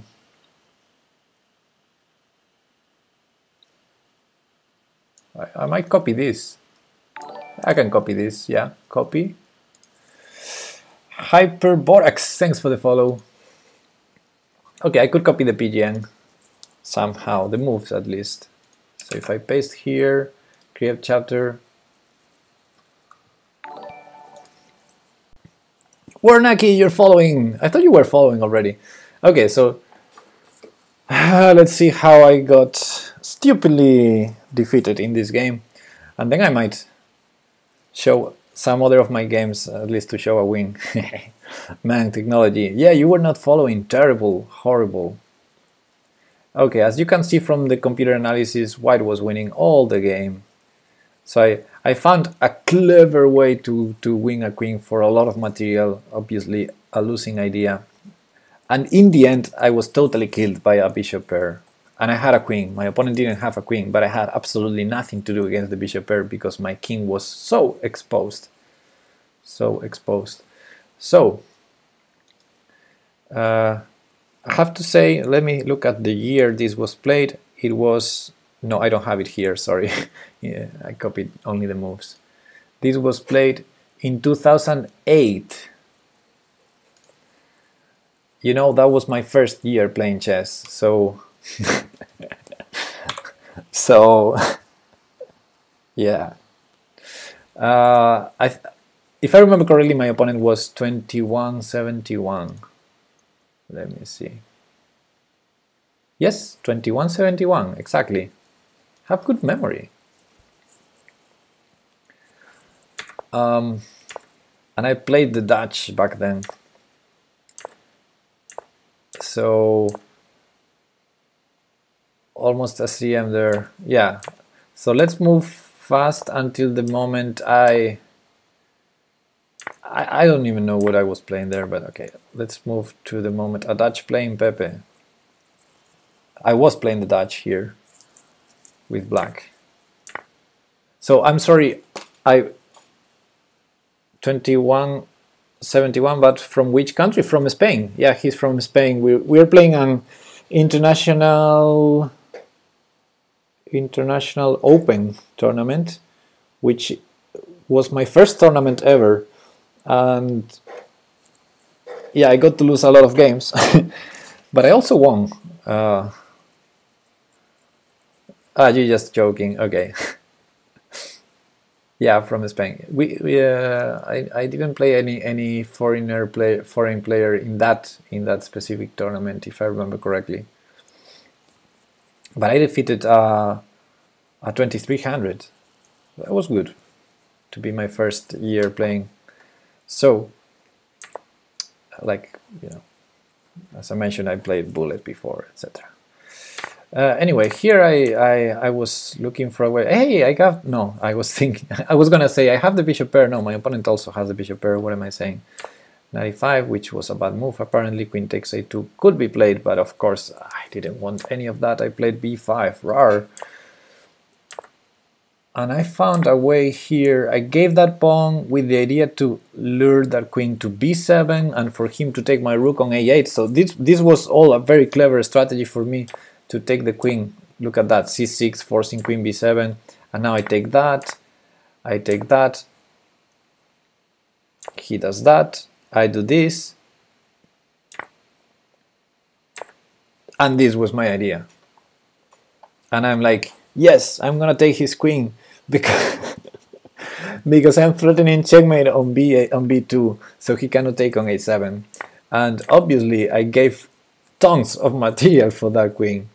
So that was very stupid, and it probably took me like 30 minutes to find those those lines when when I played c6. So very stupid, very stupid, very um, impractical.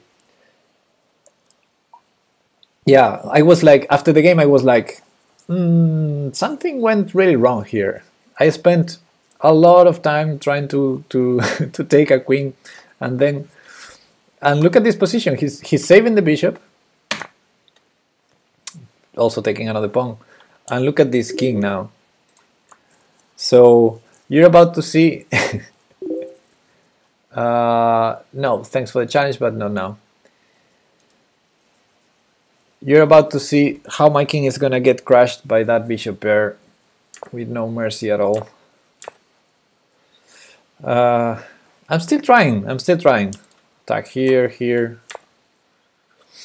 But yeah, he's not worried about, about the a2 pawn at all. And of course I spent a couple of tempi to, to grab that pawn. Bishop a6, which wasn't the best move anyway. I took on g2, rook there. Ugh. Uh, that's a small threat. Cut your hair, never.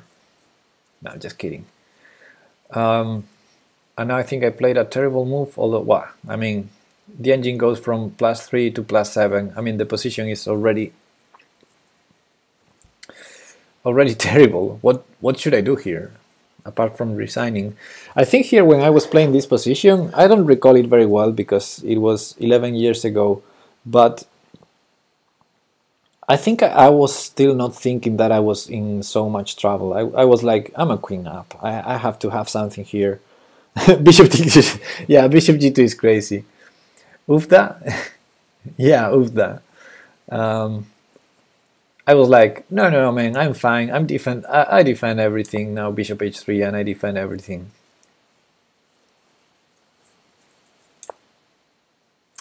Rook e7, obviously, anyway, because you know, even if it doesn't win a knight, because I'm defending it, rook on the 7th main. Now, uh, look at this king.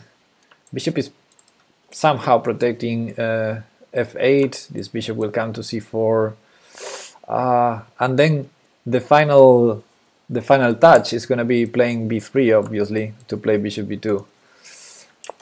Bishop c4, yeah, king h8. Rook takes knight, very beautiful, beautifully executed. Queen h1 check, king a2, bishop takes d7 now. And of course, he doesn't take my bishop back. He plays b3 and I resign.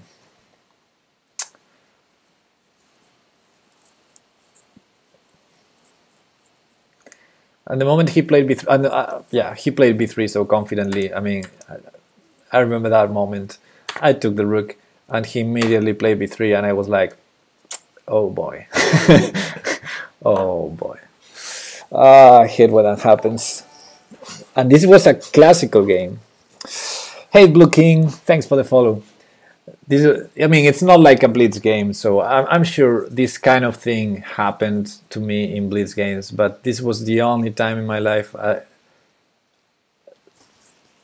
a thing like this, like, you know, uh, being totally checkmated with a move like b3 in the end and having to resign. Yeah. So I guess this also makes a good example of a strong bishop pair. yeah, definitely. Specifically the bishop that I don't have, the dark square bishop, it's definitely the one killing me here. Yeah. So yeah, that was painful that was painful. Bishop b4 was just as painful. Yeah, bishop b4, the same idea. A strong b pawn too. Yeah, but b3 was so, so, you know, so nice. You can. Uh, good night, Infernal Cash. Thanks for stopping by. I remember, I think I don't know who was it, Maurice Ashley, someone uh, at some point proposed to find the most or the nicest moves that cause resignation. like b3 is nicer than bishop b4 to cause resignation because you know you push the pawn from b2 to b3 and your opponent resigns. It's like wow, and and of course there are some games where castling uh, causes resignation. So those are cool moves to to to make your opponent resign. b3 is like oh because actually uh, bishop b4 i can think of course i, I should resign but at least i can think of sacrificing the queen for the bishop and make the game a bit longer. But b3 i don't even have a way to, to sacrifice the queen for the bishop. It's like what? It's i mean it's the shortest checkmate i think My best was h2, h3, Suxon with loads of pieces. Nice. Makes you want to be accused of battery by your opponent. Like dandy move. Oh, so b3, huh? Have this, smacks him upside the head. yeah.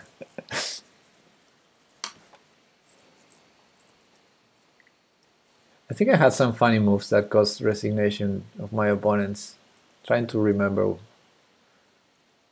Do you know the actual elo rating of this first opponent?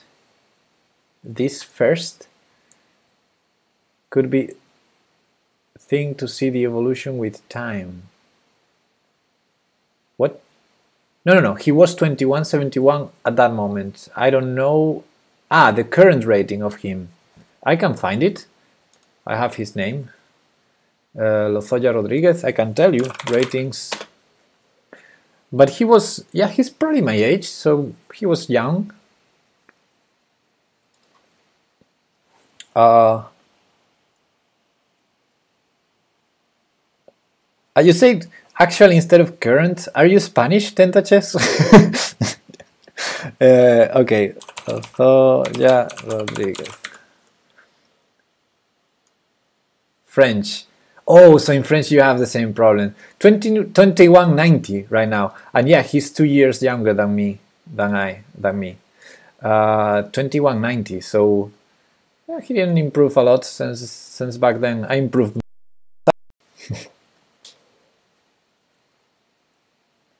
uh,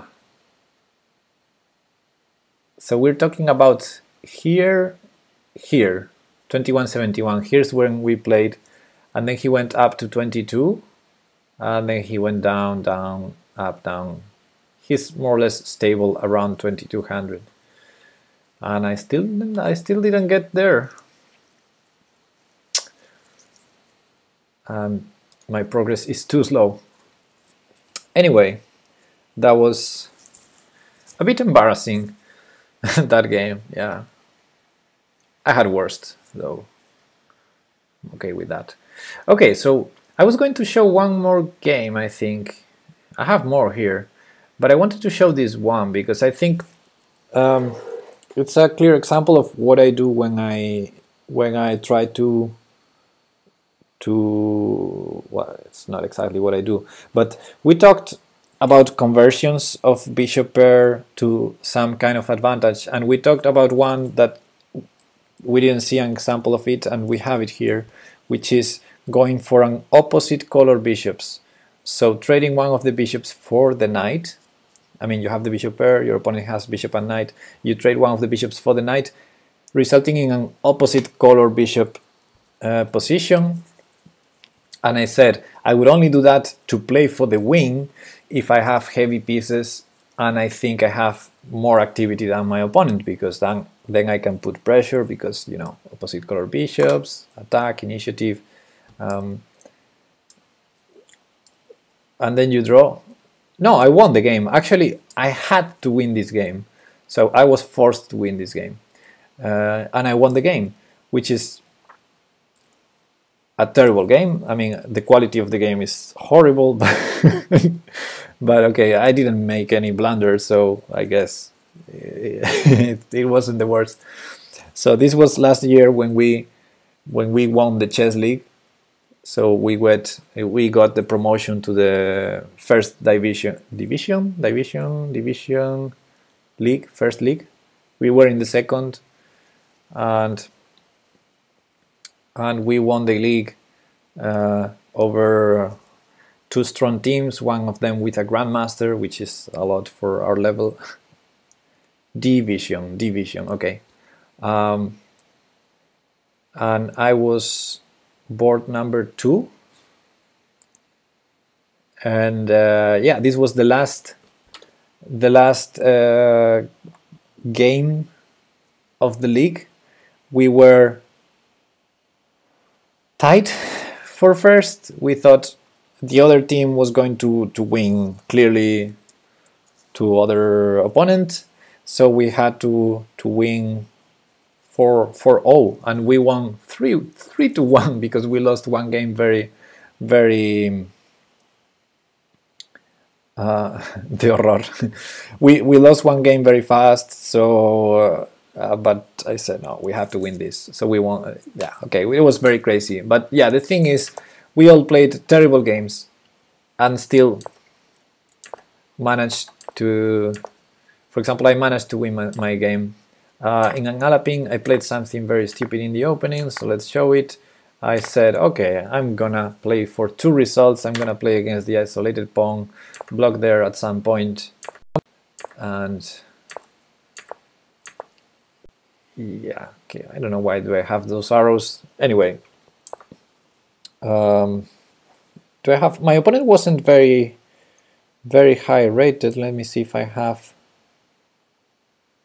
I don't have his rating. I don't know, maybe he was 1800 or something like that. Um, so this was a team that had the stronger players in the low boards. It was something very suspicious, but okay. Um, anyway, 94. Um, I preserved my bishop, obviously. a6. I decided to preserve my bishop, although bishop takes c6 would create another kind of imbalance, but because I wanted this game to be used today in the bishop pair topic, I had to preserve my bishops. I don't like this line, no, no, no, no, ugly knights. bishop e6, bishop c2, horrible, horrible, horrible, knight e2, he took for some reason, takes, and let's, I'm gonna move fast until we get to the two bishops. And obviously he plays d4 and he gets rid of of the of the problem. Now if I take, uh, it's gonna be so so so equalish. Actually, I think black's pieces are better. So so yeah, here I decided to complicate things and create some imbalances because I need to win. So bishop e7, rook e1. I don't want to take I want to take on d4 and make life easier for him. I want to force him to play d3 or d takes c3. Um, he took, which is good for me. And obviously, I could take with the knight, and it's horribly, horribly symmetrical and equal. Uh, so I decided to play b takes c3 to play an unbalanced position again. I, I need to win. And now he plays this horrible move f5. Horrible move. So up to this point, I had no no idea how how could I win this, but um, symmetrical but not equal. Uh, after knight takes, um, I don't know. I actually think black is probably better. I think if any knight before d3. Yeah, exactly. I think his pieces are, are better than mine. He has the rooks already in the center, um, controlling the d file. He has the knight is better than my knight. The bishops are great. Black is much better. You say, yeah. The engine says this is minus 0.1, but uh, yeah, I take black as well. so so yeah, b takes c3. We are human. Yes, we are. Exactly. And okay, so b takes. Um, I'm controlling specifically those squares that uh, I was also worried about them, of course. And uh, yeah, I want some some imbalance there. And now he plays f5, and um, so we were in this tense situation. Last round of the league. We had to win every of us. I was fighting with my board number three because I was the captain, and I was fighting with him because he had a horrible position and his opponent his opponent uh, offered him a draw and he was like let me take the draw.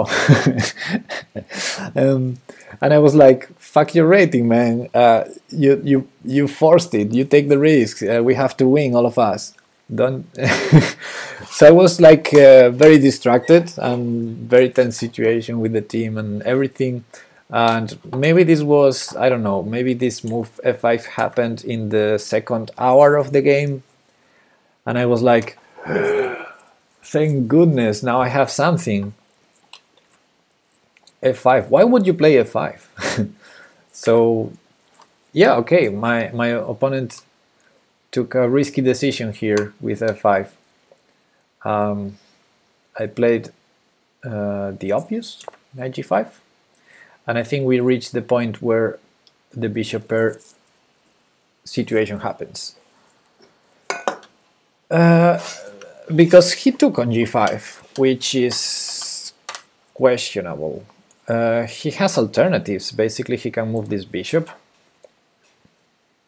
Risky to be read as incomprehensible. well, I mean, it's risky. I don't, I don't, I don't say he's he's losing, but uh, Bishop c4 is interesting, uh, although it seems to lose this pawn.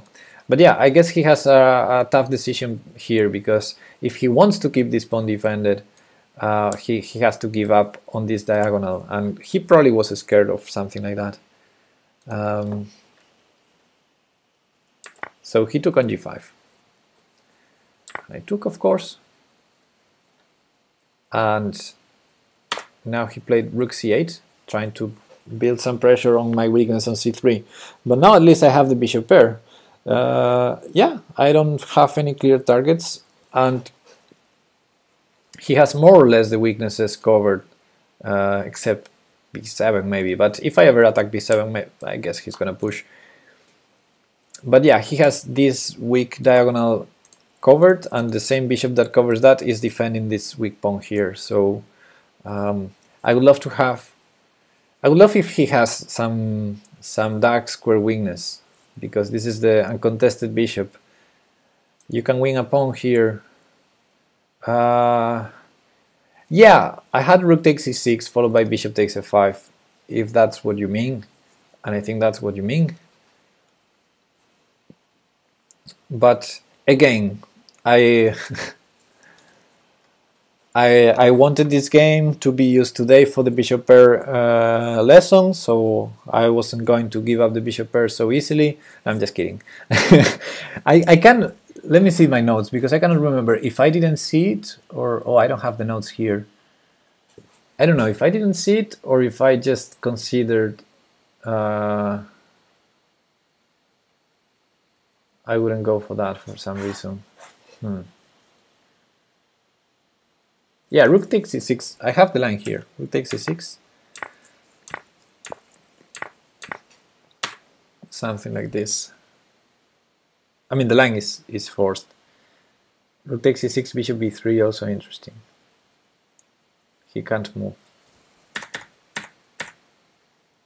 Bishop b3 instead of taking the pawn. Uh, I would take the pawn. I mean, if I give up the exchange. I'm playing for the win. Uh, I, I don't want to just trade, trade, trade, trade, get to a drawn position, even though I still believe the knight, the bishop should be better than the knight. Bishop b3, rook e1. Bishop b3, rook e1. Ah, you mean following up with rook b1. But he can defend the rook several times, and then we trade things, and and we don't we, we don't have a pawn up as as in the in the other line. So here rook takes e6. Yeah, I would take the pawn because at least I'm pawn up. Yeah. So here pawn up, bishop versus knight. Yeah, for some reason I didn't play this, and I think it was the best move. yes we're here in this in this part of the game these little mountains here why not play g5 for the sack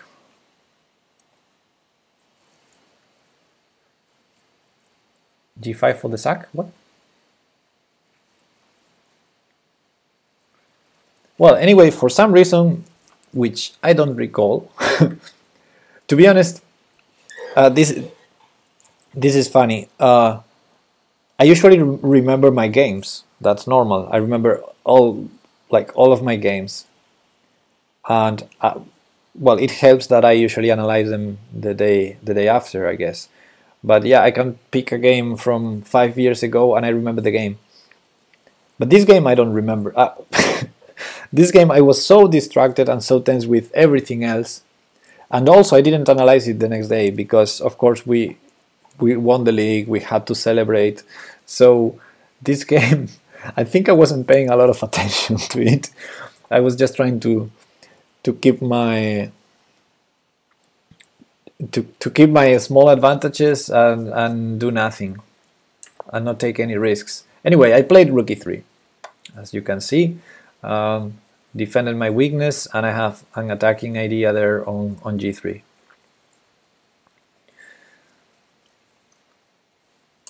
Um, my opponent played uh, h6 which turns out to be a bad move.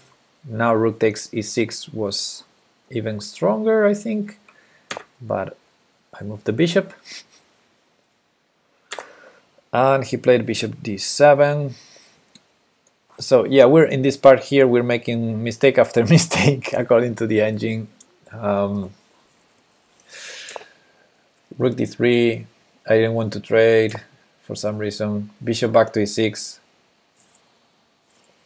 Of course, every each and every one of our opponents uh, wanted the draw because uh, this team we were playing against, it was uh, the B team, the B team, yeah, the B team of the one that were playing to win the league uh, like us. So they were interested in that we didn't win the games so black is playing to draw a, a bad idea. Yeah exactly so I played rook b1 I said okay if you take on a2 I, I'll take on b7 and have an active rook on the 7th rank so b5 logical move now, ooh, I thought I played rook g3 here. No, I played a4, rar, and b4. And I think I played rook g3 now. With that idea. You're always playing for the draw.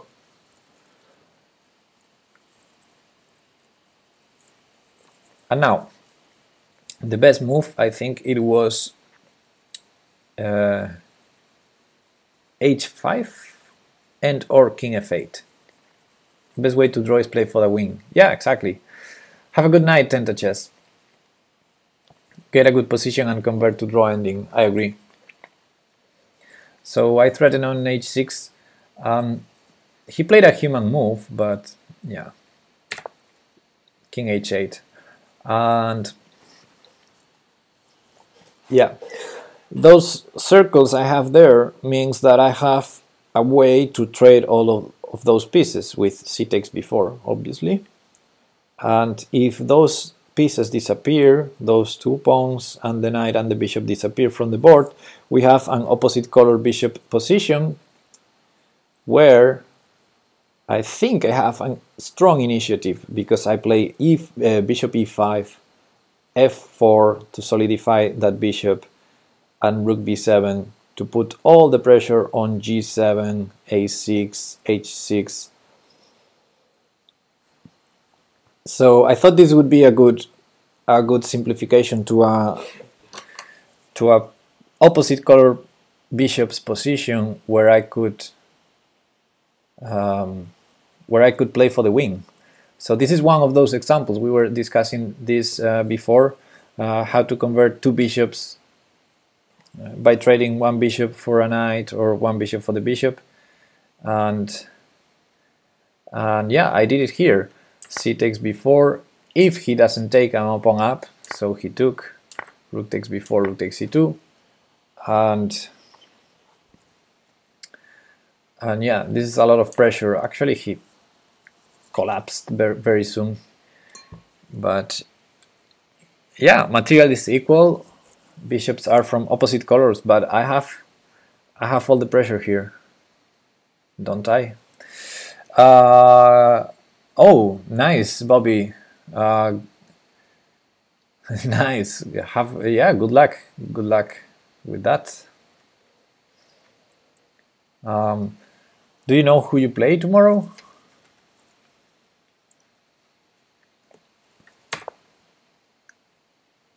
So let's see how the game continued. Yeah, he played uh, rook e7, and I thought I played rook g6 here, but no, I played rook b6. And I have arrows here for some reason. Uh, so yeah, if I take on g7, I might I might uh, win a pawn. Take on g7, trade rooks, take on e6. Then uh, f5, a6 are still weak. Pretty sure black lost this because he didn't play a5. Exactly, Warnaki. He didn't play a5 here. That was his his bad. He played rook e2. And now I played Oh, you play an 1875, but I guess he's underrated because he has a 2150 performance so far. Ah, okay, okay. How old is he? Okay, rook e2. And of course I played the obvious move here. Now, this is no longer a bishop pair discussion. This is already a5 rook takes g7 yeah rook takes g7 was was a threat. No no I, i'm just kidding. A5 wasn't a good move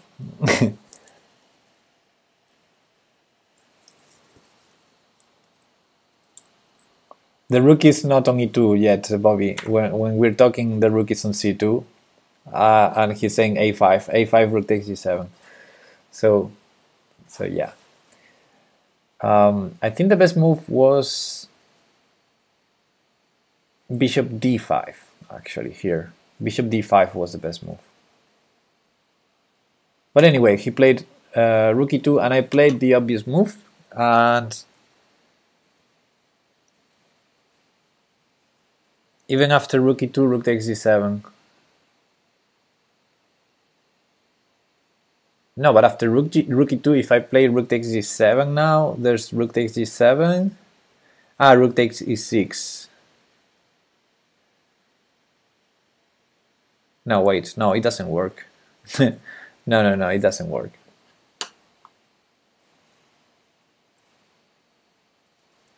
So, um,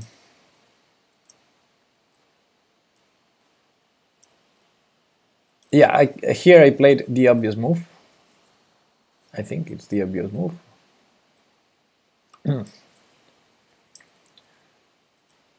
what I always want to do when I have bishop uh, opposite color bishops with with heavies f4 exactly f4 nobody f4 that bishop is gorgeous there I have all the pressure a6 still hanging I have all the threats.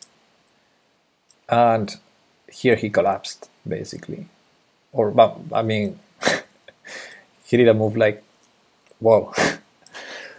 so, yeah, I still, I think I still have to work this position a bit, but thankfully my opponent was, um, was so annoyed of the position that, that he, he decided to, why not check him? Why would I? The rook is threatening this pawn. If the bishop ever moves, the rook can take on h6. I mean, the rook is perfect there. And it's perfect because it's threatening the weaknesses and because the king is on h8. If I check him, I lose my part of my threats. Part of my threats and the king is going to be better on h7. For the sake of it.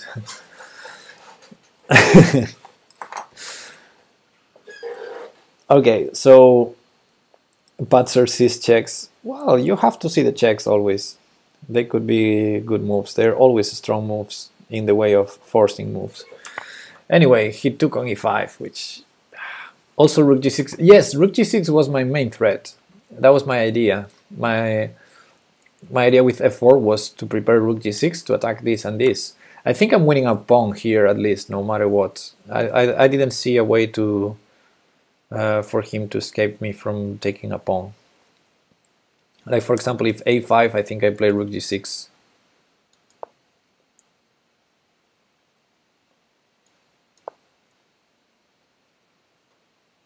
Yeah, I have this line here. Yeah, I didn't I didn't realize I had this line already here. Yeah.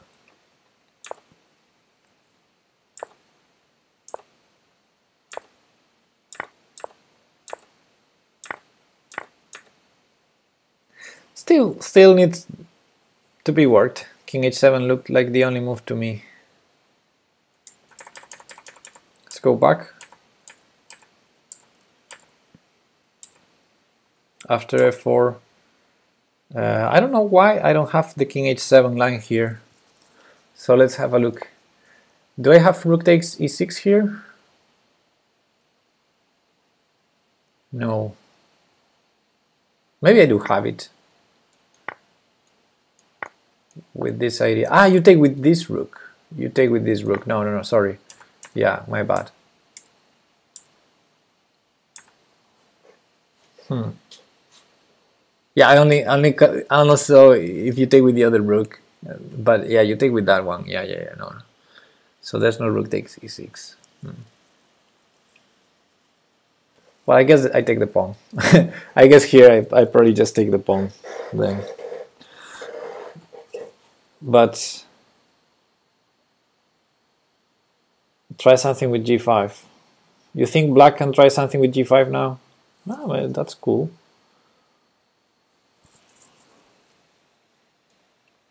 I don't know, maybe rook a3 and...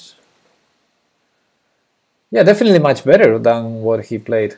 But okay, I'm a pawn up, I have some some threats. Actually, against g5 I might be able to play rook a8, I'm thinking now. That way you cannot take here because of the checkmate.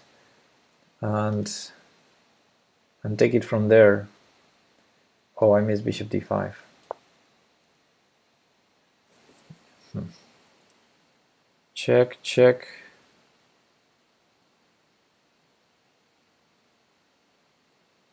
Push it. I'm I'm considering this. this is stupid.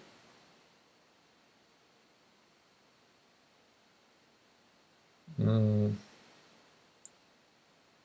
Trying to trick with rook takes e5 and f4.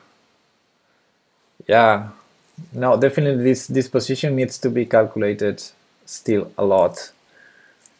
Um, white should be still good, but maybe there was something better than rook a8 okay so let's put this on the board. So takes takes. Thinking this could be interesting. Um,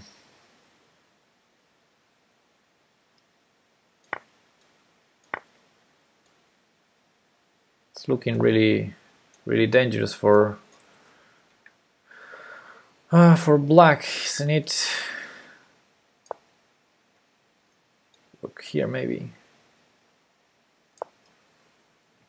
Okay, these lines are too concrete. They, they have to be calculated accurately before before doing takes g5, of course. But looks interesting. It looks interesting. The other rook on g8. I think both of them, but yeah, the other threatens to promote, so you have a point there. But I think this one also works. But yeah, the other is better. It's easier, at least. Uh, ah, actually, there's rook takes g2. Yeah, with the one I put there, there's rook takes g2. So, so actually, uh, yeah, I had to do it with the other rook. Okay. Okay, I guess it doesn't make a lot of sense to to look at the rest of the game because you know he took there, but let's just show the rest of the moves real quick. Uh,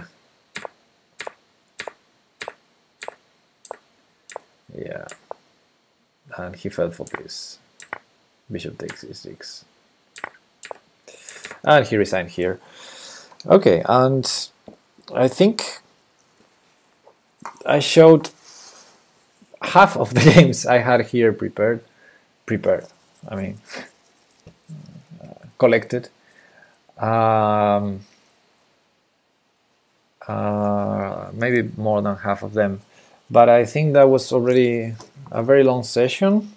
Um, the one who who asked for it uh, already went away. It's 3 a.m. here. Guess it's a good moment to, to call it a day. And I think I'll see you tomorrow. I don't remember if there's a match tomorrow. I think there's not. So for tomorrow I have something like tactics prepared, I think. Um, yeah, tomorrow early I'm gonna do tactics. 3 a.m. decent time for a nap, yeah. Unconscious horizontal time. You're right, guys. Um, I think it was fun. Again, whenever I do this this kind of sessions, I feel like I'm improvising a lot. Uh, but okay, some people like it, so I guess I guess it's nice. And uh, thank you guys for being there, sharing in the chat. It's really helpful because otherwise it could be really boring even for me. um, let's see if we can rate someone because maybe maybe there's someone out there playing chess really for real not unlike us. Uh, thanks safely. Thanks warnaki. Ciao nobody. Um, let's go watch let's go watch. Let's go let's go uh-huh, so I think Metal Eagle is a good call. Or maybe not. Actually, the title of the stream is a bit creepy. oh no, it's chess, only chess now. Okay. Oh, no, it's the creepy one. Mm -hmm. But I think he's playing on. He's playing chess never in that family. So let's go there. so you have to think about it. So amazingly, I have more time than him. So I... have a good night, guys. See you tomorrow. We'll be we'll we'll be doing tactics tomorrow. It's gonna be fun. We didn't have tactics yesterday because of the crazy house match, but tomorrow, tomorrow I'm finally gonna do tactics. Bye bye. Have a great night. Sleep tight.